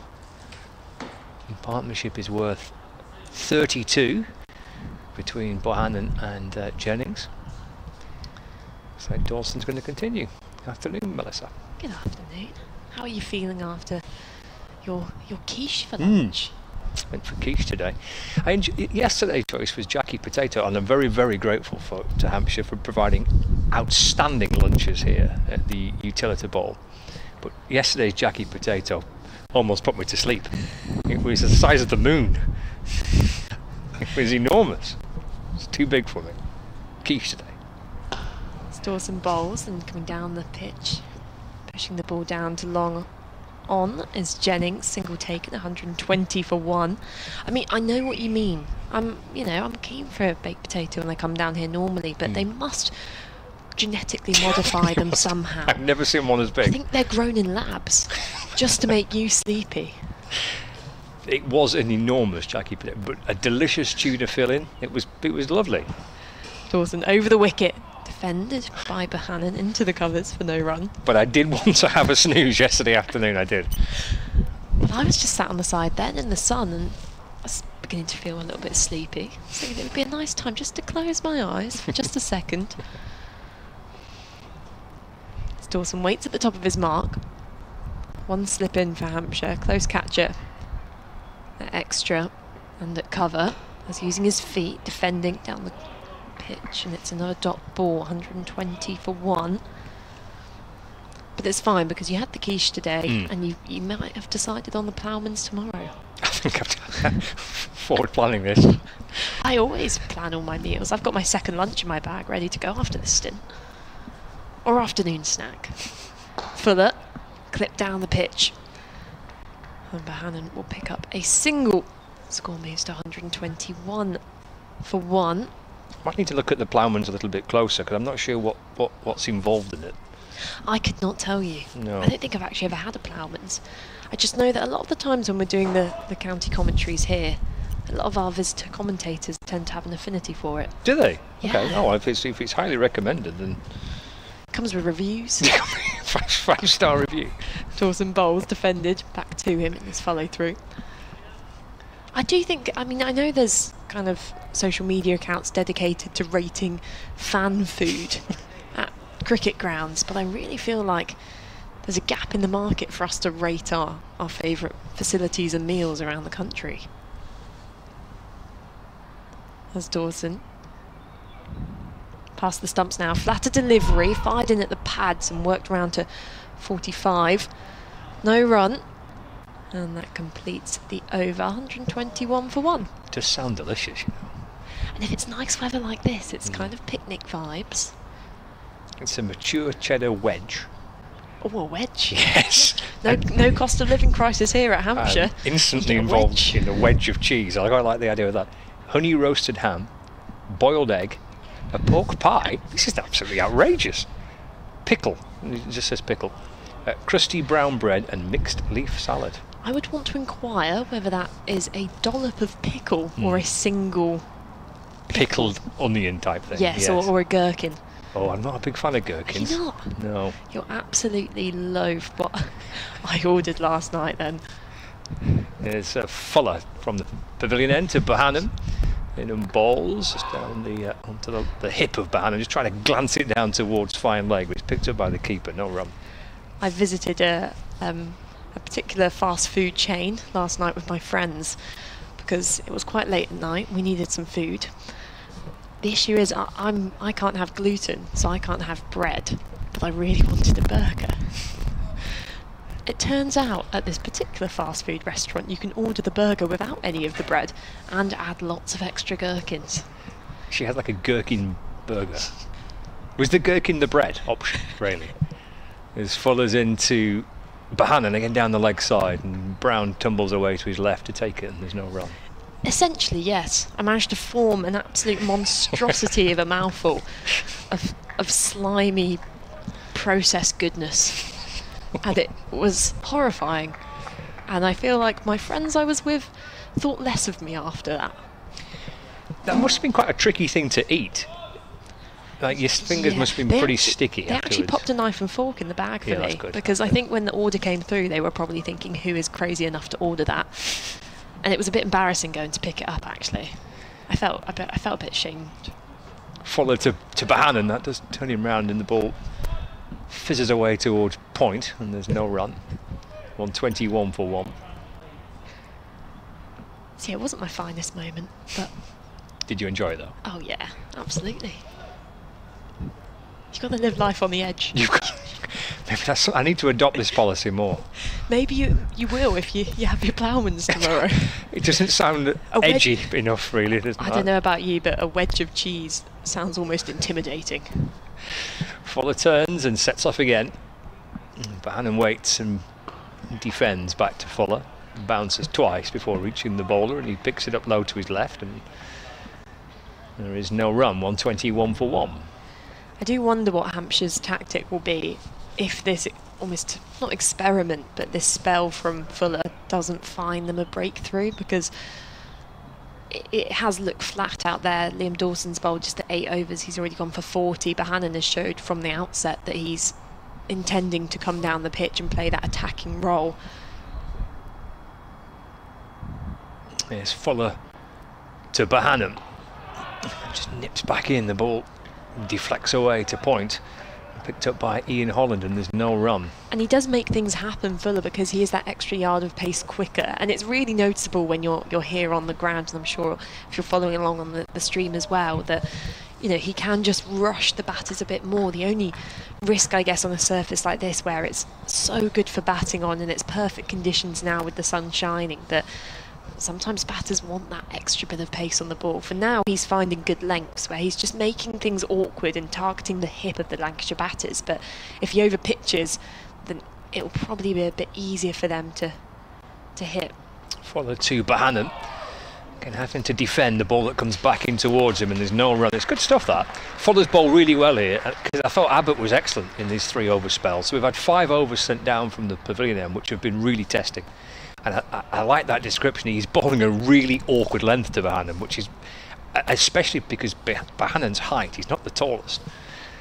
And he's just settled in nicely Fuller from that far end. There's not a lot of options here for Lancashire to work with to keep the scoreboard ticking over. Another maiden over that, 121 for one. And that's the thing, you know, there's lots of talk, and we, we have been talking about how do you keep things fresh and change things up tactics wise when the ball isn't doing much and conditions aren't in your favour.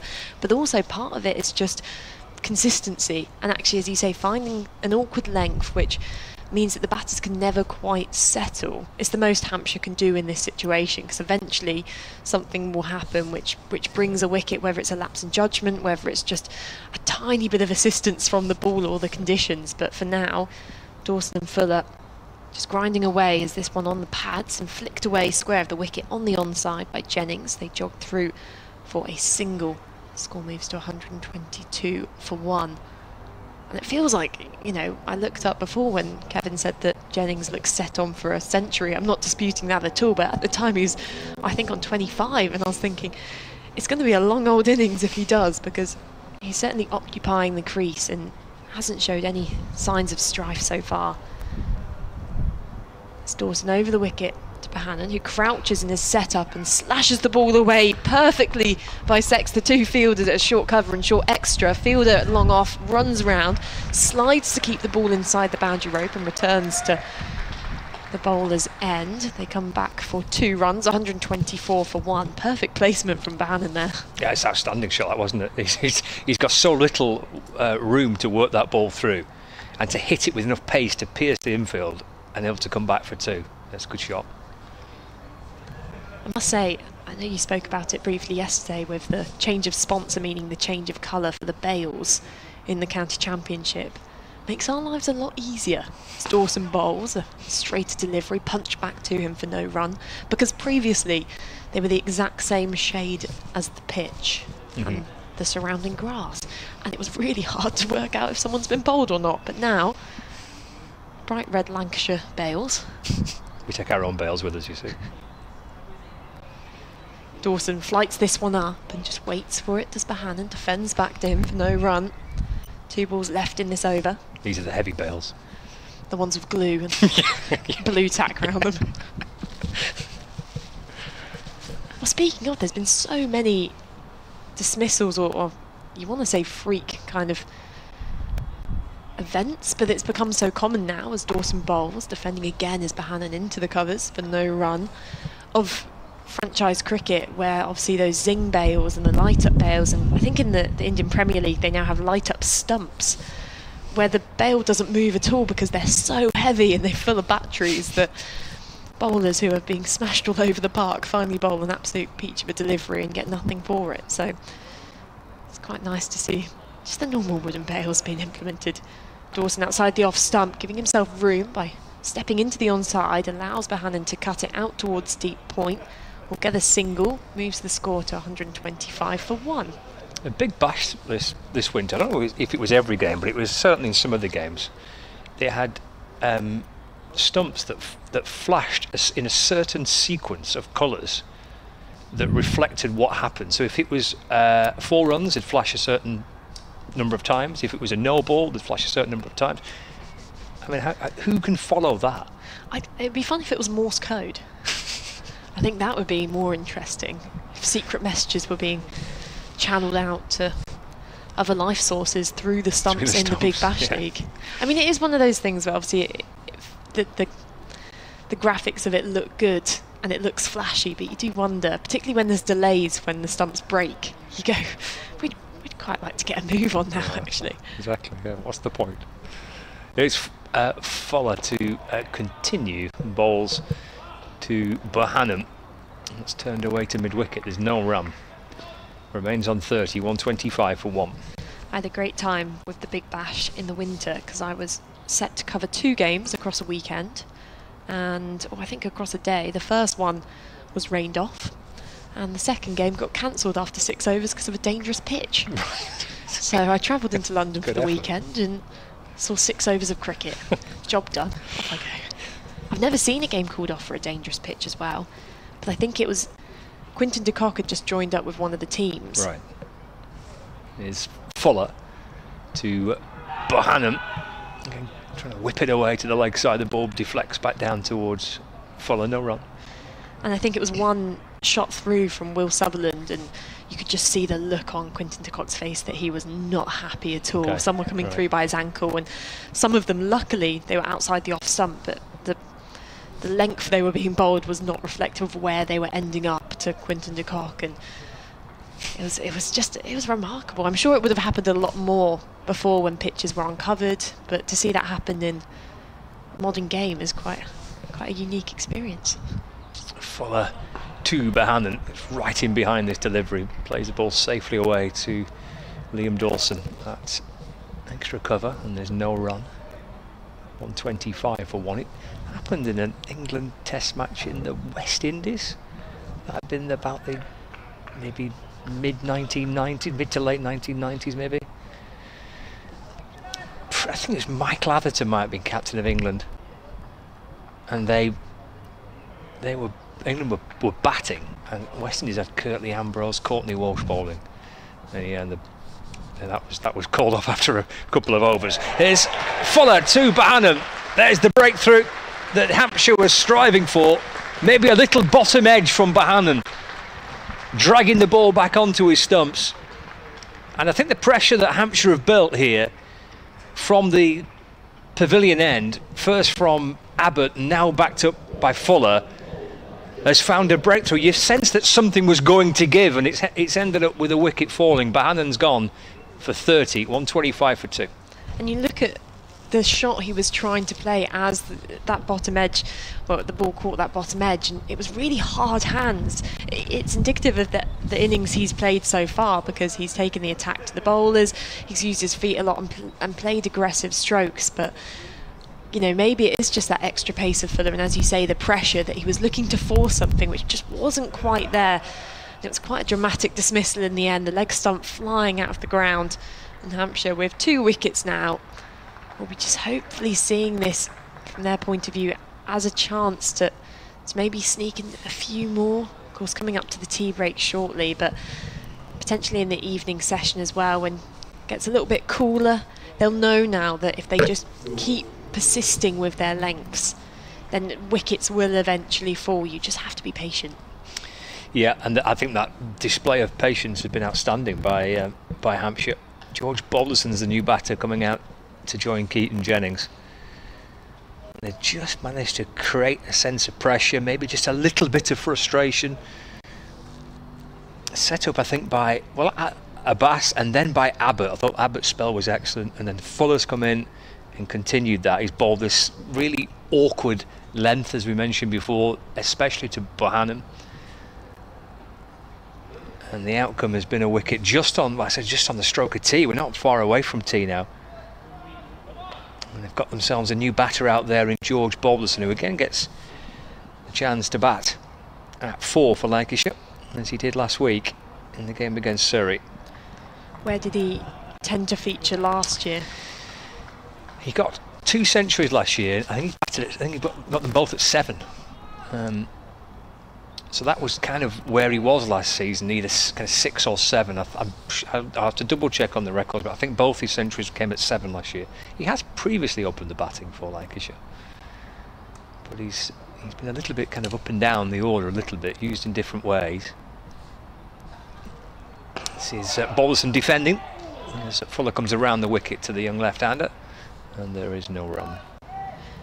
The key thing here for Hampshire as well is that not to change anything to try and force another wicket. It's tempting, particularly in the, the manner of the dismissal, with the, as I mentioned, the stumps flying out of the ground for Fuller to. You don't want him to get or try a bit too hard to force another wicket at this stage, pitch the ball up a bit more because with that extra pace on this surface, it, is easier to drive. But if he can keep pursuing that awkward, good length, Fuller to complete the over. Forward goes Balderson and defends. Wicket maiden for James Fuller, who's bowled three overs, two maidens, one for two, and uh, has done exactly what his captain James Vince would have been hoping for. Managed to create some pressure here, Hampshire, and it's produced the wicket of Josh Bohannon out for 30. we were speaking this morning about the remarkable game taking place at Edgbaston between Warwickshire and Durham. And that first inning score of Warwickshire in the end declaring on 698. You must have had a look at the scorecard and seen that the scores went Yates 191, Davies at 256, Rhodes finished 178 not out, even Dan Mousley finished 55 not out. But there was one other batter involved in that lineup. As Dawson bowls outside the off stump, left alone by Jennings, through to Brown. And it was poor Ed Barnard. Mm. Scored one. I don't know what I'd do in that situation. Three of your teammates had scored at least 100, and you get out on your fourth ball. Dawson bowling coming down the pitch as Jennings and drives down towards long on. Will pick up a single, 126 for two. It's a stinker, isn't it?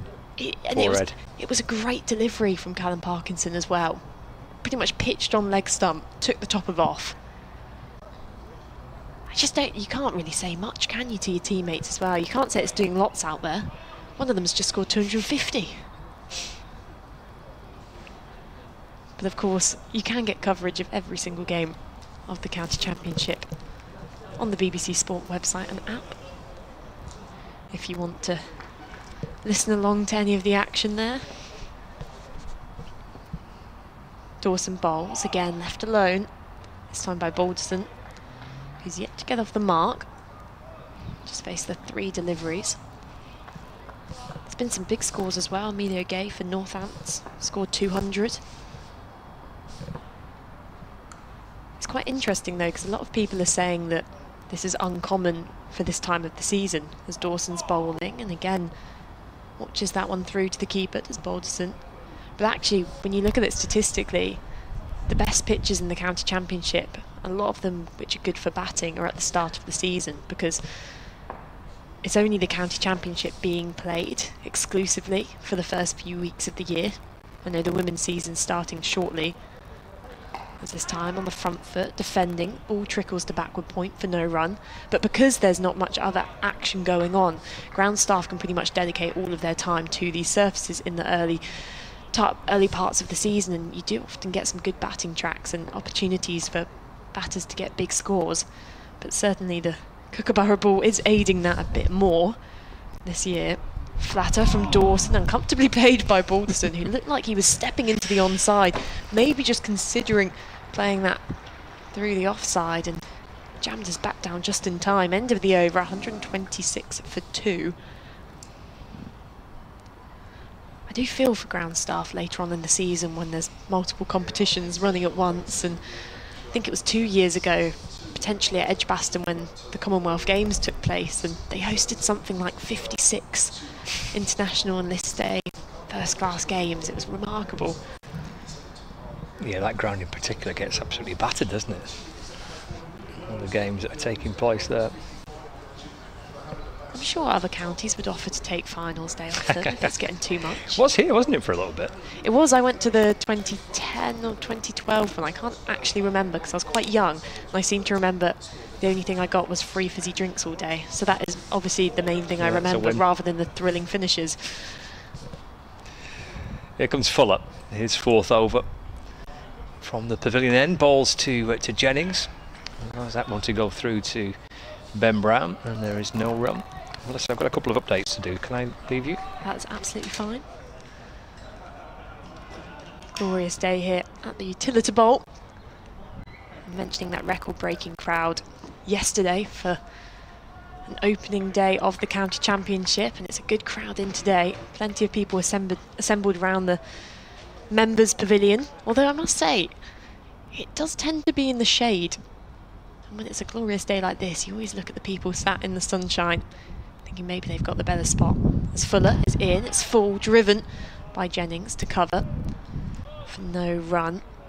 Jennings here, 34 off 89 balls. Really looks like he could be the anchor for this innings for Lancashire. They've got plenty more batting to come. Tom Bruce, George Bell, Matthew Hurst as well. Tom Bailey, Jack Blatherwick, Will Williams and Nathan Lyon. who people who have followed him in international cricket will know that he can give it a proper whack at the end of the innings. So I'm sure he'll be looking forward to that after bowling quite a few overs in the first innings. Fuller bowls back of the length, up on his tiptoes as Jennings working the ball wristily into the onside, out towards deep mid wicket. Takes a single, 127 for two. We mentioned that game between Durham and Warwickshire and all the other games of the county championship going on. A few of the teams taking their tea break already, but in the game between Essex and Kent, Essex 530 for 7 declared and Kent 117 for 1 in reply. Nottinghamshire and Worcestershire. Nottinghamshire were 399 all out. Worcestershire currently 85 for 3 as Fuller around the wicket darts that one in. Turns it squared as Balderson, who's faced seven deliveries now, still yet to get off the mark, which hints to the bowling of Hampshire. They're applying the pressure. Currently at the moment, Surrey and Somerset. Well, Somerset with 285 all out at the Oval, and Surrey 263 for three. Of course, plenty of eyes on Surrey this season as they look to win three county championships in a row. Final season Alex Stewart at the club as well. Dom Sibley there getting 100 for Surrey. Fuller down the leg side, a diving take from Ben Brown as he tumbles over. It's another ball, the score 127 for two. And then in Division 2, you've got Glamorgan 237 all out in their first innings. In reply, Derbyshire 198 for 9. Gloucestershire, Yorkshire, plenty of eyes on that game as well as Harry Brook and Joe Root in that side. But both being dismissed by Akhtar, who is a bowler who's come through the South Asian Cricket Academy. He picked up five wickets in that first innings, five for 89. Another success story, of course, after the two great hundreds by Kashif Ali in the first round of the county championship. Again down the leg side from James Fuller to finish the over. It's another dot ball, 127 for two. So lots of success stories coming out of that game, but currently Yorkshire after 326 all out in their first innings, Gloucestershire 202 for six. Leicestershire and Sussex. Leicestershire 338 all out and Sussex 206 for three, with Haines scoring a century in that game. And then finally between Northants and Middlesex, Northants were 552 for six declared, and Middlesex 22 for none. Only nine overs into that game. Plenty of action. Every ball of every game on the BBC Sport website and app. As Dawson waits to begin his 11th over. He's conceded 45 runs so far, yet to take a wicket. He's got a leg slip and a slip backward point, deep cover, mid off, mid wicket, square leg, long on, and deep square. It's a spread out field as he bowls. A flat delivery shout for leg before, but a muted appeal in the end. He looked enthusiastic for just a few moments there as Dawson began launching himself down the pitch, but must have been a bit of bat involved there from Jennings. For those following on the stream, I'm sure. I've already seen a replay of that one. Be able to take another look in just a second. Dawson comes in past the stumps, flights this one up. It's full and it's clipped back to him for no run. And of course, it's going to be a busy old summer with T20 Blast, 100 later on, One Day Cup has been some concerns expressed over how much cricket is being played. That's just in the men's game, as pushing out the front foot, pushing into the covers. No run taken. But of course, in the women's game, the Rachael Heyhoe Flint 50 over trophy and the Charlotte Edwards Cup. I'll add just both won by the Southern Vipers last year. You can catch plenty of action of that as well. There's been some good overseas signings in that as well. Dawson bowling, coming down the pitch, defending is Jennings. And Kevin, you're joining us for about one minute. Well, two overs. Two. Oh, that's all right. Then. Uh, a bit. I'll let you off. You're right. I, I, all I've seen the last two days is about how all these regional sides have signed overseas. I've lost track of it a bit, but I know Erin Burns is going to the Diamonds when she was previously, I think, focused around Birmingham as bowling on the pads. This one's worked out towards deep square for a single by Jennings. He moves to 36, 129 for two. Know the Vipers have signed Charlie Knott, Yep. leg spinning batter. Another signing was made by the Sunrisers, and I've forgotten the name now entirely, but she plays for the Brisbane Heat. She's a seamer who bangs it into the pitch hard, so that's going to be exciting to watch. And Amanda Jade Wellington at the Western Storm. Now that is going to be exciting. Might have to get down to a few of those games. One of the best leg spinners in the world has Dawson. Bowls now, quicker delivery, goes back to that one to Balderson, plays it cautiously into the onside. It's the end of the over, 128 for two. Balderson yet to get off the mark still. He's playing sensible innings out there so far, but I'm sure it'll just be at the back of his mind to pick up that single wherever he can, or a boundary, of course. Nicola Hancock, Sunrisers. Yes. Tell us a little bit more Tell us more. about Nicholas, Nicola Hancock. Well, as I said, she plays for the Brisbane Heat, and a lot of her wickets have come from her hitting the deck hard. Um, she's a bowler in the women's game in particular who really utilises the shorter ball, and as a result, she's quite effective with the slower ball bounces as well. I've seen her pick up quite a few wickets, almost caught in the ring at mid off and mid on when the ball's got a bit high on the batters trying to play a cross bat shot. So I think it'll be an exciting signing. He's full around the wickets. Who Jennings punches it up to mid on, and Thunder signed Katie Mack and Georgia Voll.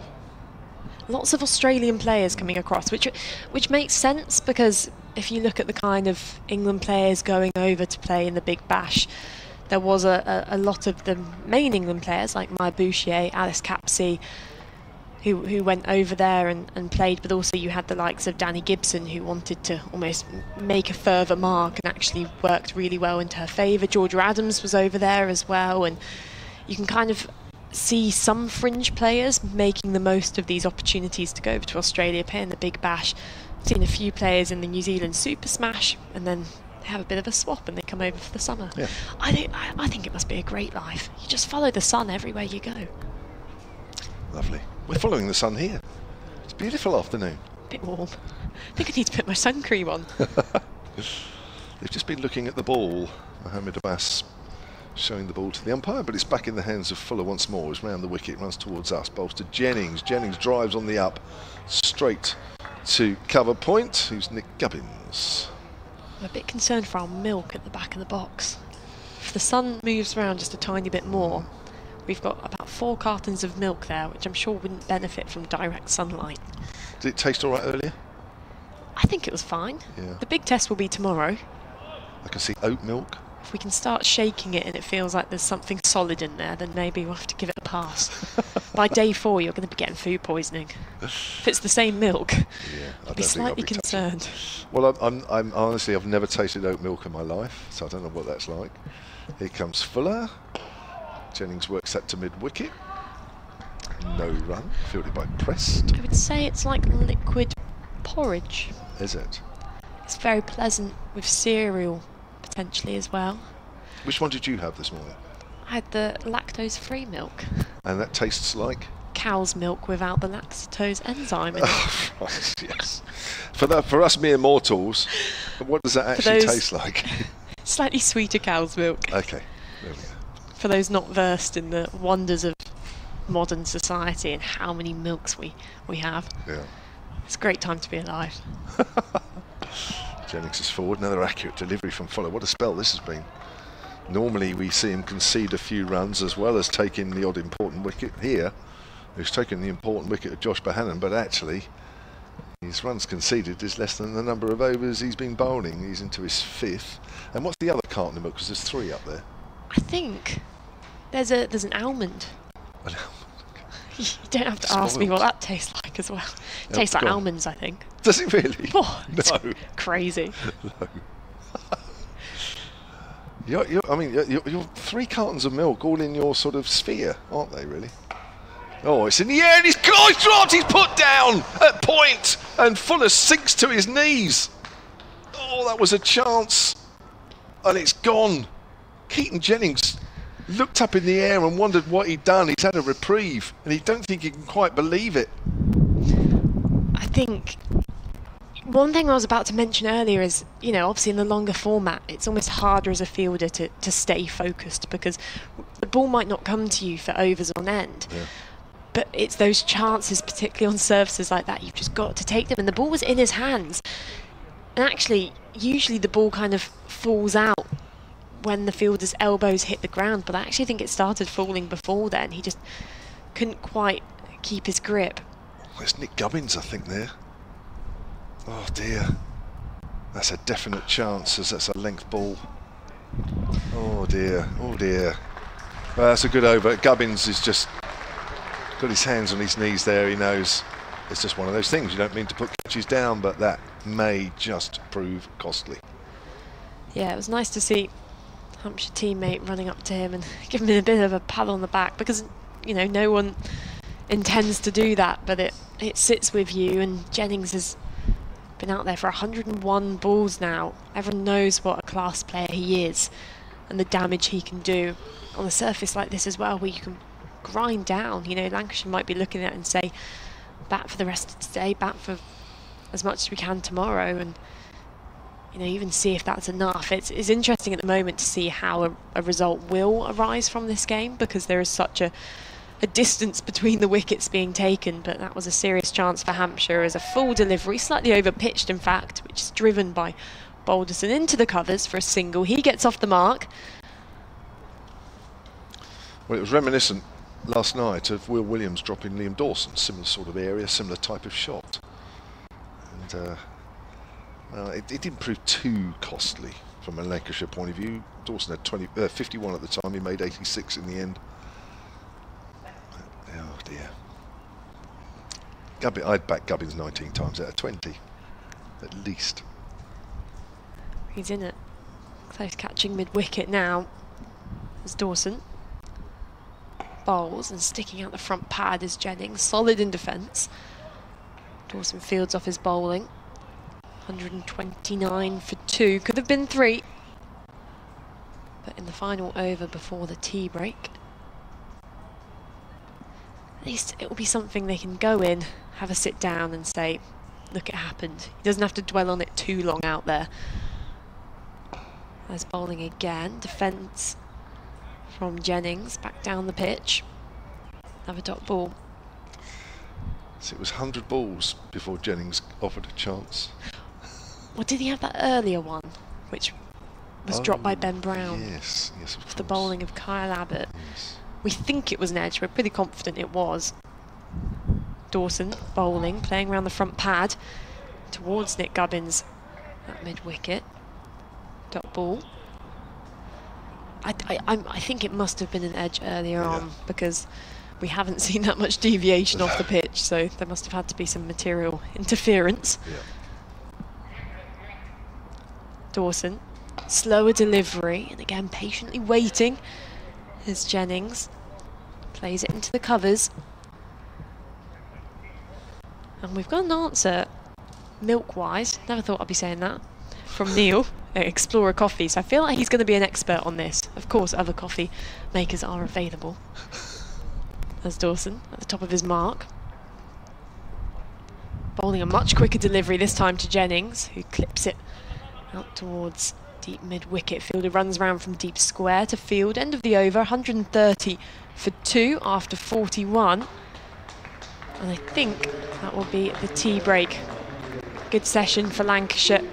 And that chance going down just now. Jennings dropped at point by Nick Gubbins. How big a moment will that be? But I think you'd say now it could still be even, just because we know this is a good batting surface. But I think if Hampshire had just taken that wicket, maybe it would have been slightly in their favour. 118 runs scored in that session for those two wickets of Wells and Bohannon. What's that answer then, Mel? Very quickly, oat milk is apparently the preferred milk alternative of the coffee industry as it acts more like regular milk when steamed for lattes and flat whites. The more you know. There you go, we've learned something. So, uh, we're going to take a break for uh, 20 minutes and uh, we will be back with you shortly for the evening session here on day two with Keaton Jennings 37 not out, George Balderson on one not out, Lancashire 130 for two, uh, Trail Hampshire by 257 runs.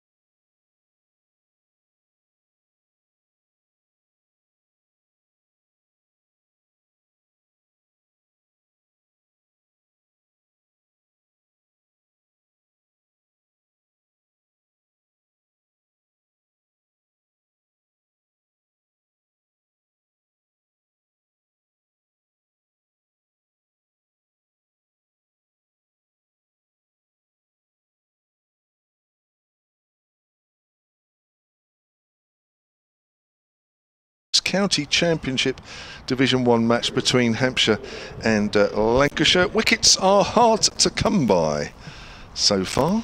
The state of play as we get into this final session is that Lancashire, replying to the Hampshire all-out total earlier on this morning of 367, are 130 for two. Uh, 41 overs have been bowled at them. Keaton Jennings is 37 not out. George Balderson is one not out. Uh, to take you through this uh, last session of play on day two is uh, a little later Melissa Story. And to take you through this first passage is myself, Kevin James, and from BBC Manchester and Lancashire, it's Scott Reed. I thought Hampshire were excellent in that afternoon session.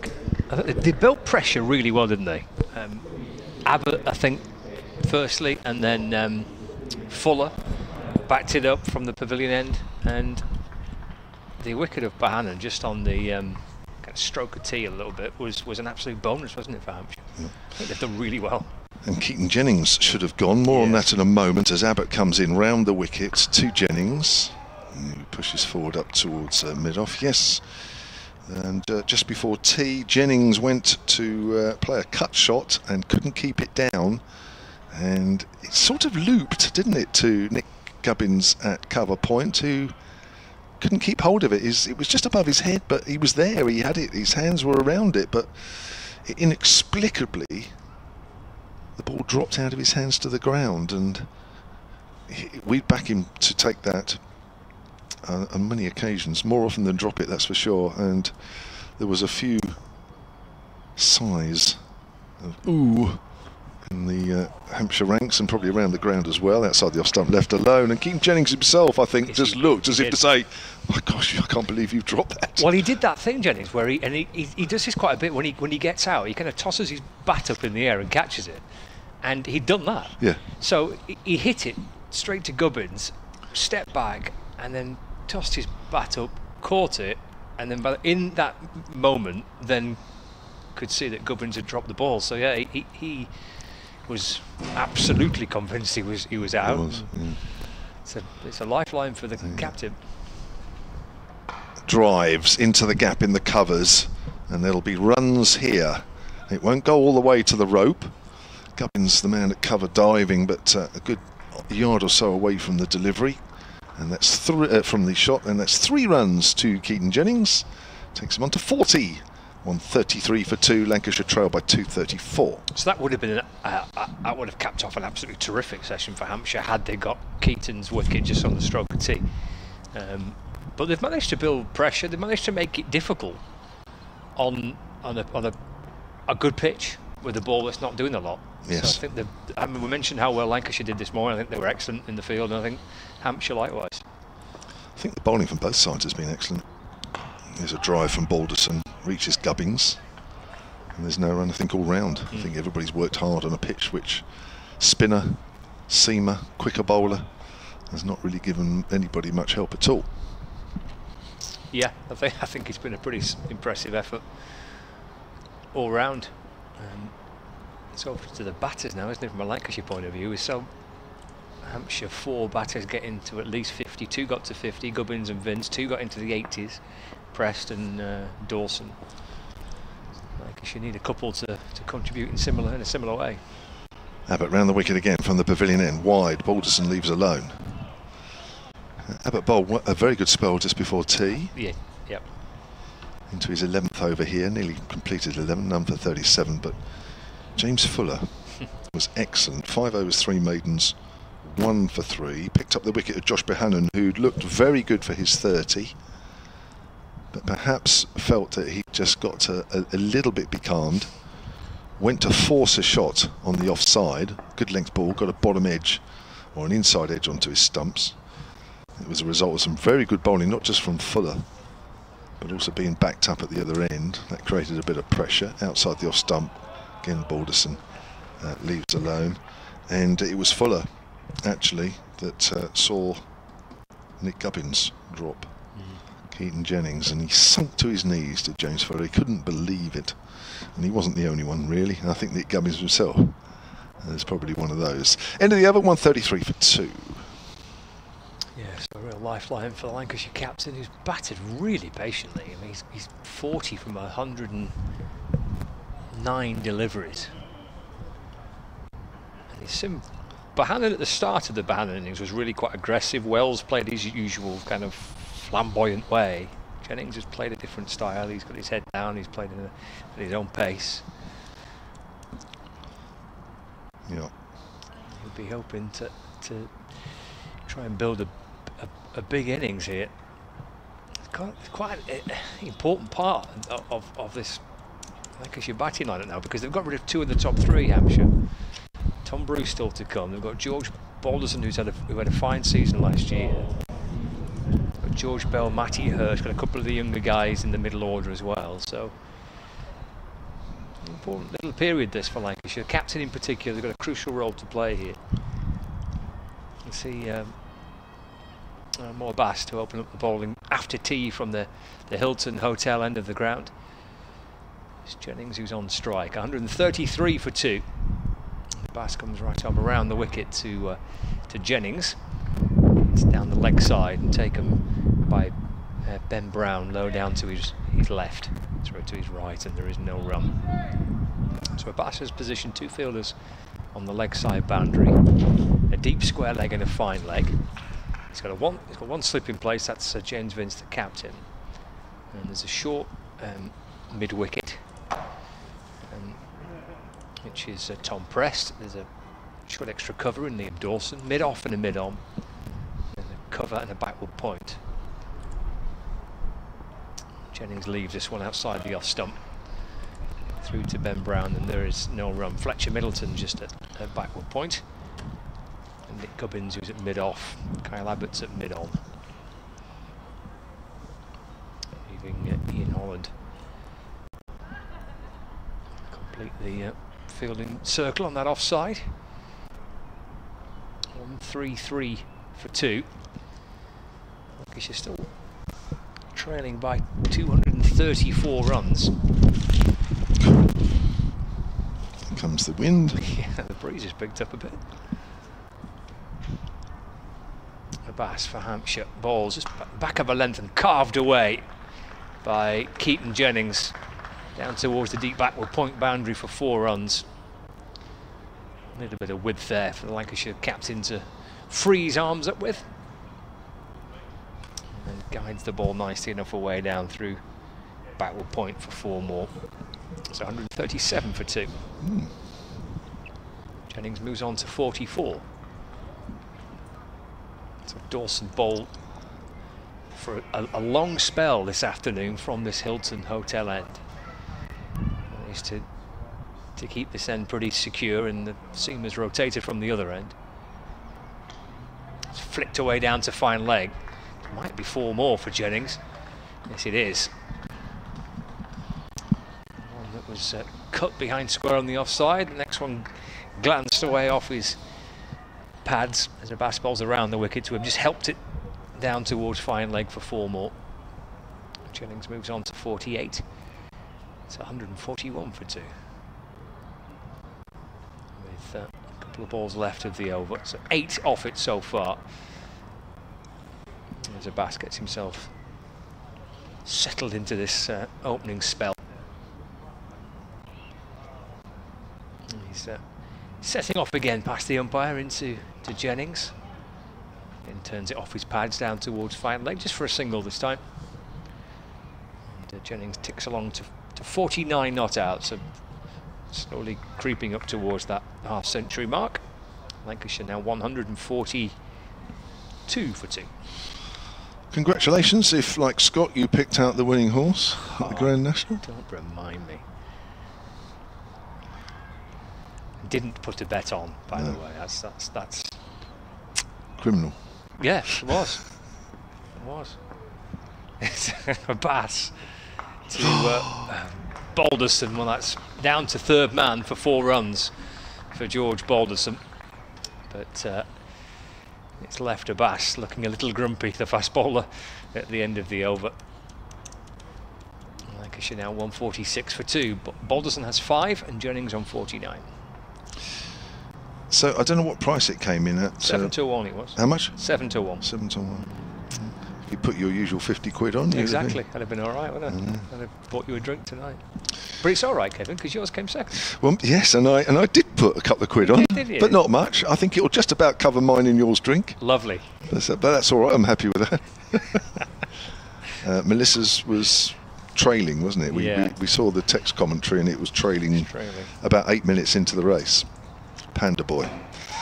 There's uh, Jennings pushing that out square out of the offside. Carl Abbott continuing from the pavilion end round uh, the wicket. So, uh, yeah. I didn't actually realise it was the favourite that I picked. No, I just liked the name. I am Maximus. Yeah. And we were going just off that, weren't we, really? But I don't think we put Mm. an extensive amount of research into this. We hadn't. Into this. No.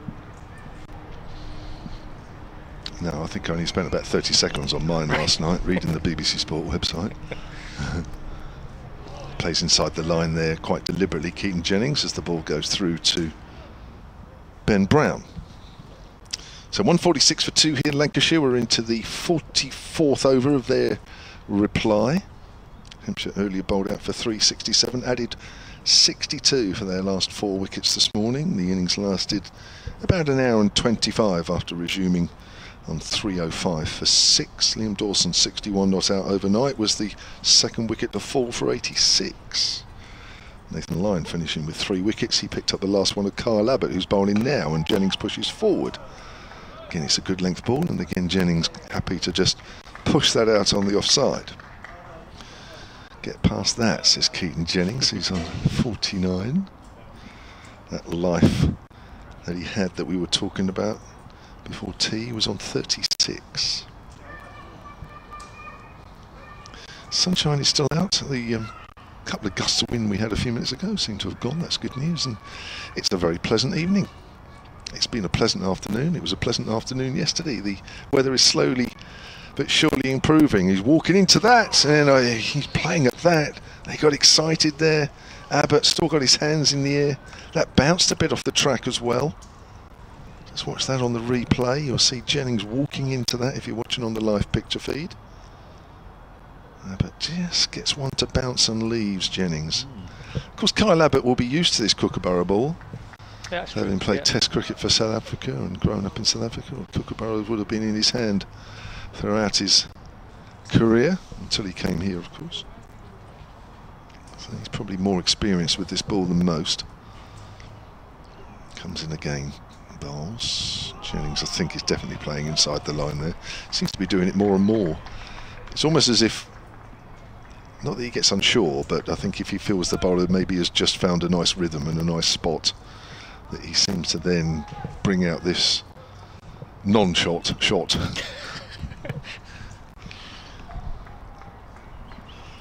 but, uh, it's good bowling. As we saw in the Hampshire innings, we've seen tight bowling from everybody that's been on, really. Haven't really seen a period of play where any of the batters have been able to sort of just cut loose. Jennings does play at this one and pushes that out into the covers. One or two have come in and gone and threatened, haven't they, to sort of up the scoring rate and maybe briefly have. That's a maiden over for Kyle Abbott. Half his 12 overs now have been maidens, none for 30. At seven, we saw Tom Prest go through a nice little spell when he made his 85 yesterday. Vincent Gubbins threatened, didn't they, with their partnership of 84 yesterday afternoon. Luke Wells played really well for his 55, 69 balls. Josh Bohannon started fairly quickly, but nobody seems to be able to sort of keep that up for any length of time. Those are the ones that have threatened it. Everybody else sort of played their normal game, and if you bowl accurately on here, slowish nature of the pitch, it's been difficult to get away. Yeah, credit to the uh, uh, reflection on the quality of the bowling on both sides. When you, Mm. you look at the scores elsewhere in the country, there's Abbas is uh, in to, to Balderson. It's uh, tickled away down to fine leg for a single. Everyone's using this Kookaburra ball, and you're seeing an absolute stack of runs being piled up in, in other games around the country. The bat is dominating the ball in almost all the other games. Well, it's not quite been the case here. And certainly not today. We've seen actually the bowlers who have managed to really kind of cause problems for the batters make it quite difficult. And you've not really seen the, the other little counter attack that Bohannon starts his innings the way that Wells batted, perhaps. There's Abbas balls again, left by Jennings, through to the keeper, no run, but I think some really good disciplined bowling Yeah. on, on both sides. We've seen an absolutely stack of runs elsewhere. In Essex, 530 for seven declared. Kent in reply, 160 for one. So the Warwickshire score was in Durham's response now. They're 130 for two in, in reply to that. Plenty of runs for Nottinghamshire, plenty of runs at the Oval as well. So quite kind of gone according to the other games. This one here so far. Pass in. Swiped away for four by Keaton Jennings. That will bring up a 50. As the ball drills its way out towards the deep backward point boundary, the Lancashire captain gets his uh, first half century of the summer. He's played with great patience and great care. There's Keaton Jennings. That was walloped away for four. 40th time he's passed 50 in first class cricket in his 175th match.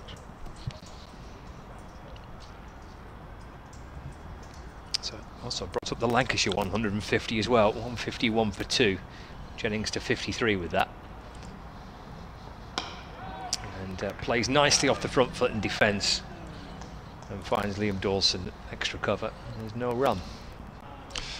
Yeah, when you look around actually and you see those scores in Division 1 and we are, you know, late in today two, there could be a few draws on the come the end of uh, Monday evening unless somebody really puts a charge in. Will anybody risk victory? Or risk a defeat for victory? Abbas to, to Jennings. That's played up towards Kyle Abbott at mid on, no run. So there's only one result last week, wasn't there? Essex beating Notts. You look at the scores now; it's difficult to find a winner in any of those, isn't it? At the moment, I know we're not quite halfway through. Are we? Potentially see something developing at the Oval, couldn't you? Surrey's got a, li- Yeah. got a lead, they've got five wickets in hand. Somerset collapse in their first innings. You wouldn't be surprised if that True. potentially worked its way towards a result. Abbas to Jennings. Oh, looking to cut the ball, but plays underneath it. And uh, through it goes to Ben Brown at the end of the over. 151 for two. Lancashire Balderson on six and Jennings on 53. 28 overs till the end of day two. I think we're going to get all those in. Looking at the conditions, hazy sky, but that's uh, that's all it is. Sunshine is still burning through to some extent. You mentioned kind of possibly risking a defeat to try and get a win, um, and that's something I've heard Dale Benkenstein allude to, and something that Mark Chilton, the cricket director, has also suggested that Lancashire might look to try and change through the course of this season their approach to games, and maybe a suggestion they were a little bit cautious previously. Interesting as Abbott bowls round the wicket to Balderson, who takes that off fairly straight as the ball works its way to square leg, fielded by Ian Holland. A bit maybe risk averse and Yeah. the idea is uh, it's traditionally certainly when you're playing it in Manchester you kind of you, you try and back once uh, bat once and bat big and that's how you're best positioned to try and win games and actually that might not be the way to try and win games certainly at uh, Emirates Old Trafford because you, you need to you need time to try and bowl teams out twice obviously batting once takes a lot of time so it was just quite interesting to hear what he was saying he was speaking to Kevin Howells on 5 Sports Extra last week with Mark Chilton about maybe just being a little bit more Positive. Yeah, Yeah. yeah. Balderson again takes it from fairly straight, goes out again to Ian Holland on the leg side. You might have to try and risk the possibility of Yeah. losing to try and win games. Because you don't really go anywhere with. Uh, has it changed a bit with eight points again for a draw? But certainly the last few years, you didn't go anywhere with draws. Draws got you nowhere. No. Whereas actually this year, it's a lot to give up. Eight points, Mm. isn't it? Well, it feels a lot to give up now. Five felt nothing No, at all. didn't, no. I know it's only three points difference, and but when you look at some of the positions at the end of the year, you know sometimes it's one or two points that makes all the difference. Here's Abbott. Balderson drives straight, and he's going to take a quick single, and that's a Abbas, I think, there. Diving as well, keeps them down to a single. Total moves on to 152 for two. Lancashire trail by 215. I think it's perhaps one of the factors behind um, the decision that the club and Glen Chapple made about you know just just just going their separate ways a little bit and trying a fresh approach and a, and a fresh fresh ideas and this idea of maybe just, say being a little bit more positive as Yeah. you say yeah Abbott bowls. Jennings leaves alone. I, I have to say, when you look at the table, and you only look at the table, you don't look at anything else because there's always reasons for this and that. That you guys are a better side than fifth. yeah For whatever reason that you finished fifth, and I know you had a lot of draws and what have you, but I, I think I, I always thought you guys were a better side than that. well the previous two seasons I think they finished second didn't they um, the, the, the season before last, they, they finished runners up in all three competitions. As uh, Abbott bowls straight to Jennings, pushes up to short mid wicket. as you remember on T20 finals day. yeah. Which finals day, Scott? I mean, there's just so many. I, I know, I, I, I, I feel your pain with that actually. Yeah. Ten. I mean, it, it, I've got to scroll through ten, Scott. I know you've only been there nine. Nine, we've been there nine. Yeah, yeah, yeah. But uh, yes, two years ago. Well, it was one of the all-time great finals. Whoever won or lost. It was a When you look back, I know at the time it's probably painful for one side more than the other, but uh, one of the all-time great finals.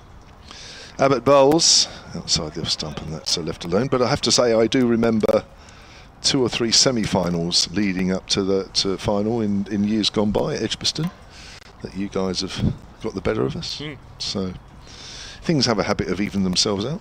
I know you guys took that defeat graciously.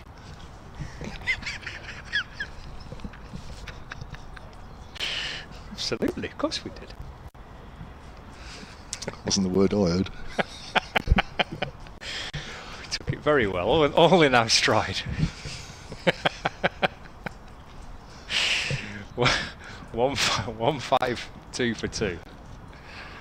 But it's just no, it's, it's fun being there, no matter what. I mean, yes, annoying if you're out in the semi-final. And Hampshire have had more than their fair share of losing semi-finals up there, including last year. But uh, it's all about being there, isn't it? And it is, it is. However many times you go up there, it is a great day. It's back into September again this year. Isn't Oh, it? no, it's not good, is it? That's not Rubbish, good. isn't it? That is rubbish. You're right. Most of the overseas players that would have played earlier on but won't be back, will they? It's, it's, that's not good. I'm sure there's a good reason, but that hasn't been passed on. Well, I think the final group game's in July and the final's in September. It's you. Oh, it's Dawson into uh, Bohannon. Sorry, I was getting grumpy. Uh, it's driven away into the offside, straight to extra cover, and there's no run.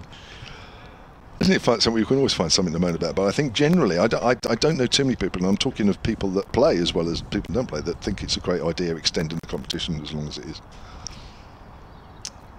Back with left arm spin for the first time after tea. Oh, and he's pulling to Balderson, who's just rocked forward and thrust that front pad forward. Ball goes goes past and into the gloves of, of Ben Brown. Has that turned out of the rough? Watch the replay. May just have done, although it's a bit bright, isn't it, to see the screen. Dawson to uh, Balderson, who's back and defending, and there's no run. So it's what um, Mo Abbas to op- opening up after tea from the the hotel end, but just a couple of overs for Abbas. Dawson quickly back into the attack as he bowled from the centre through most of the afternoon. He's creeping in again and fizzing one in towards Balderson, who's off the back foot, forcing the ball away to extra cover. And again, there is no run. 152 for two. Dawson into his 13th over then. Forward short leg and a slip. Backward square leg, a deep square leg. Backward point. Cover mid off, mid on, and the short mid wicket. He's bowling left arm over the wicket to Balderson, who's a left hander. That's driven to uh, to mid off. And George Balderson takes the single. So he moves on to eight. 153 for two now. One ball left of Dawson's first over of this final session of the second day. Forecast is good again for tomorrow. A bit dicey for Monday, certainly in the morning. Jennings off the back foot works it to mid wicket. Nick Gubbins fields. That's the end of the over, just a single off it. 153 for two. Lancashire. Balderson on 8 and Jennings on 53. So what have we had? We've had uh, 12 wickets fall haven't we, in the game so far. I'm just looking at the Essex Kent game. They've had eight wickets fall. oh dear. Uh, 13 wickets fall in the Nottinghamshire Worcestershire game and 15 in the Surrey Somerset and five in the Warwickshire Durham game. So you're right, going back to that point about the ball and the conditions and what have you. It's I don't know. Is, is this the right? Is this the right way to go? Good pitches and Kookaburra ball, whereas we had before too much the other way. Greenish pitches, a bit up and down pitches with the Dukes. There's got to be a happy medium there somewhere, isn't there? As uh, Abbott bowls, it's touched into the ground and fielded at deep gully. By Fletcher Middleton. There's got to be a happy medium somewhere, isn't there? Yeah, yes. Um, be, inter be interesting again next week. Back to Duke's balls next week, aren't mm. we? So we? See what the scores are like next week because the batters certainly have had a chance to get get in get in touch with similar. Is it six double centuries in the first two rounds of the of the season, which right is some going, isn't it? It is, especially with the conditions of last week. yeah, it's pushed away on the onside by Balderson. I think we've had two this in this round so far, and I think we had four last in last week, I think. Including the treble, yeah. Yeah, including that treble, yeah. So mm. Batters have got themselves time in the middle, ready for the Duke's ball to come to return next week. See what impact that's had. I mean, it's a long season. You're going to have if you play 14 games. You're going to have periods where form fluctuates and pitches change. So maybe this is just a part of it. Abbott, bowls. Balderson works out into the gap on the onside, hits it a little stronger as well. That should go for four. Nicely timed by the 23-year-old. It was good timing, wasn't it? Takes him on to 12, 157 for two, trail by 210 to Lancashire. Nice looking shot. Yeah, it was. Just waited for it. It's a length ball from Abbott, maybe a little too straight, but nothing wrong with the length bit of a breakthrough year for him last year, George Balderson, who mentioned to uh, Melissa before, he got two centuries last season, his first centuries for in first class cricket. Faces Abbott and finds the same gap but not hit with the same timing, so it's just a single, 158 for two. And previously he got to the into the 90s three times and out in the 90s three times and last season twice he was able to to convert and get his get, get to three figures and then he finished with 500 odd runs, I think, and 20 odd wickets. So he, he, had, a, he had, a, good season, really yeah. solid season for a young player. Average 32 with the bat, 34 with the ball. It's not too, you know, that's, that's a okay. decent all-round season, isn't it? Mm. Steady. Hasn't played that much cricket. No. It's only his 34th or 35th, I think, outside the off stump, and that's left alone, which is not a lot.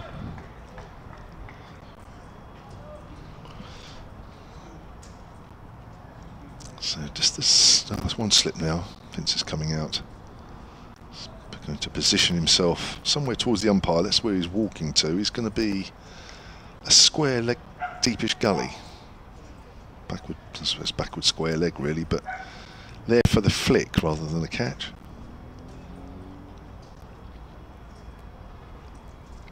Ah, Abbott again running towards us and bowls and Keeping well inside the line there, Keaton Jennings to end that over. Another good over from Abbott, although five runs were completed off it, or scored off it. 158 for two. I see some fancy costumes in this hotel today, you know. Have you seen some of these fancy costumes? Yes. I was in the lift with um, this woman before, and she had the most magnificent kind of ball gown on thing. It looks like something that you'd see in Strictly Come Dancing, that type of outfit. Now, unless she just wears that casually on a Saturday afternoon, or whether there's something going on in the hotel, There's a dancing competition That'll going on it, in right. the ballroom. Okay, Yes. that'll be it. Yes. Uh, the only reason I know that is because somebody told me we've got in the lift Right. who was also wearing Something some flamboyant. Something flamboyant, yeah. Yeah. Yeah, dancing competition. And uh, yeah, there's a lot of people in sequins and. Yes. yes, Yeah. yes. I don't know what I don't know what competition it is, but yeah. There's Liam Dawson into uh, to George Balderson. Balderson plays forward in defence and there's no run. It's a bit like a could be a bit like a, a mini Strictly Come Dancing. Then they could have the, judging panel and you'll hold your scorecard up. It's number seven, give you eight, give you a nine for that, that type of thing. Mm, Okay. Would you be a good judge at that? Do you think? Um, Sounds like you've done a bit of dancing in your past. a long time ago. Oh, hello. Dawson into to Balderson. He comes down the pitch. That's a good shot. looking shot. That's four runs. Little skip towards Dawson, and um, absolutely middles that through a straight mid off for four. Moves on to 17, 162 for two. Well, before you go, you must explain. I, ca- I, I used to do that when I was a lot younger. Maybe I was about 12 or 13 with my, with my um, nana. Yeah, Okay. me and my nan used to go used to go dancing. I don't think I was any good. Ballroom and Yeah, all yeah, that. yeah, yeah. Mm. She taught you. She did. Dawson bowls. It's off the back foot by Balderson, and there's no run. You do a mean American smooth. I, I, I can't say I remember any of the moves now. Um, and I, I'm not quite sure what an American smooth is. It sounds like a cocktail now, but um, it was. I seem to remember kind of enjoying it, but I was, I pretty young, maybe yeah, 10, 11, maybe that age. Okay. Dawson to Balderson, who's forward in defence, and there's no run. Maybe I should go and watch them tonight. See if I, see if the the flame burns again. It might be one of those. It's a day competition because I noticed right. that there were people here when I arrived. Oh right, okay. Mm. So it was obviously starting quite. I think it's one of these that's all day. Right, of course, sounds quite serious. Mm. Dawson over the wicket to Balderson. Oh, he's going to prodding forward and ball gets through him. And it hits Ben Brown and drops down to forward short leg. Fizzed it a bit quicker that from Dawson. Yeah, and it just looks as though maybe one or two of the follow-through footmarks are starting to wear a little. Just giving the spinners a little bit more encouragement, which will be interesting when it, Nathan Lyon comes to bowl again. Final ball of the over. It's driven, but it comes off the inner half of the bat. Looking to try and punch it to mid off, and ball deflects to mid on. End of the over, 162 for two. Am I done? Should I dance my way out the commentary box? Well, show us your moves. Well, you'll have to. I can't just. I can't just perform like that. I need to Can warm up. Oh, oh, of course you do. Spoken like a true pro. There we are. I've learned something about Scott. All these years I've been working with him, and he used to do some ballroom dancing when he was younger. Did you do any of that, Melissa? No, I was never quite a dancer. I've got quite big feet, and I have since I was quite young. So I don't think I was designed for intricate foot movements. Right. I think I was designed to put three times my body weight through the left one every time I bowl. And pull that arm over your shoulder Yeah. through. Yes. Designed to put yourself into excruciating positions which the human body is not meant to do. Correct. The joy of cricket. It's a very unusual. Uh, un, uh, what's the word? Unnatural act bowling. Do you reckon you could spell that one, or would you have a bit of difficulty I like you struggle did to with say interference? it. yes, that was a. Yes. Mel helped me with my spelling at the tea break. Uh, Fuller's into the attack here. Bowled superbly before tea. Pulled, helped down to the fine leg. His first delivery by Jennings moves on to 54 and it's 163 for two. Lancashire trail by 204. It really is nice just to have, you know, and to, to observe so much county cricket happening this round, which isn't being interfered with with rain. Because, you, you know, it, it is a bit of a gamble early season and there's plenty of discussion to be had. I know Michael Atherton did a brilliant article the other day about scheduling of the red ball game, but, you know, you do get lucky with weeks like this. for sure. Fuller's round the wicket. Balderson plays that late and works it into the gap behind square. Runs down towards third. It won't go all the way. Picked up and thrown back by Fletcher Middleton. And Balderson, I think, has picked up two. He has.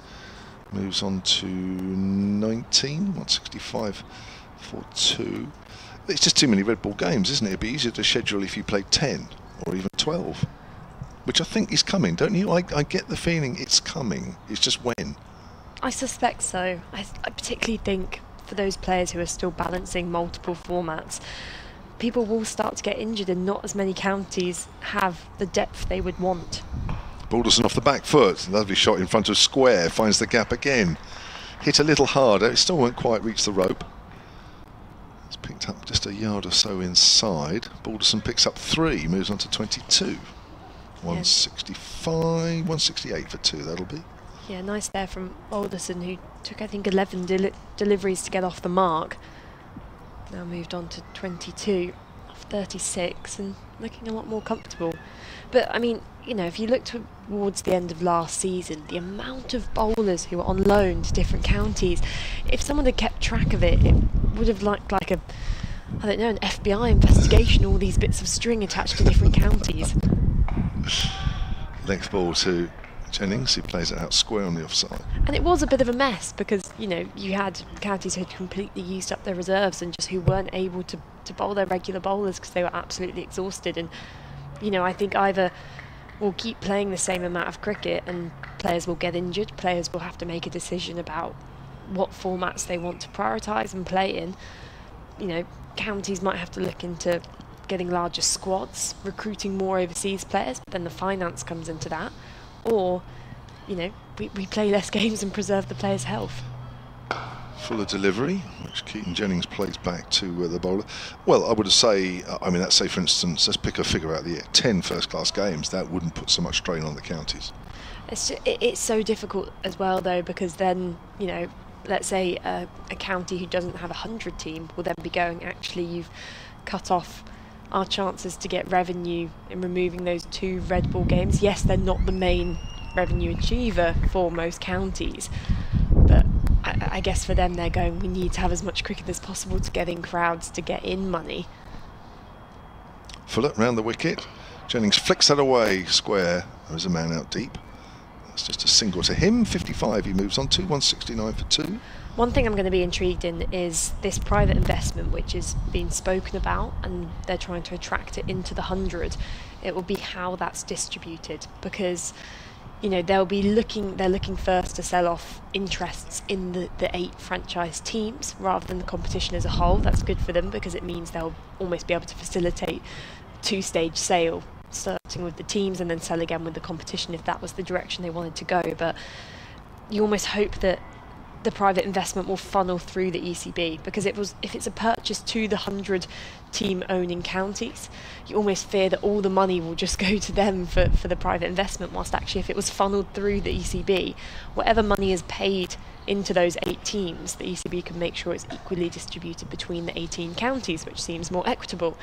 But you don't know the, the, the inner goings on of, of these deals which is always a concern for the smaller counties, as this one from Dawson's worked into the onside by Jennings for no run. And not smaller counties to say, but non 100 owning franchise teams, which is a bit more of a mouthful.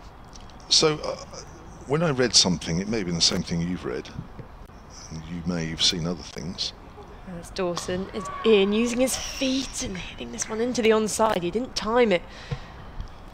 And it's a bit fluky in the end. Rehearses the shot again, does Jennings gets a single, 170 for two, Lancashire. I saw a figure of 51%. Is that right? The ECB saying, or they might allow, or are working towards allowing counties with 100 base teams or grounds with 100 base teams to sell off 51%. So majority share. Majority share. So that means somewhere along the line there's 49% available. So is are you saying I, I did I not read it right, or have you read somewhere that part of that 59%, or maybe it's a uh, 51 or part of the 49% later down the line is available to everybody? Well, I think that's what's the concern some people are voicing as a flatter delivery from Dawson's work to the second of the two mid wickets. I think more I've seen people express concern on social media that if that does happen, you know, the profits of the sale will be concentrated within those eight franchise teams to the benefit of those eight counties rather than being monitored and delegated by the ECB is this time driven back to Dawson by Balderson for no run, and then just creating this bigger, you know, financial almost chasm between those 100 owning teams and the non-100 owning teams. And you know when you look at those who have recently had financial issues or might need to even considering in you know private owning into counties as well which are currently member owned Dawson in going on the back foot as Balderson plays back down the pitch for no run 170 for two one ball left in this over. But either way I, I guess what I'm saying is hoping there'll be effective safeguards to make sure that you know if you're going to be giving away a majority share in these teams obviously not in the competition that's the key thing but in the teams you just wonder how the other counties who don't benefit from the 100 and the financial benefits of the 100 are going to you know be able to make sure that they reap rewards from this as well. Yes, I know at the start of the 100 there was investment which was distributed between all 18 counties. It's coming down the pitch and defending as Balderson just readjusted at the last minute there. Looked as if he was going to open up down the ground, but readjusted his shot. 170 for two after 51 overs.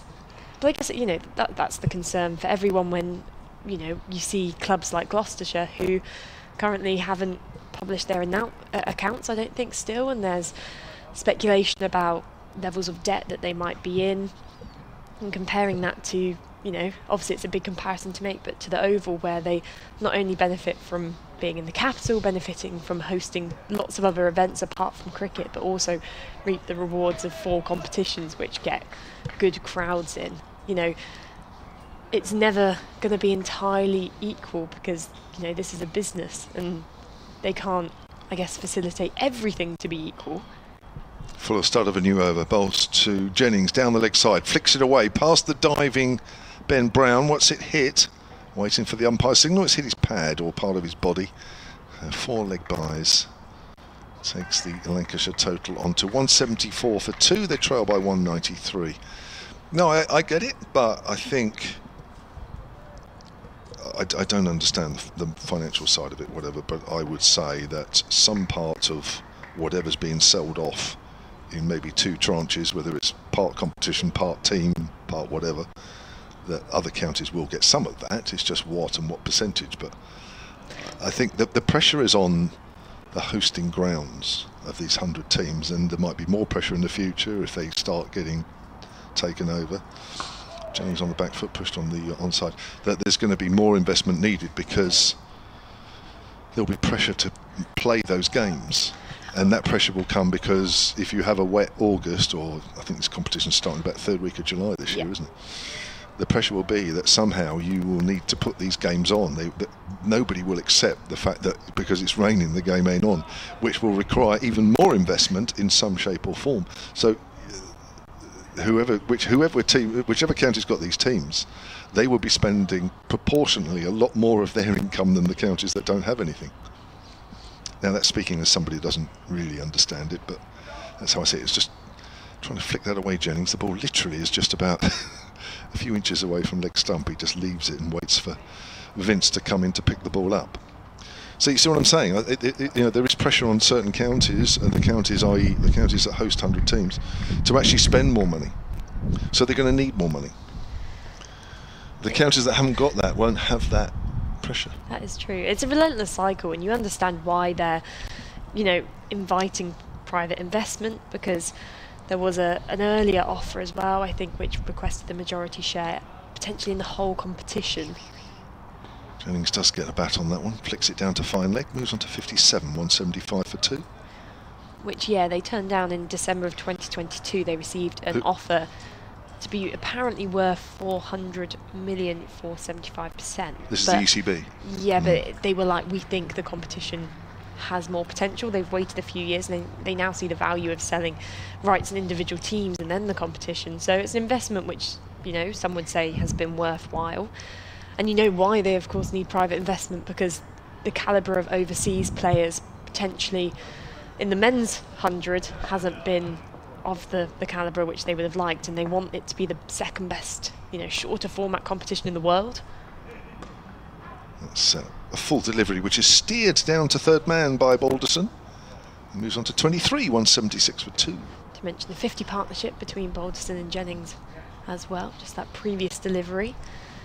Because that, you know, looking at it now saying it's the second best white ball competition in the world, I don't think it is. Because, you know, obviously the IPL's first, you've got the SA20, which is sponsored by a lot of those IPL teams, which has shot up in popularity. You've got the PSL, then you have plenty of other leagues, Major League Cricket in America, plenty in Saudi Arabia and the kind of Middle East area, Sri Lankan Premier League, Bangladesh. Mm. Length ball, Jennings plays that up the pitch. That's the end of the over. Fuller's completed seven overs, one for 12. He's putting a good stint either side of tea. 176 for two. And now, of course, we've got the Scottish T10. Oh, yeah which starts on the day of the 100 final.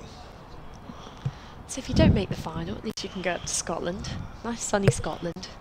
Playing a quick two-week T10 tournament. I mean, I, I, played in a T10 tournament when I was based down here in Southampton with Hursley Park, mm. and it was incredible. You just blinked and the game was over, and there was so much pressure on every delivery, and I think I, I just felt panicked every ball. I don't think it was it was quite for me, but we got to play the final at, at the Oval, and, and luckily managed to, to win, which I didn't contribute at all to, but I was there. I've got the medal to show it. Was that the game Emily Windsor got runs in? Think so. Was it? That was. I remember. I remember the. Um, I remember seeing some pictures of that that game. Yeah. Dawson to continue, bowling his 16th over now. No wickets for him yet as he bowls outside the off stump on the back foot, pushing out to backward point. It's Balderson. He's 23 off 42. Well, yeah, i am I'm listing up the international grounds I've been able to play at because I've played here, the Utilita Bowl. On this ground? On this ground. I've Ooh. played at the Oval. Yeah. He's coming down the pitch and almost walking past the ball there was Balderson. He lost his footing a bit but pushes it back to Dawson. I've technically played at the international ground in France. Where's in, that? In Nantes. Okay. I think that's how you say it. I've Nantes, played, yeah, it is Nantes. I played at the international ground in Kandy in Sri Lanka. Mm. And then last summer I got to play at the county ground in Bristol. Mm. Full ball dug out by Balderson back to Dawson. 176 for two. What was the game here? The game here was for a T20 competition called Pro AM, which basically it was for men and women. I think there was three teams in the women's competition, a few more in the men's. That's Dawson bowls and on the back foot, looking to punch past Dawson in his follow through, but can't beat him. Another dot ball, and it basically was designed to treat you like a pro for two weeks. You would have you know, S&C plans and training and they'd give you kit and lots of sponsors and you'd go out here and play at the Utilita Bowl for a few games. I got to face Kate Cross, which was frankly terrifying. Wouldn't recommend it. Fuller ball, which this time he can drive past Dawson. A great tumbling stop. The fielder at mid-on. Still playing for England, isn't she? Yep, she is. She's had a, a good uh, ODI series against New Zealand. England women won four out of five of those ODIs. Sophie Devine took them apart a bit in the final one. I think she hit something like two or three sixes in a row to not only win the game but also get to her 100, which was quite remarkable. There's Dawson. This time a reverse sweep and he's got enough contact on it to get it down to the boundary Just Jennings. Well, moving on to 61, it was a full ball from Dawson and he really had to get down low, meet it just after the bounce. But it was fine enough to beat the keeper Brown, who moved quite quickly, and the fielder at short third, 181 for two Lancashire. Is um, there any first class grounds you've never played at? Any first class? Obviously, which were in existence whilst you played, because as you said, you haven't played here, but it was built in 2001. Yeah, after I finished. Any grounds you didn't play at? Well, uh, all the main grounds, obviously. So any of the ones outside of that. Blackpool? I didn't. Uh, that, funny enough, that was one ground I was just about to say. Blackpool I didn't play at. Southport? Uh, played. Uh, oh, that's a good question. Uh, I don't think I played there either. No, I'm not sure how much Lancashire played there at Southport back in the 80s and 90s. I've got a feeling they might have gone through a phase where they didn't play much there, but somebody will correct me if that if that's wrong. Um, There's one or two. There is one or two, but I'd have to really think. Here's Fuller. Length ball pushed up to mid off, and there is uh, no run. So, what grounds are you looking at this season to complement the ones you've just mentioned? Well, I know I'm going to be playing, in terms of playing, I'm going to be playing at the county ground in, at Taunton. hmm Hopefully, if I get picked Gloucestershire versus Somerset, which is going to be a big local derby. Yeah. In terms of commentary, there's only two of the first class grounds I haven't been to yet. And I believe that is Leicestershire and Derbyshire's grounds. I've never been to, and I don't think I'm going to be visiting this summer as well, unfortunately. Because there is international cricket there, isn't there? He's wrapped on the pad there. Big shout from Fuller. It didn't look close enough from this distance, and bearing in mind the sort of decisions that have been turned down so far. Just watching again on the replay. Have a look. He's round the wicket. Leg stumpish. Yeah, I Ish. think. I mean, if it was hitting, it would be umpires call top of leg Yeah, stump. So I yeah. think the umpires made the correct call there. I think the way the uh, decisions have been going so far in this game, that's fair enough. Um, actually, Emily Windsor has texted me. Oh, there we go. She, Come on. she loves a debate. Our friend Emily. There comes Fuller again. That's driven up to mid on and there's no run. Uh, Emily says, remember the 18 counties have to vote yet on this 100 thing, so there must be something in it to share money across all, otherwise it won't get voted through. Of course, all counties have to vote, and it has to be two thirds, doesn't it? So, yeah. Good point. Thank you. Emily's uh, on commentary next week, I think, for a day That's good. with us. Yeah. When does the Southern Vipers season kick off? It's It quite soon, kicks off. it? Yes, it is. It kicks off. I think. Um, he says, looking now because he's not sure. Uh, they are at Beckenham against the Stars on the 20th of April on the Saturday in the Rachael Heyhoe. Driven up to mid-on firmly by Balderson, but he can't get it past the fielder there. That's Mohamed Abbas, I think. So yeah, that kicks off then, and there's, as you know, home and away in Rachael Heyhoe Flint to go with the home and away in the Charlotte Edwards, and there's an awful lot of games for the regional sides in their last season. And the Vipers defending two titles, which Mm. they're a side who are used to that. They've won plenty of competitions before, and I think almost flourish having a bit of a target on their back. I think it makes them play better.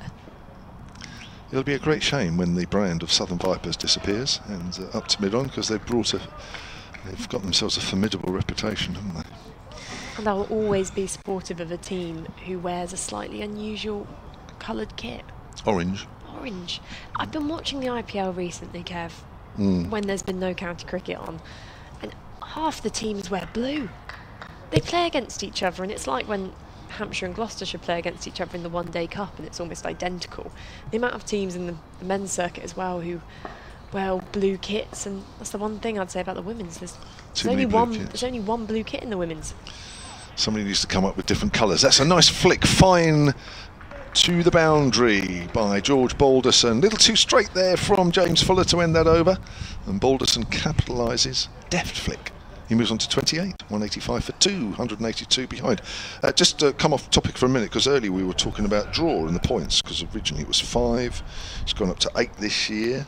And it has been sort of other various numbers, all in the single figures, I think, over the years. Uh, Liam Williamson has emailed solentcricket at gmail.com and says, On the topic of those points for a draw, I wish above all else they keep it consistent. Would it not be best to stick it at six points? I think it has been in the past some point. They, they just keep playing about with it because it, it depends on how they feel teams are playing a season, aren't they? where they're playing for draws or not. Uh, could be completely wrong, but it does feel a little like uh, Hampshire have suffered a little draw points in recent seasons. Uh, loving being back on the ground in this lovely sun.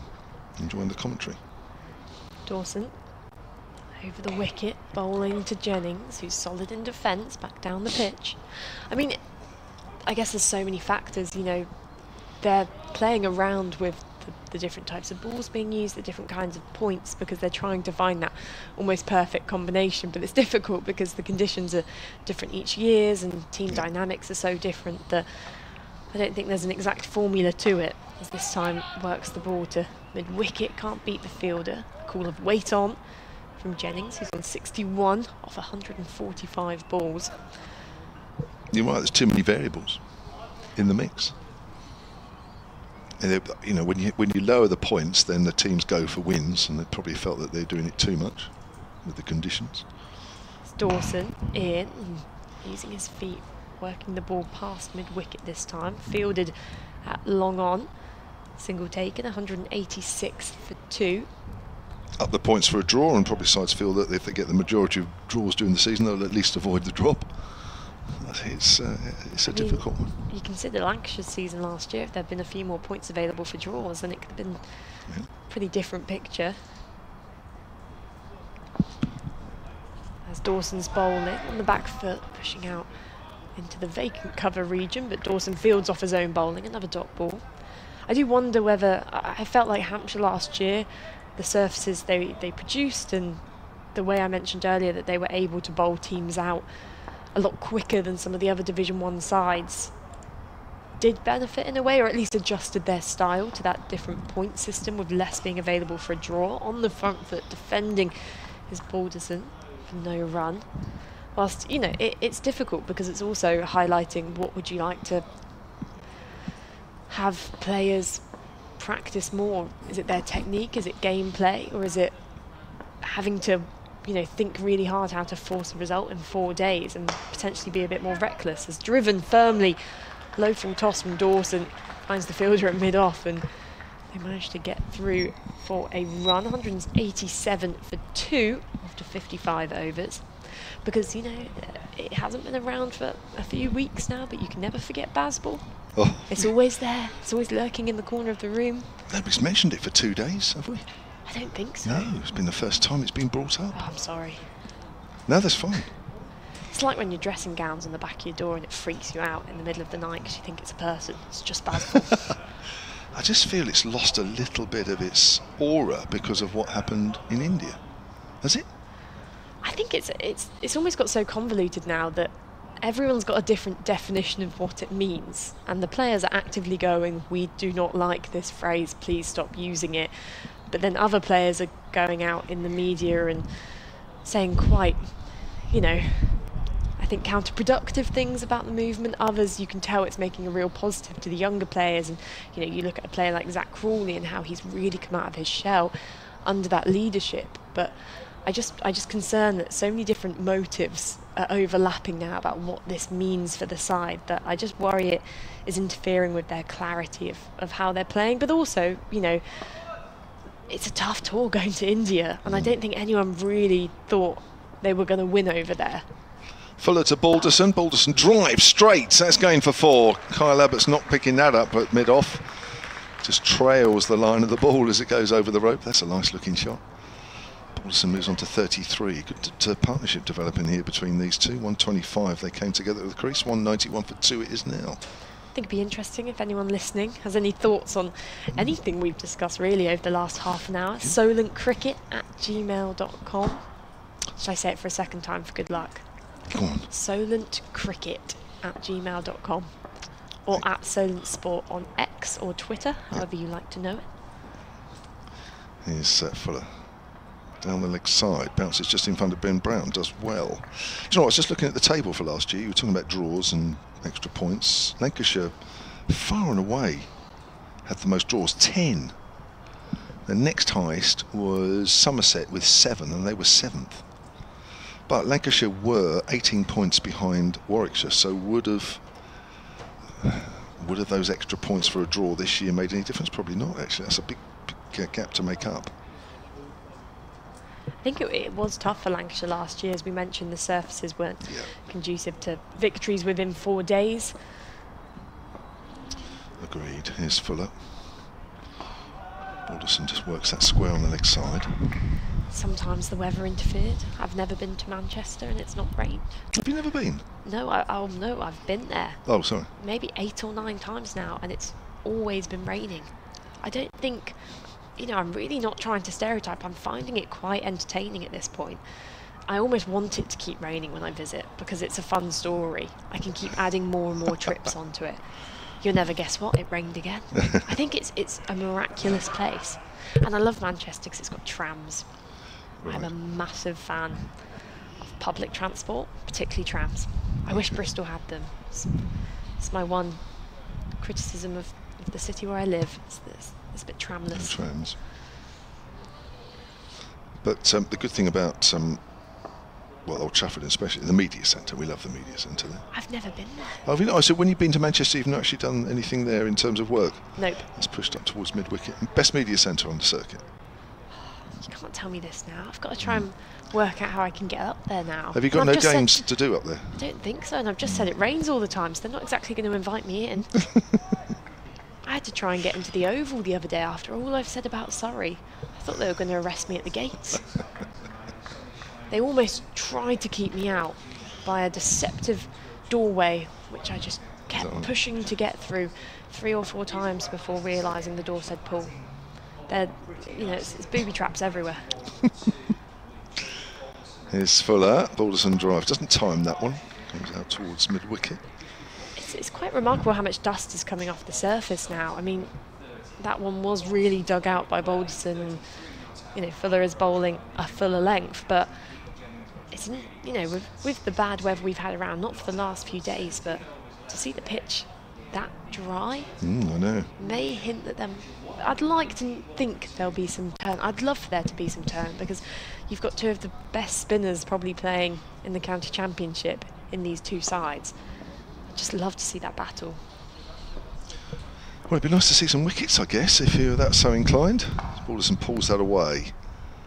There's a man out to deep square leg. That's uh, Mohammed. No, it's not. It's uh, Ian Holland.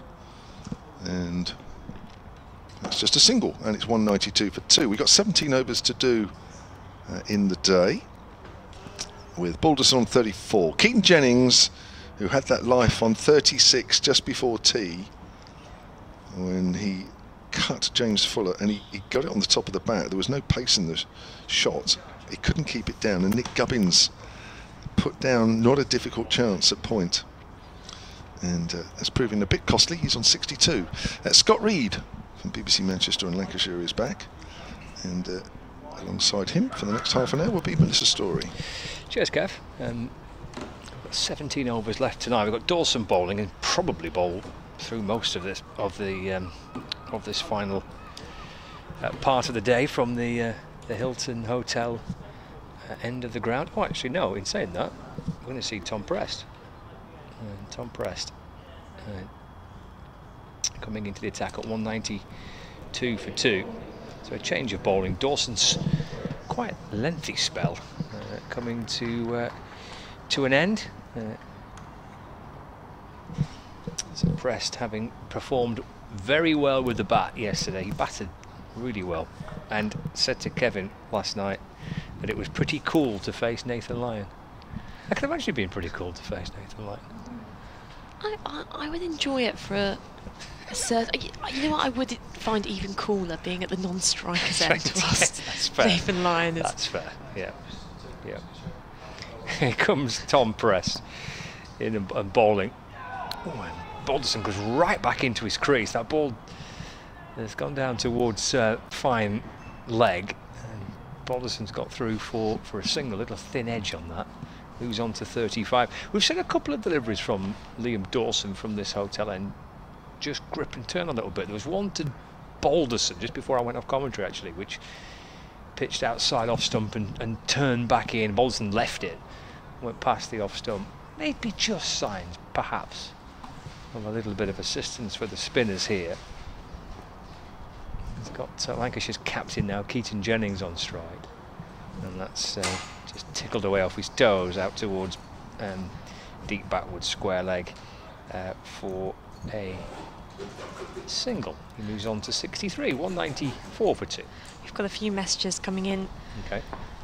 One just about what me and Kevin were speaking about with private investment in the hundred. There's uh, Balderson plays forward in defence, no wrong. We've just got confirmation that essentially the proposal is that host teams get 51%, which they could keep all of, or they could sell to investors. So that's part one. Prest from around the wicket balls. Balderson looks to sweep. It's uh, the pads of Ben Brown, the keeper, no run.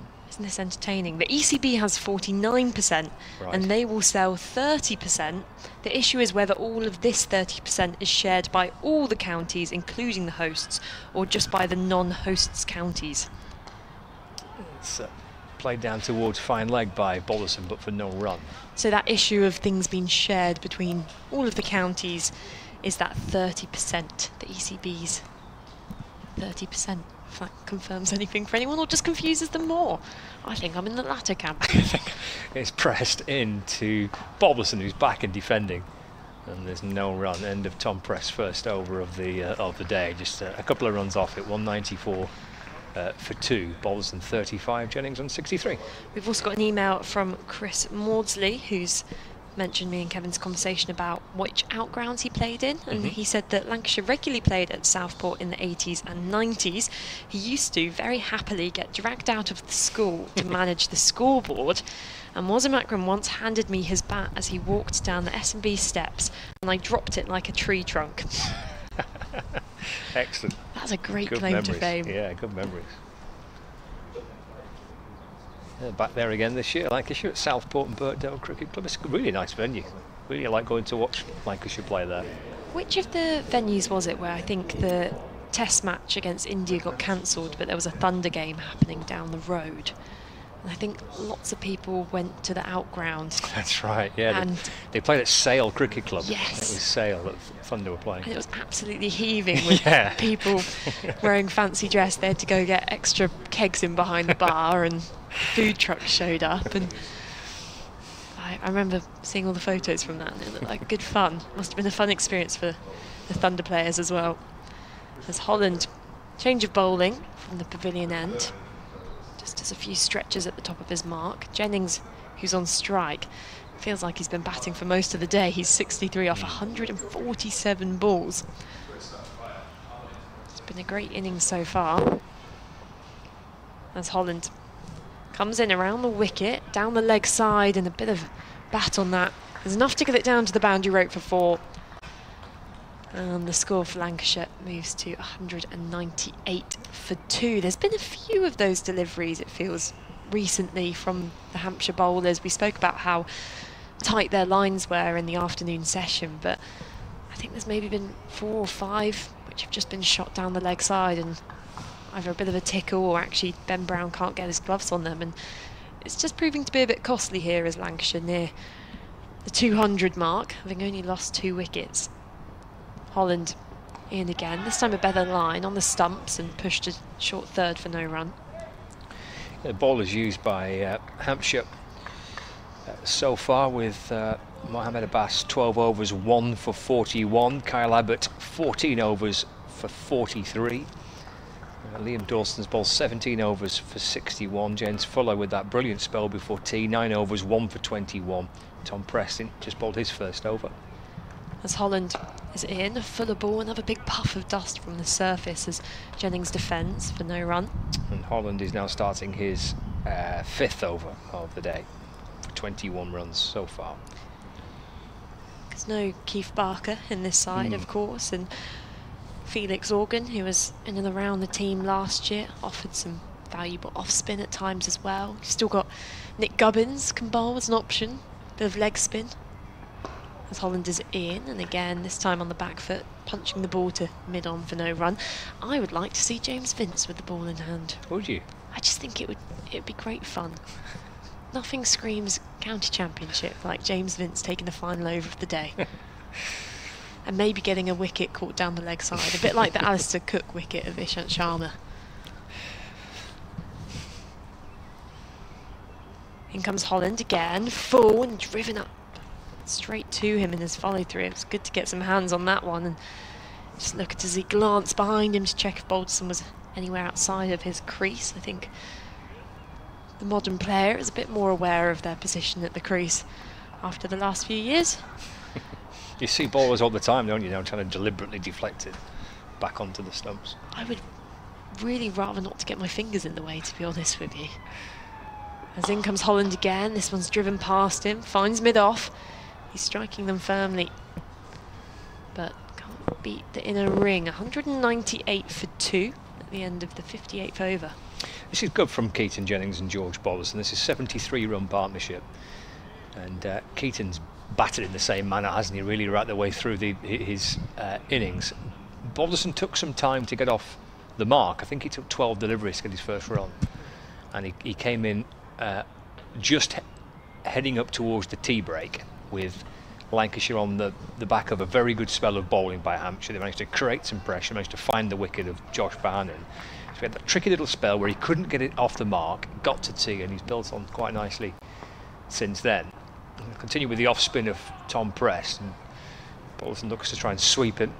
He picks out short fine leg, and there's no run.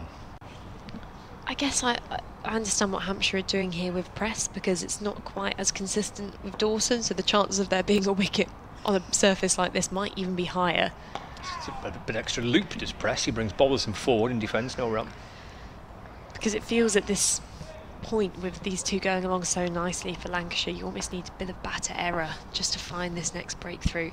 They're looking comfortable. Around the wicket again, tosses it up and it's cracked away into the onside. It's a good stop at uh, short mid wicket. And there is uh, no run. Fletcher Middleton did really well. That was hit pretty firmly by Balderson. Good stop low down to his left by Middleton. Prest again, a little flatter this time to Balderson. He gets forward and jabs it back down the pitch, and there's no run. 198 for two. Balderson on 35, Prest in. This is sh uh, short. Balls off the back foot. He's able to uh, to drill that away through the offside for a single. Takes him to 36. Now it's 199 for two. We were speaking a little earlier about the number of double centuries already scored in Mm. this year's county championship. We've been sent a bit of a breakdown of the Okay. last few years. Right. It's Prest in balls. Oh, that comes back in towards uh, um, Jennings. He then tries to force it away into the offside. End of the over. Um, 199 for two. It's quite unpredictable about how many runs are scored so early in the season because this year there's already been four 200 plus scores across Div 1 and Div 2. So four, is it? Four. Okay. In 2023, there was no 200 plus scores in April and only six in total. In 2022, there was 23 200 plus scores in total and nine in April. And then in 2021, there was eight 200 plus scores, five in April. Blimey. So that one year in 2022, There was n- there was- 23 200 plus scores And nine in April. and nine in April. Wow, okay. We could be on to challenge that this year. I th- there's a very good chance with the way it started, yeah. As in comes Holland. Bowls, full length, I mean- defended for no run. There, I I don't know who, who, where the stats are, are, are coming from, but there, there is this general consensus that it, it is difficult to bat in April. And I'm, I'm sure I saw maybe a season or two ago the average over the last 10 years for runs scored in each month of the season. And actually, April wasn't that bad. Yeah. April was reasonably. It was the, the averages were actually got worse. As Holland is in, back of a length, fired down the leg side, and a dive from Ben Brown. He's up to the stumps, the ball racing down towards fine leg and away for four as Abbas gives up the chase in the end. Lancashire score goes past 200, 203 for two. There's not too many people left in the crowd now, but there's still a hearty round of applause. But I- know exactly what you mean. and Did you see that as well? We, yeah, and I think we were chatting earlier about obviously the, the quality of the pitches being produced early season are really high because the ground staff can focus entirely on them rather than preparing one for a T20 next week, one for a test match coming up in a few days. As Holland is in and a gorgeous on drive, can't beat the fielder. He timed it nicely. They get through for a single in the end, 204 for two. Jennings on 67, Balderson on 37. But I, I, I mean, it's interesting, you know, you do see the the game where the Duke ball does its thing and a team gets bowled out for low 120-ish scores, but I guess there's still plenty of opportunity to score runs, and this year more than most with these early rounds of, of Kookaburra ball. Outside the off stump, a thick edge to short third, stopped well by the fielder inside the ring. Dot ball. I reckon there might be parties celebrating the end of these Kookaburra rounds. Pretty sure Durham are going to have a big one. I bet the bowlers are going to arrange a very special party. Yeah. If you're Chris Chris Rushworth right now, Yeah. really looking forward to that next round. Be a bonfire made of kookaburra balls. Sure the plastic covering on them would smell delightful when burnt. Outside the off stump and a bit of a loose shot there from Jennings, which is a rare sight. Just had a waft at that one. Goes through to Brown. Good take up to the stump. Stop ball. 204 for two. Maybe that could be a ritual. If you burn Kookaburra balls and all the county bowlers hold hands and chant at the same time, then in the next round they'll all get fifers. In comes Holland again outside the off stump. Four again, driving down on one knee as Jennings gets inside edge onto pad. The ball trickles out into the covers, and it's the end of the 60th over. 204 for two, Lancashire. Kent have made a very good start, haven't they, to their reply to the Essex declaration. 530 for seven declared Essex, and Daniel Bell Drummond is 128 not out, and Ben Compton's 92 not out, and Kent are 231 for one. I do wonder, looking at those stats about early season scores, how many of those big scores were scored by Ben Compton. those quite a few, quite a few against Lancashire. I think got two centuries in that lot against Lancashire. It's like bowling at a brick wall. Worcestershire have started um, reasonably nicely uh, against Nottinghamshire in their match at Trent Bridge. Prest in. Uh, Balderson tries to sweep through to the keeper. Rob Jones is 92 not out. Worcestershire 181 for four, applying to Nottinghamshire, Nottinghamshire's 399 all out. Trailed by 220 runs. Prest to Balderson. The back foot and plays it back to the bowler, no run. Surrey's lead is 51 now against Somerset at 338 for five. Century for Dom Sibley. Ben Foakes is 57 not out. forward goes Balderson. Will deflects down to a short fine leg and there's no run. Big start of the season for Ben Foakes as well with you always feel sorry for him that every time he's in that England men's squad there's constant speculation about whether his place is safe. Prest to Balderson off the back foot. Back to Tom Prest and again there's no run. And Durham are 164 for three in their reply to that whopping 698 for three declared by Warwickshire. And another entertaining duck by Colin Ackermann. Excellent. In comes uh, Preston Bowles and Balderson gets forward in defence and again there's no run.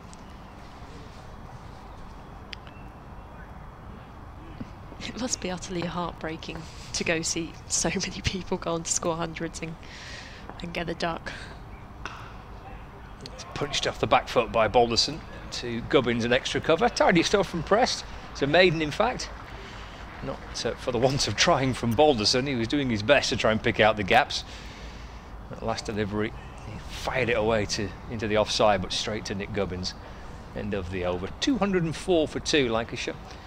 And they trail by 163 runs. Jennings on 67 and Balderson's on 37 you were saying how when Balderson scored his centuries before he was batting a bit lower down the order, it must be a different sensation for him now occupying this position higher up the order, forming a partnership with Keaton Jennings and just seeing what kind of role he can offer to this Lancashire team just a bit higher up the order. It's outside the off stump it's this delivery from Holland, driven by Jennings straight to the fielder for no run. I mean, it's, it's such a, a, great amount of responsibility, and to be with someone at the crease like Jennings, this this could be a you know a really breakthrough kind of season. You'd hope. Yeah, have got a couple of places in that in the batting lineup that they're having to try and fill because there's no Dane Vilas and there's no Steven Croft. As Holland bowls full, worked into the onside, straight to the fielder at mid on. Again, another dot ball. So they've got a couple of spots in the team that they're looking to try and try and fill. And um, Balderson has, has been given a chance at four. He batted at four last week against against Surrey. So he got runs last year further down the order. Order. He has previously opened the batting as well for Lancashire.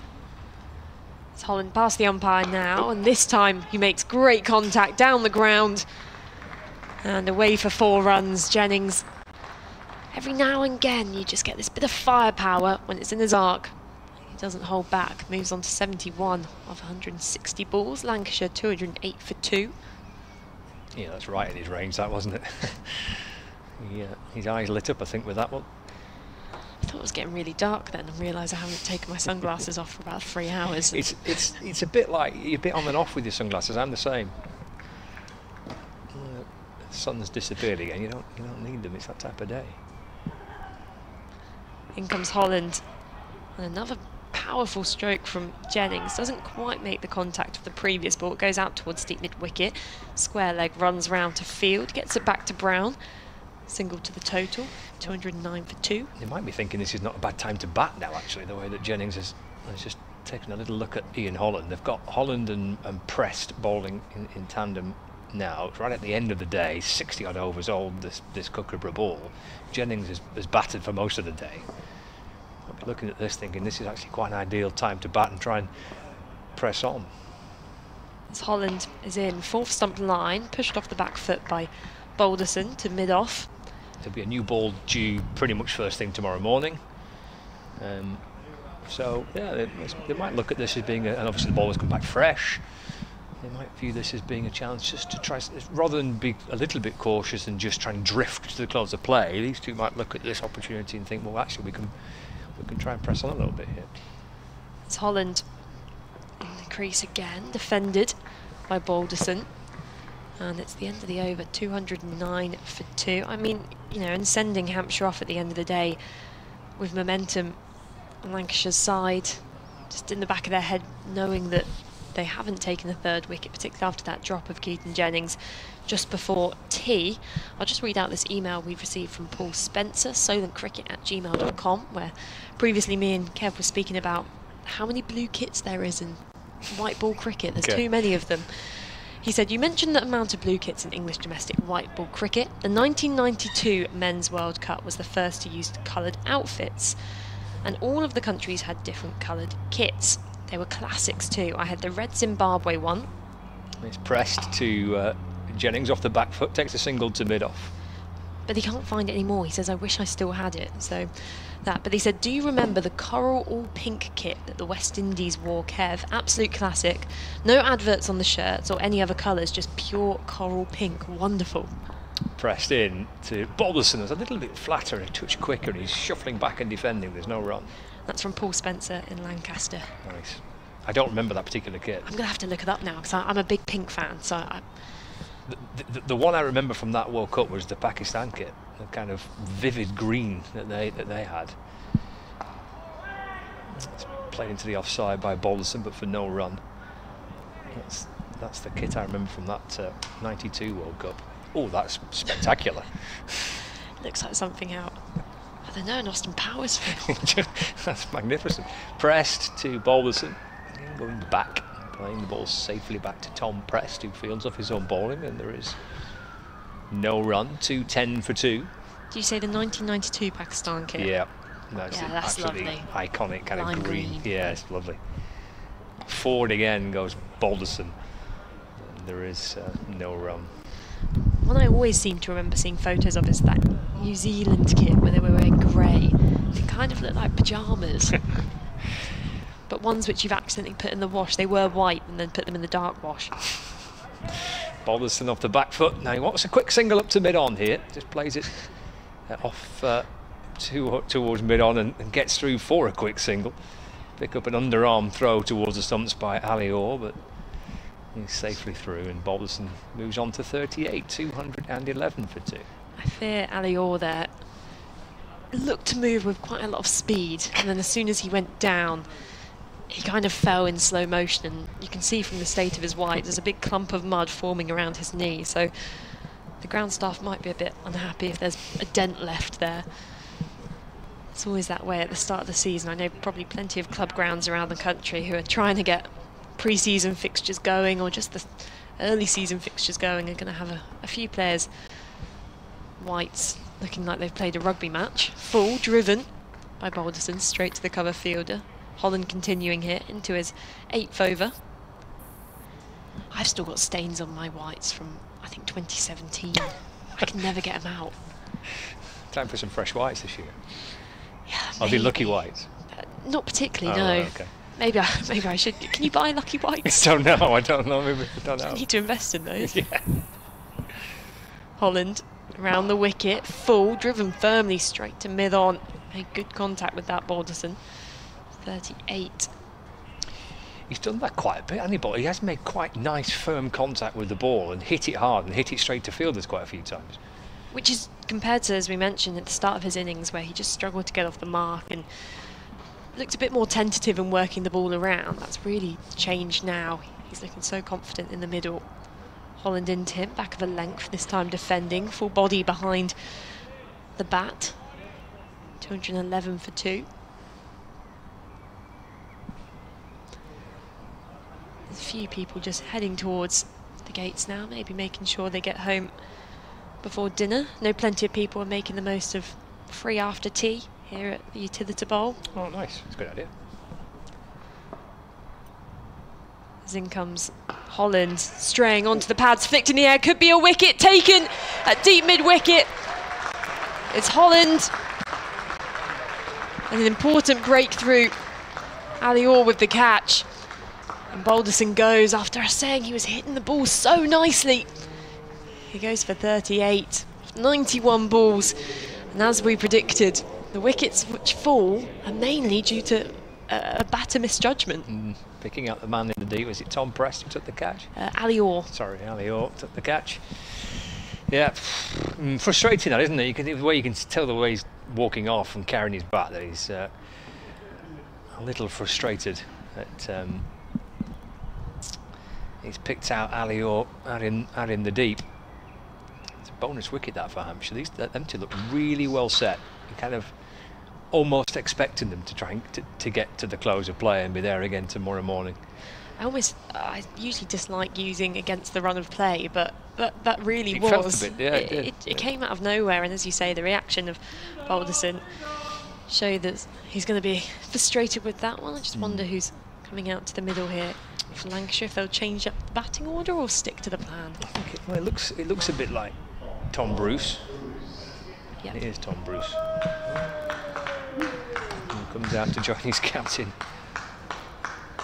He might just be fancying. I mean, we were saying that the conditions look good to bat, and actually that dismissal, Balderson still made a really good contact with it. You almost feel like he didn't quite commit to the shot. He was looking to play it through that region and then hit it airily, and then didn't hit it hard enough. But you know, Bruce might be coming out here to the middle, going, it's coming onto the bat nicely. The Hampshire bowlers might be feeling a bit tired. I've got half an hour left.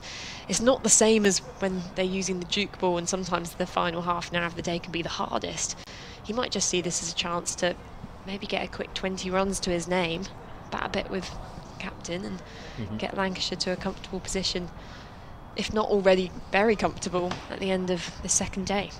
Made 17 last week on his uh, debut in, for Lancashire against uh, against Surrey. Had a bit of a collapse last week. They were going along quite nicely, Lancashire. And they lost uh, their last eight wickets for 50 runs, 202 all out, and they were they were 150 for two at tea. So it was a bit of a, a post-tea collapse against uh, Surrey in the match last week. So he made 17 on his debut, just his second match. He's here for the whole season in New Zealand. Batter got a very, very good record in first-class cricket in New Zealand, averaging, I think, upwards of 50 runs. I think in, in, in New Zealand first-class cricket. Sounds like a really valuable player to have around the changing room, say, with that strong record. As in comes Holland, it's edged, a catch! One-handed, low down to his left. Liam Dawson. Hampshire have got to catch him first, because first ball, Bruce, the faintest of edges off the bowling of Holland. And that is a remarkable reaction catch. At the end of the day, when the players are just starting to feel that little bit tired, as we just said, Liam Dawson produces some excellence. Lancashire 211 for four, and Ian Holland is on a hat trick. It's an outstanding catch, isn't it? Blimey. That's a fantastic reaction catch, low down to his left-hand side for uh, by, by Liam Dawson. I mean, to, to have got there, actually, to be in a position to react and get there, because it is low down, it's kind of barely ankle high.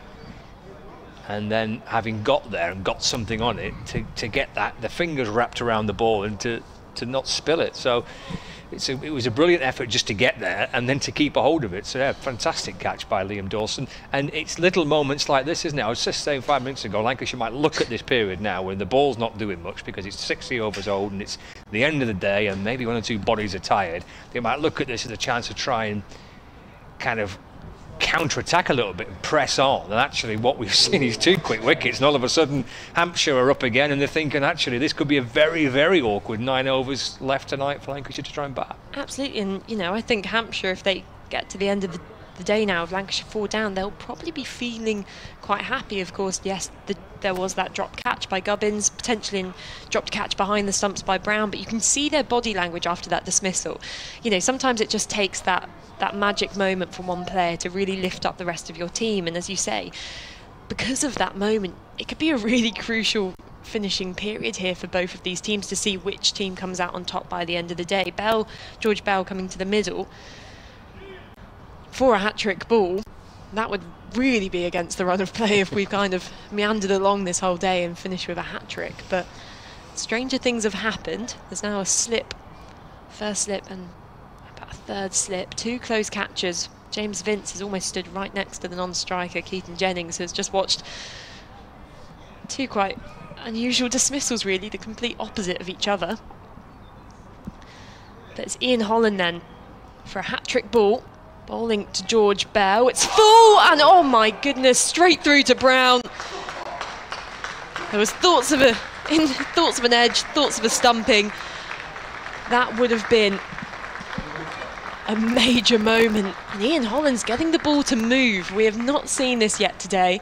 A wicket maiden from Holland. 200, 211 for four after 64. And I'll be handing over to Kevin James for this final session. I don't know what the excitement's about. He just played inside the line of that, did uh, George Bell? Let that one go through to the keeper, no problem. That's a brilliant over by Ian Holland. Um, super stuff. Yeah, it's what an interesting um, kind of little twist at the back end of the second day. There's nine overs left tonight, so it's a bit of batting to do. Now Jennings is well set at one end, but now we've got George Bell, who's um, come out to uh, to join him. They're going to take Prest out the attack, and they're going to bring Dawson back in. It's kind of um, a little tiny spell there, Tom Whoa. Prest, but Dawson returns, and well, how things can change pretty quickly, Kev. Where did that come from? I don't know. I don't know. There is Dawson then to Keaton Jennings, who's unbeaten on 73. Jennings kind of calmly just going back and working the ball away to square leg, but for no run. Uh, Ian Holland has that sort of neck. I remember a, a, championship game at Surrey a few years back, a flat, flat over wicket, and Rory Burns was scoring runs for fun. There's Dawson to Jennings, who paddles it around the corner. It's a good stop. A backward square leg, no run. Um, against against Hampshire usually, but he, he was just in that sort of uh, vein around that time, and he was scoring millions, and so was everybody else. And, and Ian Holland came on, and the wicket suddenly looked different. He, he's, he's that sort of bowler sometimes. Dawson to Jennings. Even more responsibility on Jennings now to try yeah. and get to the close of play. He defends no run. It's because it's it, it, you know he looks innocuous. It's just a you know what you would call county medium pacer, and yet he, produ- he just every now and then he produces little things like that. Dawson from the Hilton Hotel end balls, and Jennings turns it away to the leg side again. There's no run. 211 for four. Two wickets in two balls for Ian Holland. Eight overs, two for 27 his figures. What a handy little role he's played here for, for Hampshire yeah. in this uh, final session. Dawson to, to Jennings. It's turned out to mid-wicket. Again, there's no run. Every decision that James Vince has made so far has, has worked a little bit, hasn't he? He's, he's, he's, he's made a bowling change. He, he, tends to something tends to happen. Worked with Fuller, didn't it? Did, yeah. Floodlights are flickering on as Dawson bowls and Jennings rolls it away through square leg. Again, there is uh, no run, so uh, Liam Dawson coming back into the attack. Starts with the maiden to back up a double wicket over from the at the other end from uh, Ian Holland, who will be eager to, to have another go. 211 for four, Jennings 73, Bell on naught, floodlights are on. And Apart from one or two. Apart from one or two bulbs, which might need changing. Uh, and there's eight overs left in the day. Yeah. If you're the um, Utilita Bowl electrician and you were watching the live picture feed, then you think there's a little job for me there. Where's the uh, the extra long ladders? they wouldn't get me going up there, I tell you. Scare the life out of me. Uh, we got eight overs left to do in day two. It, it, the game needed that to move along, didn't it? Really, there's still only 14 wickets taken. We're almost halfway in the game. As Holland comes in and uh, Bell pushes forward. I have to say, Ian Holland, or why wouldn't he? He's just coming in just a little quicker. Probably hitting the deck just a fraction harder.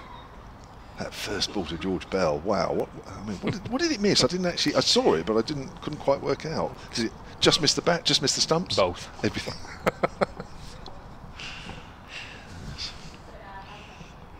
Here he is again. He's got three on the drive on the leg side and two on the off. Forward is Bell. Very difficult being the new batter late on when two wickets have fallen and you're the the hat trick ball. You just feel everybody's on top of you, crowding you, not just the bowler, the fielders as well. Almost expecting something where perhaps the the day was drifting a fraction for Hampshire. They've stayed on it, but in terms of thinking they would be picking up many more than one wicket, they picked up two. And Bell's forward, and here he is trying to make sure that it's not three, because this would most definitely be a good final hour for Hampshire. But the game is still a long way away, isn't it, from being certain of a result. This is still a good pitch. Not a lot of pace in it. The Bowlers having to work really hard, as Lancashire did, for any anything. And Balderson, I'm afraid, as, as one or two others on both sides have done, just given, just given his wicket away. And one brought two, as they say, as a drive, and that's going up for four runs. That's a beautiful shot from uh, George Bell. That's the perfect way to answer back when a fielding side has suddenly got their tails up. Yeah, he's a confident lad, George Bell. He's a very handsome looking player when he gets going, plays some lovely shots. Nice way for him to uh, to Yeah. get going. Beautiful. A beautiful opening to his innings. 215 for four, 152. The Lancashire trail by, so they're just about, or they're just about to save the follow-on, which I don't think was ever in doubt on this pitch. Holland comes in again, still an attacking field, a little bit more Yeah. leg stumpish, and it's driven up to mid-on. Well, I mean, there's, there's, this is this is potentially the chance for Hampshire to try and muscle themselves in front there because there's a new ball due first, pretty much first thing tomorrow morning, mm-hmm. and they've got through the bulk of Lancashire's batting. Matty Hurst is a young lad who's who's not really played much first-class cricket, and then you're into the, the kind of the all-rounders a bit, Bailey, Blatherwick, and the bowlers. Yeah. So th th there's a half a chance here for Hampshire now. Another wicket tonight would be certainly handy. Bell plays that late, works that into the gap behind square on the offside, or is after it. Will pick it up inside the rope. They take two, I think they do. And Bell will move on to six at the end of that over. Jennings is still there on 73, having had a life on 36. That's becoming increasingly expensive in terms of time as much as anything else. 217 for four. Lancashire will be determined not to give this up. They're still 150 runs behind. They're going to try and, first and foremost, from this position, try and make it um, not safe, but they need to get themselves parity with Hampshire as near as they can. And that will take further time out of the game. Jennings has batted well, and Bell's started positively. He's a good player, and Hurst clearly has got a bit about him. 'cause That's why he's, he's, he's been picked for the first two matches of the, of the season. Yeah. But there's just a half a chance here, isn't there? If they can get one more tonight, Hampshire, Yeah. new ball first thing tomorrow morning, they could get themselves quite a decent first innings lead here. Yeah. Well, it's just a matter of whether there's time left with this pitch. Here's Dawson to uh, Jennings. Takes a single through mid on. Moves on to 74, 218 for four. Uh, all credit to Paul Spencer, who emailed a little earlier, solentcricket at gmail.com, who was less than complimentary about Ian Holland's bowling. And he has just emailed back to saying that earlier comment was ill judged. That was after Ian Holland was on a hat trick. So well done, Paul, for admitting that perhaps that first comment wasn't great. It was all right, but it wasn't great. Didn't think he was going to take a wicket. Bell's got two around the bat, and Dawson comes around the wicket to him and he defends. And there's no run. 218 for four. Dawson into his 19th over. He's not got a wicket, but he's done a pretty decent job for for his side. unhelpful pitch for the spinner. As Bell turns his next delivery to mid on, and uh, Abbas fields, and there is no run. Silly point and a slip, and the two close catches around the batter. Fletcher Middleton and James Vince all crouching down. A little flatter this time from Dawson to Bell, who defends, no run. Picked up by Dawson off his own bowling. Wandering back to his mark. Just a short break out of the attack with Tom Prest. The off spinner replacing him. Just gave him a little bit of a breather, but as soon as those couple of wickets fell, he's straight back in. Again, Bell going back, and that gets the Hampshire fielders a little excited as he defends to the leg side. No run. Gets a bit low as well. Mm. Sort of speared in, didn't it? It's one of those Dawson deliveries that uh, just comes a fraction back in with the arm, skids off the turf a fraction. Final ball of the over, then six left tonight. Dawson to Bell, and that's uh, dabbed away off his front foot into the onside, and Kyle Abbott fields at mid wicket. And it's 218 for four. Got a similar a couple of emails here from Scott Derbyshire, who's a, a Lancashire fan, cricket at gmail.com. He says, I've been listening all afternoon whilst in the garden digging up tree stumps. now I'm sat relaxing with a cold glass of, what well, he says Pinot here. I presume he means vino. There is a drink called Pinot. There's a white wine, Pinot Grigio. Could be. There, well, there is a yeah. yeah it could Pinot. be that. Actually, it could mean that. that. But there is also spelled on, differently. There's another drink called Pineau. I don't know oh, if you right. have you ever heard of that. It's uh, it's it's very common in the Charente area of France, which is mainly a brandy area. But Pineau is sort of a, an offshoot of that. It's a different kind of drink. Yeah, it's true. But it's spelled differently than P-I-N-O. We've been googling again. No, no, no. I do know this because I have a friend who, um, when he comes over for dinner, usually brings a bottle of it. Okay. So I do know. Yeah, I do know. But it's not spelled like that. And you're right. I think it could be Vino or Pinot Grigio. Other white wines available. Uh, that's cut down to uh, backward of point. Uh, watching the live feed, says uh, Scott, and hopefully won't see any more stumps uprooted this afternoon. Keep up the superb commentary. And then he says, I shouldn't have said that email or sent that email. Two wickets have fallen from the next two balls after I pressed go. So, there you go. A couple of those emails changed. But you're right, I don't think any of us were expecting a wicket tonight until George Balderson did what he did. That's cut away and that's going for four. Very fine there from Keaton Jennings. There was width there from Ian Holland. And Jennings picked his gap perfectly past uh, Liam Dawson. You don't want to have anything in the air go anywhere near Liam Dawson yeah, after that catch. No. What a catch that was. Stunner, wasn't it? I don't think we're going to see many better in the slips for a while. I won't say all season because it's a long season. That was an outstanding catch. Fast, hard, mm. low. Mm. I mean, Premier League goalkeepers would have been happy getting down as low as that in yeah, the near post. Was. 222 for four.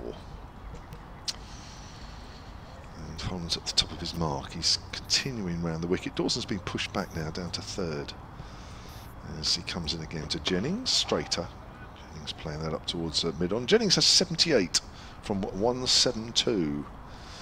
We think he edged one early on to Ben Brown. It sort of flew a little bit off the edge, and Ben Brown wasn't able to hold on to it. That was early on in his innings, and then he most certainly gave a catch to Nick Gubbins at point on 36. How Hampshire are ruin those. As Jennings likes batting long cuts that away out into the deep where it's fielded by James Fuller, who's had a good day today. Two good spells from him. Got rid of Josh Bohannon, who looked good for his 30 just before tea, before he played on. He was a little bit impatient, wasn't he?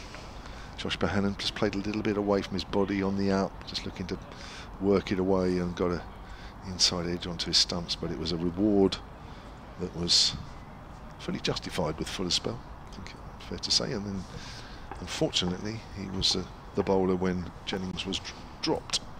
2.23 for 4 brings George Bell back on strike to Ian Holland, who's over the wicket now from that pavilion end. Bell's forward. Just back to the bowler. Yeah, I think it was reward for Fuller. I thought I think we were saying at the time, weren't we? we you sensed a little bit of pressure was starting to to to be built by the Hampshire bowlers. Mm-hmm. Abbott from the pavilion end, and then backed up by Fuller, and Fuller got the reward for it with the dismissal of Bohannon. But it was just it was it was a period in the game where batting looked quite challenging, actually. Yes. Bell gets another length ball, which he plays quietly out on the offside, and that's the end of Ian Holland's uh, over. 10 overs, 2 for 38. That's a, a good return from him. It's a good return from anybody on this wicket, really, Yep. to be fair. 223 for 4. Got an email here from Jamal Makloof, solentcricket at gmail.com. He says, Sorry, Hampshire fans. I've been out all day. First ball after I get home wicket, and now another. So can only assume that we would have more if I'd been at home all day. Well, that's probably true. So we'll blame you, Jamal, for Hampshire only picking up four wickets all day.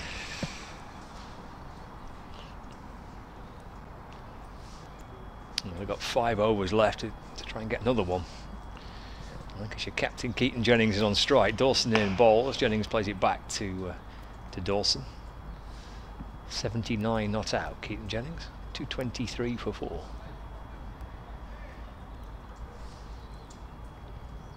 Evening sunshine.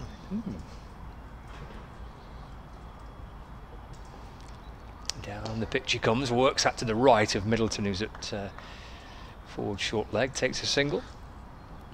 Moves on to 80 now, 224 for four. There was another part to Jamal's email, but it, uh, I won't embarrass Melissa. It just said, great to hear Melissa back. Best young commentator about. Well, she's an award winner. She's an award winner. Dawson left arm round the wicket balls. Forward goes Bell and defends, and there's no run. Is that going on your Twitter feed, Mel? 224 for four. Bell on six. Jennings on 80. And Dawson stands at the top of his mark off maybe five or six paces and bounces in and fizzes one in towards Bell. This time reaches for it, gets a good stride in Bell, bat in front of the pad. The ball rolls down towards Abbas, who's at mid on. He scoops it up and walking backwards throws it towards Dawson, who settles back into the top of his mark and brushes him past the umpire and balls again to Bell. He's just worked off his front pad out towards the, the leg side where Kyle Abbott comes round from mid wicket to field. Bell moves on to seven now, 225 for four. There is this ball that Liam Dawson's developed that looks as though it's just like every other ball. That just sort of comes out of the hand and well, there's no there's no turn. But every, about once or twice an over he's get this ball just to curve in a fraction, isn't he? Just spears in a little bit. It's rolled away through the onside by Jennings. Again, just for a single, moves on to 81 now. 226 for four. End of the overs uh, as well. Four overs left tonight. And the sun gets a little stronger, which is most welcome. It's nice and bright out there. So 141 the difference between these two sides as we head towards the halfway mark in the game. For me, the pitch has got to deteriorate a fraction for, for us to really have a. I, d- I, I don't know. I would guess I don't think either of these sides wants to give the other one hmm. too much. I know what you said about Dale Benkenstein, who wants to play a bit more positively. Maybe that may happen. I think that's in general over a course of the season. Yeah. I think y y y your first, your second game into a match, effectively your first because of the rain last week. You're playing against a team that's a potential rival for a Yeah. top spot. Mm. It's a long, it's a long season to give too much away. Yeah. I agree, and I think these two sides would expect to be there or thereabouts, won't they? So yeah, eh, second game of the season. I mean, yeah, would you set aside on this? Would you realistically think you can bowl a side out on this in less than a day? Which effectively will be, wouldn't it? Here comes Abbott, and Jennings plays that late into the gap square on the offside. He will pick up a single, moves on to 82. So yeah, something's something's got to happen. Maybe some rough, a bit more rough for Lyon and Dawson to bowl into before either side can get excited about even thinking they can take 10 wickets. Just don't see that happening. Think we're going to be playing this game out until somebody either has a bit of a collapse Mhm. I think we're going to have to play to a result, which I just don't see it personally. And as you said, I think there's a little bit of rain on Monday, just a little. I think it, in the morning there is, yeah. yeah, so we might lose just a little bit of time there. That I think will be that certainly won't be helpful. I remember two years ago in this fixture there was rain all day, wasn't there? Yeah, Day four. It was, yeah. We hung around for ages, didn't we, on that fourth day? Yeah, well, I think Hampshire had sort of hopes of bowling Lancashire out. It's Abbott bowls. It's driven and well stopped by Gubbins diving to his left at short mid wicket, one of two. Yeah, I, mean the wicket was a little bit more helpful, wasn't Yeah, I it, think it in- was, yeah. for that game? So I think Hampshire were hoping that uh, they would at least. Well, they had to take all ten Lancashire wickets in that game, didn't they? On that last day to even have a hope of winning that, but there was no chance really. It was if it didn't rain all day, it was pretty close to Mm. it, wasn't it? It was just low cloud and Yep. just not very nice. Abbott. Bell plays it into the ground, out into the covers. Abbott's been good today, just hasn't uh, picked up a wicket. Abbas was good, picked up the first one at Luke Wells, who chipped to mid wicket. I think almost Fuller got his wicket. I thought that's he, had a little three over spell Abbott before Fuller came on. Yes. and Fuller got behind him, but I, th- I thought he was set up a little bit with the way that Abbott started. It was a bit of teamwork from that far end between Abbott and, and Fuller, I think, to create that pressure that resulted in the mistake. Maybe. It was a good combination, wasn't it? As Abbott comes in again, and another good length ball from Abbott. I said earlier that uh, he's running in well. I know it's, it's his first bowl of the season, so you would expect that. But uh, he does look fit. He does look lean. He looks very hungry to have a good season this year. It must take a while though, Kev. I mean, I know it's the first game, so everyone's loads of energy and stuff, but to get back into the grooves and rhythms of fast bowling, you can't, Mm. you can't just rock up and do it, can you? I agree, and he didn't. Uh, it, as, as far as I know, he didn't play any cricket of note during the winter. Nothing in South Africa. Bell plays that out into the covers. He, he may have played some. I just don't know. I didn't ask him that actually. But uh, pre-season, I think uh, he, he felt good. As I say, he took four wickets in one of the days' play here against Worcester, and I know they were affected a little bit by rain, but um, I think he did enough bowling that he was happy, and everybody else was happy, and they got enough cricket in pre-season to sort of justify sort of going into last week, Right. you know, feeling okay. I don't, uh, what was your pre-season campaign this year? They went to um, India. Oh, did yeah, they? Yeah, they played a, a three-day match in India. Oh, okay. Abbott to Bell. Full. Bell works that to short mid wicket. Going for the Yorker there, I think, Abbott. End of the over. We've got three overs to do. Lancashire 227 for four, trail by 140. Well, that's a trip, isn't it? Mm. Pre-season and a half. Yeah, I think they played some a T20 game or a couple of T20 games, played a 50-over match, and then they played against a stateside in, in India for a three-day match. And then they had a game against Loughborough scheduled. I don't think they played. Um, but when they returned to this country, I think they had a three-day game against Loughborough, but I say I think the rain pretty much washed it out. Nothing against another county then. No, No. no. So nothing on English pitches really. Just just India and then straight into it.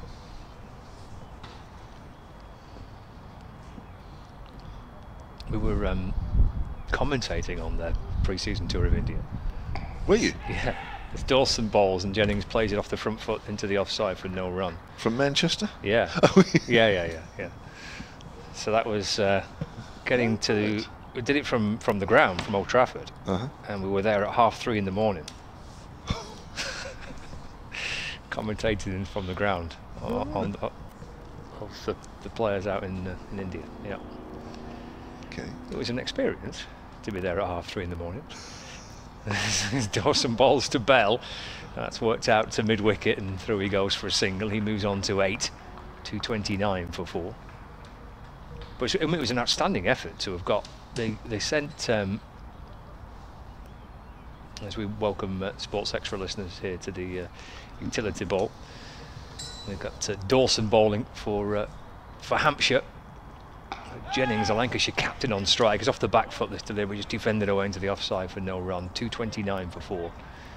Um, it's been quite a, a a lively half an hour here, where it looked like Jennings and Balderson were just um, going to see through the day and get Lancashire into a pretty healthy position with wickets in hand. He defends Jennings. It's rolling up towards mid off and there's no run. And then two wickets in two balls. Ian Holland. First, George Balderson picking out uh, Ali Orr at deep mid wicket. And then uh, the very next delivery, Tom Bruce edged behind, and, and Liam Dawson took an absolutely sensational one handed low catch to his left hand side. Two wickets in two balls. George Bell survived the hat trick ball, which was a very, very good delivery by Ian Holland. And now Lancashire 229 for four, still trail by 138. Captain still going, Jennings on 83. And this has worked out towards mid wicket. And there's no run. Scott Reed and Kevin James with you. We've got two overs left today. Yeah, it has livened things up a little bit because this game does feel like it's going to be a draw here. You can't really see a side bowling the other out twice, not with the conditions here as they are. Dawson to Jennings, flatter and quicker, and he takes a single and just working it across his front pad through mid wicket. Takes one, moves to 84. Dawson collects his cap. He'll have one more over tonight, it would look like. We've got two left. Abbott bowling from the far end, Lancashire 230 for four, trail by 137. Well, I think today is very much mirrored yesterday, where you think, certainly from a batting point of view, somebody looks like they're just going to start to make an impression, and then they've gone. And we saw that on two or three occasions yesterday with the Hampshire batters, Vince and Gubbins especially, yesterday afternoon. And then we we saw that at the start of the Lancashire innings. Here's Abbott round the wicket. He's bowled well today without much luck. Outside the off stump, Keaton Jennings is not tempted. Luke Wells, who played brilliantly for his 55, didn't he? 69 balls was looks on top of the bowling, and then he just chipped Abbas to mid wicket. Just fell over it a little bit, didn't he? Really wasn't quite in control of the shot, and it was a good catch by Tom Prest at short mid wicket, low down. Josh Bohannon looked good for his 30, didn't he? Bright and breezy, and then James Fuller bowled a terrific spell, didn't he, before yep. tea? Just accurate, but a little bit more pace. And Josh Bohannon tried to work him through the offside, bat a little bit away from the body, got an inside edge onto the stumps. Jennings works that onto the leg side for a single. Moves on to 85, 231 for four. Lancashire trail by 136. And Balderson and uh, Jennings put on 86, and then Balderson just chipped Ian Holland out in the deep mm. mid wicket. And you think, what, what, what, why have you done that? he looked comfortable for his 38, and it's been a, pretty much a story of that, hasn't it? Yeah. Throughout both sides' innings. Yeah, when Hampshire were batting, Gubbins and Vince both got to 50, thinking one of them could perhaps go on. And then um, Preston Dawson get into the 80s. Yeah. Dawson one of four wickets today that fell, that completed the Hampshire innings. That's worked down to fine leg by George Bell, and he moves on to nine, and it's 232 for four. I think what we've seen across the two days so far is some very good bowling, actually. I'm, I'm sure around the grounds the conversations have been about the Kookaburra ball being used and the effect and the impact it's having, and that's clearly been seen on the scores.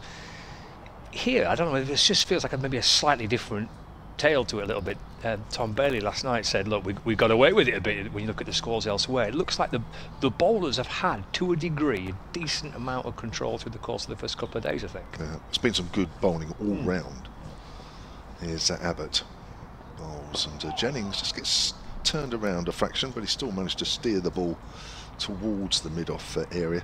I don't think anybody's bowled a bad spell, and because the pitch is, is, is slow of nature, isn't it? So if the ball is in the right areas, it is quite difficult to pierce the field. Um, but it's not done a lot. The new ball has done a little bit. Will Williams, I thought, was a bit unlucky when he opened up. Tom Bailey was there or thereabouts always, and certainly Abbas and Abbott have been. Fuller, been good today. Everybody, every, you know, everybody on both sides. The spinners, Nathan Lyon, certainly. It's pushed out on the offside and there is uh, no run. So they've never really allowed the batters any rope. What what hay the batters have made, they've done it because they're good batters. Yeah. But it's never lasted as long as you thought it might. No. You, you, you would expect when you again you look at the scores elsewhere, you're expecting somebody in the, in this lot to have got a century so far. Yeah. There's four batters in the Hampshire side, uh, side that have got to at least 50. Two got into the 80s. We've had Jennings in into his 80s now. Wells got to a 50 as well, but no one's gone on yet and got a, a big score that you no. that you've seen elsewhere. Because the bowling's always been at you, isn't it? Always. Jennings plays inside the line, lets that go past. That's the end of the penultimate over of day two. With Lancashire 232 for four, deficit of 135. But Jennings has had his luck. Yes, yeah. Dropped just before tea by Nick Gubbins at cover point. He'd take that. I said, I said at the time, 19 times out of 20. I would say 39 times out of 40, wouldn't you? And Yeah, it just it was it, wasn't a hit hard. No, was it? It no. was a bit of a loopy cut shot that came off the top of the bat, and Jennings thought he was out. He did. The minute the ball left the bat, he thought he was out, didn't he? You could see. Yeah. And somehow Nick Gubbins put it down. It happens, but that, and that was off James Fuller, which was very unlucky because he was bowling particularly well at the time. And um, we think that there might have been an edge through to Ben Brown earlier in uh, Keaton Jennings' innings, which actually the ball did deviate after the edge, didn't it? Which made it difficult for Ben Brown, but even so, two hands in, out.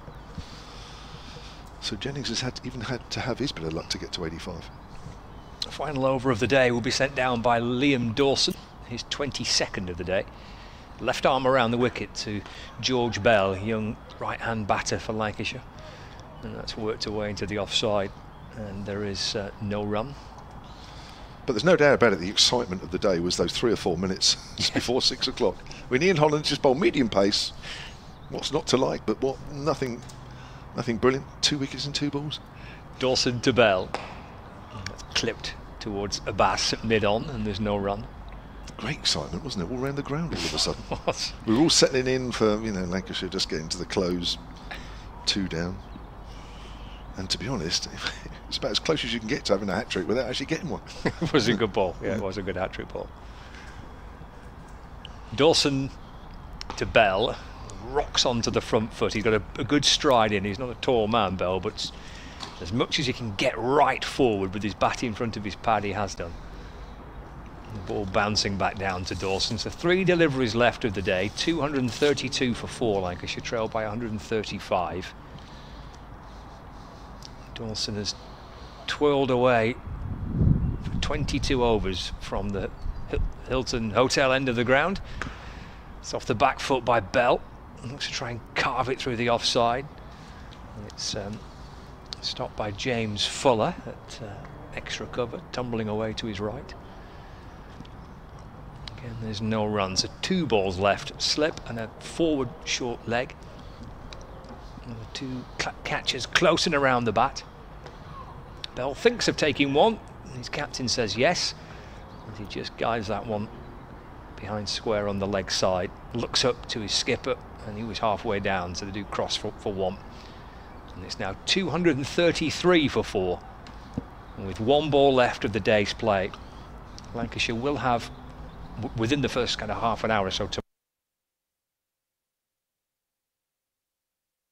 130 behind. So still work to do with the bat in this first innings for the Red Rose. Final ball of the day. Dawson will bowl over the wicket to Jennings.